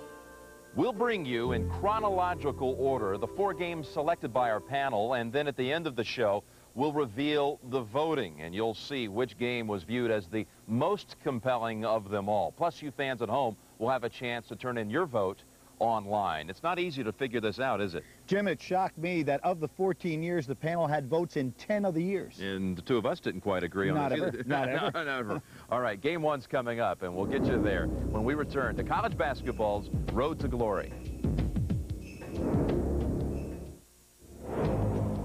Road to Glory, sponsored by AT&T, official sponsor of the U.S. Olympic.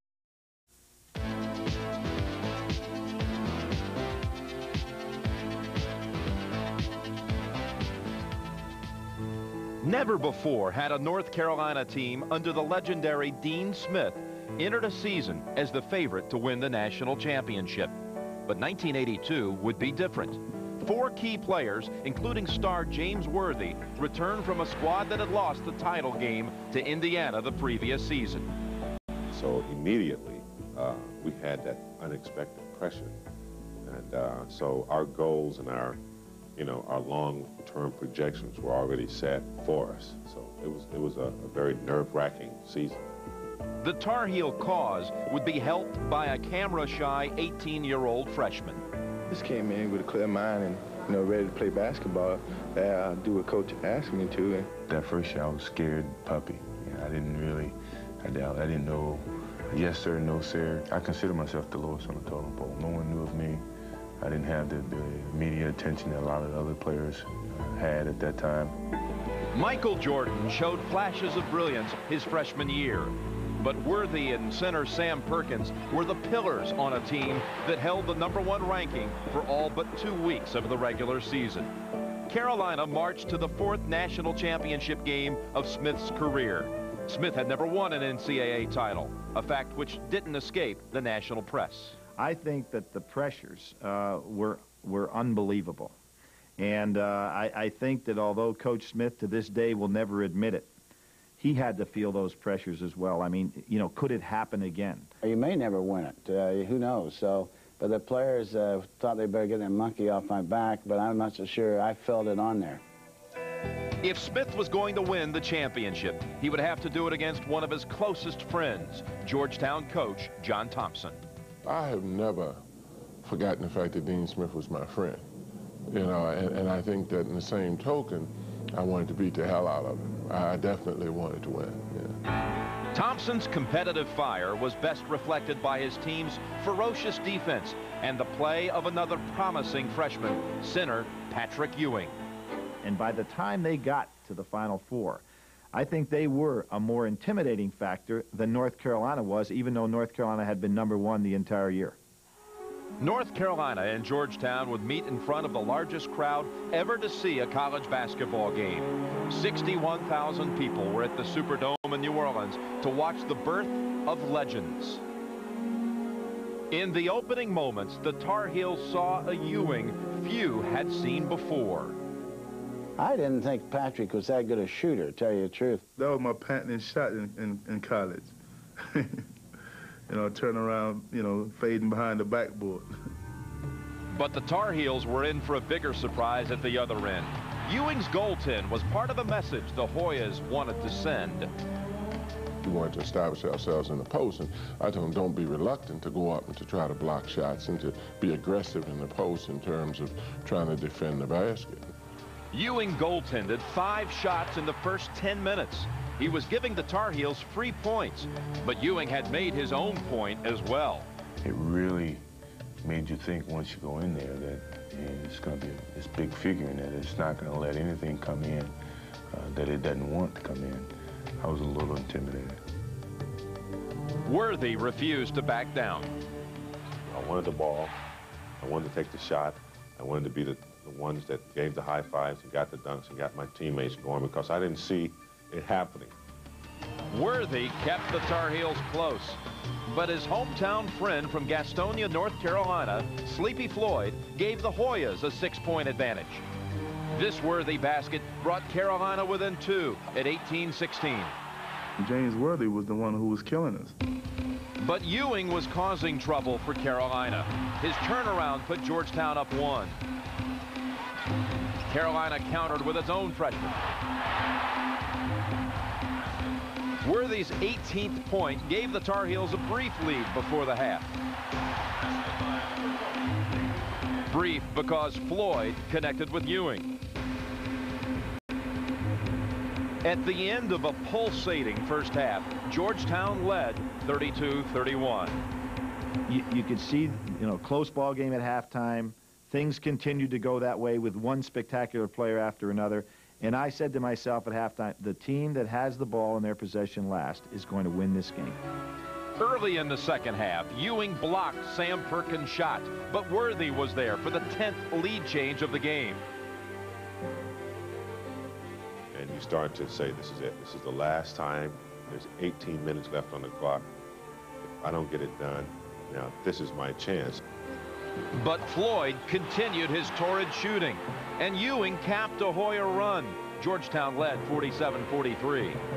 We got the ball, we were going, and then they got the ball, and they were coming at us. Worthy responded in convincing fashion over Floyd. Sleepy Floyd, his old high school rival, was not going to be dunked on. Sleepy went up with him. James Worthy went up.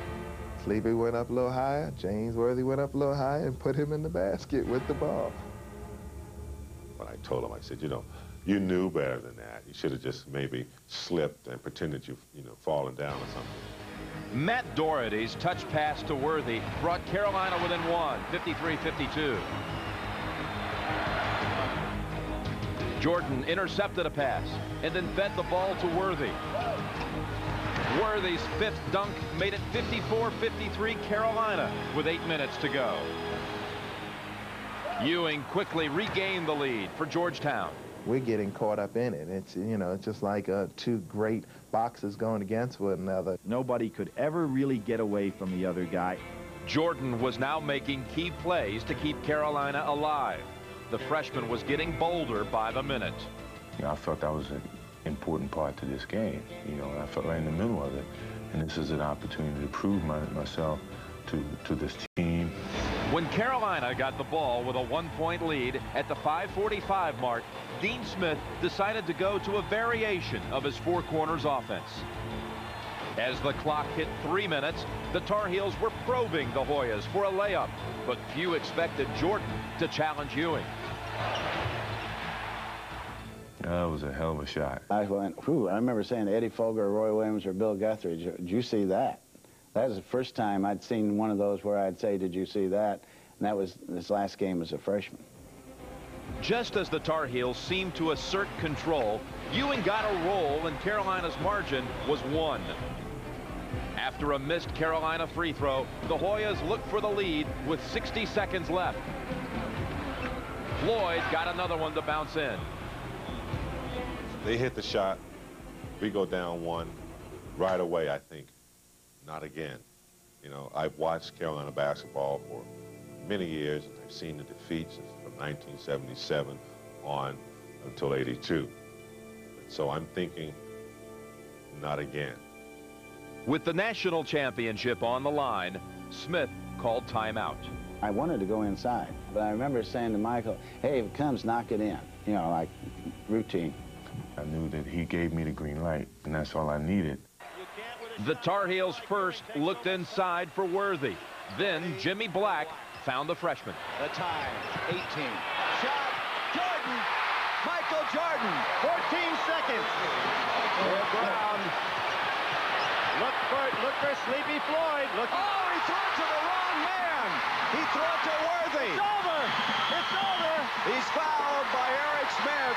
Fred Brown somehow or another threw the ball into the hands of James Worthy. I remember just dropping my my arms and looking up in the sky and just frustrated. I was like, golly. I don't know. To this day, I can't remember three seconds of that time. It just, is this happening? I mean, is, is, this, is this happening? Did, did I just receive the ball? Is time running out? Is it only four more seconds? Are we up one? Have we, have we won a championship?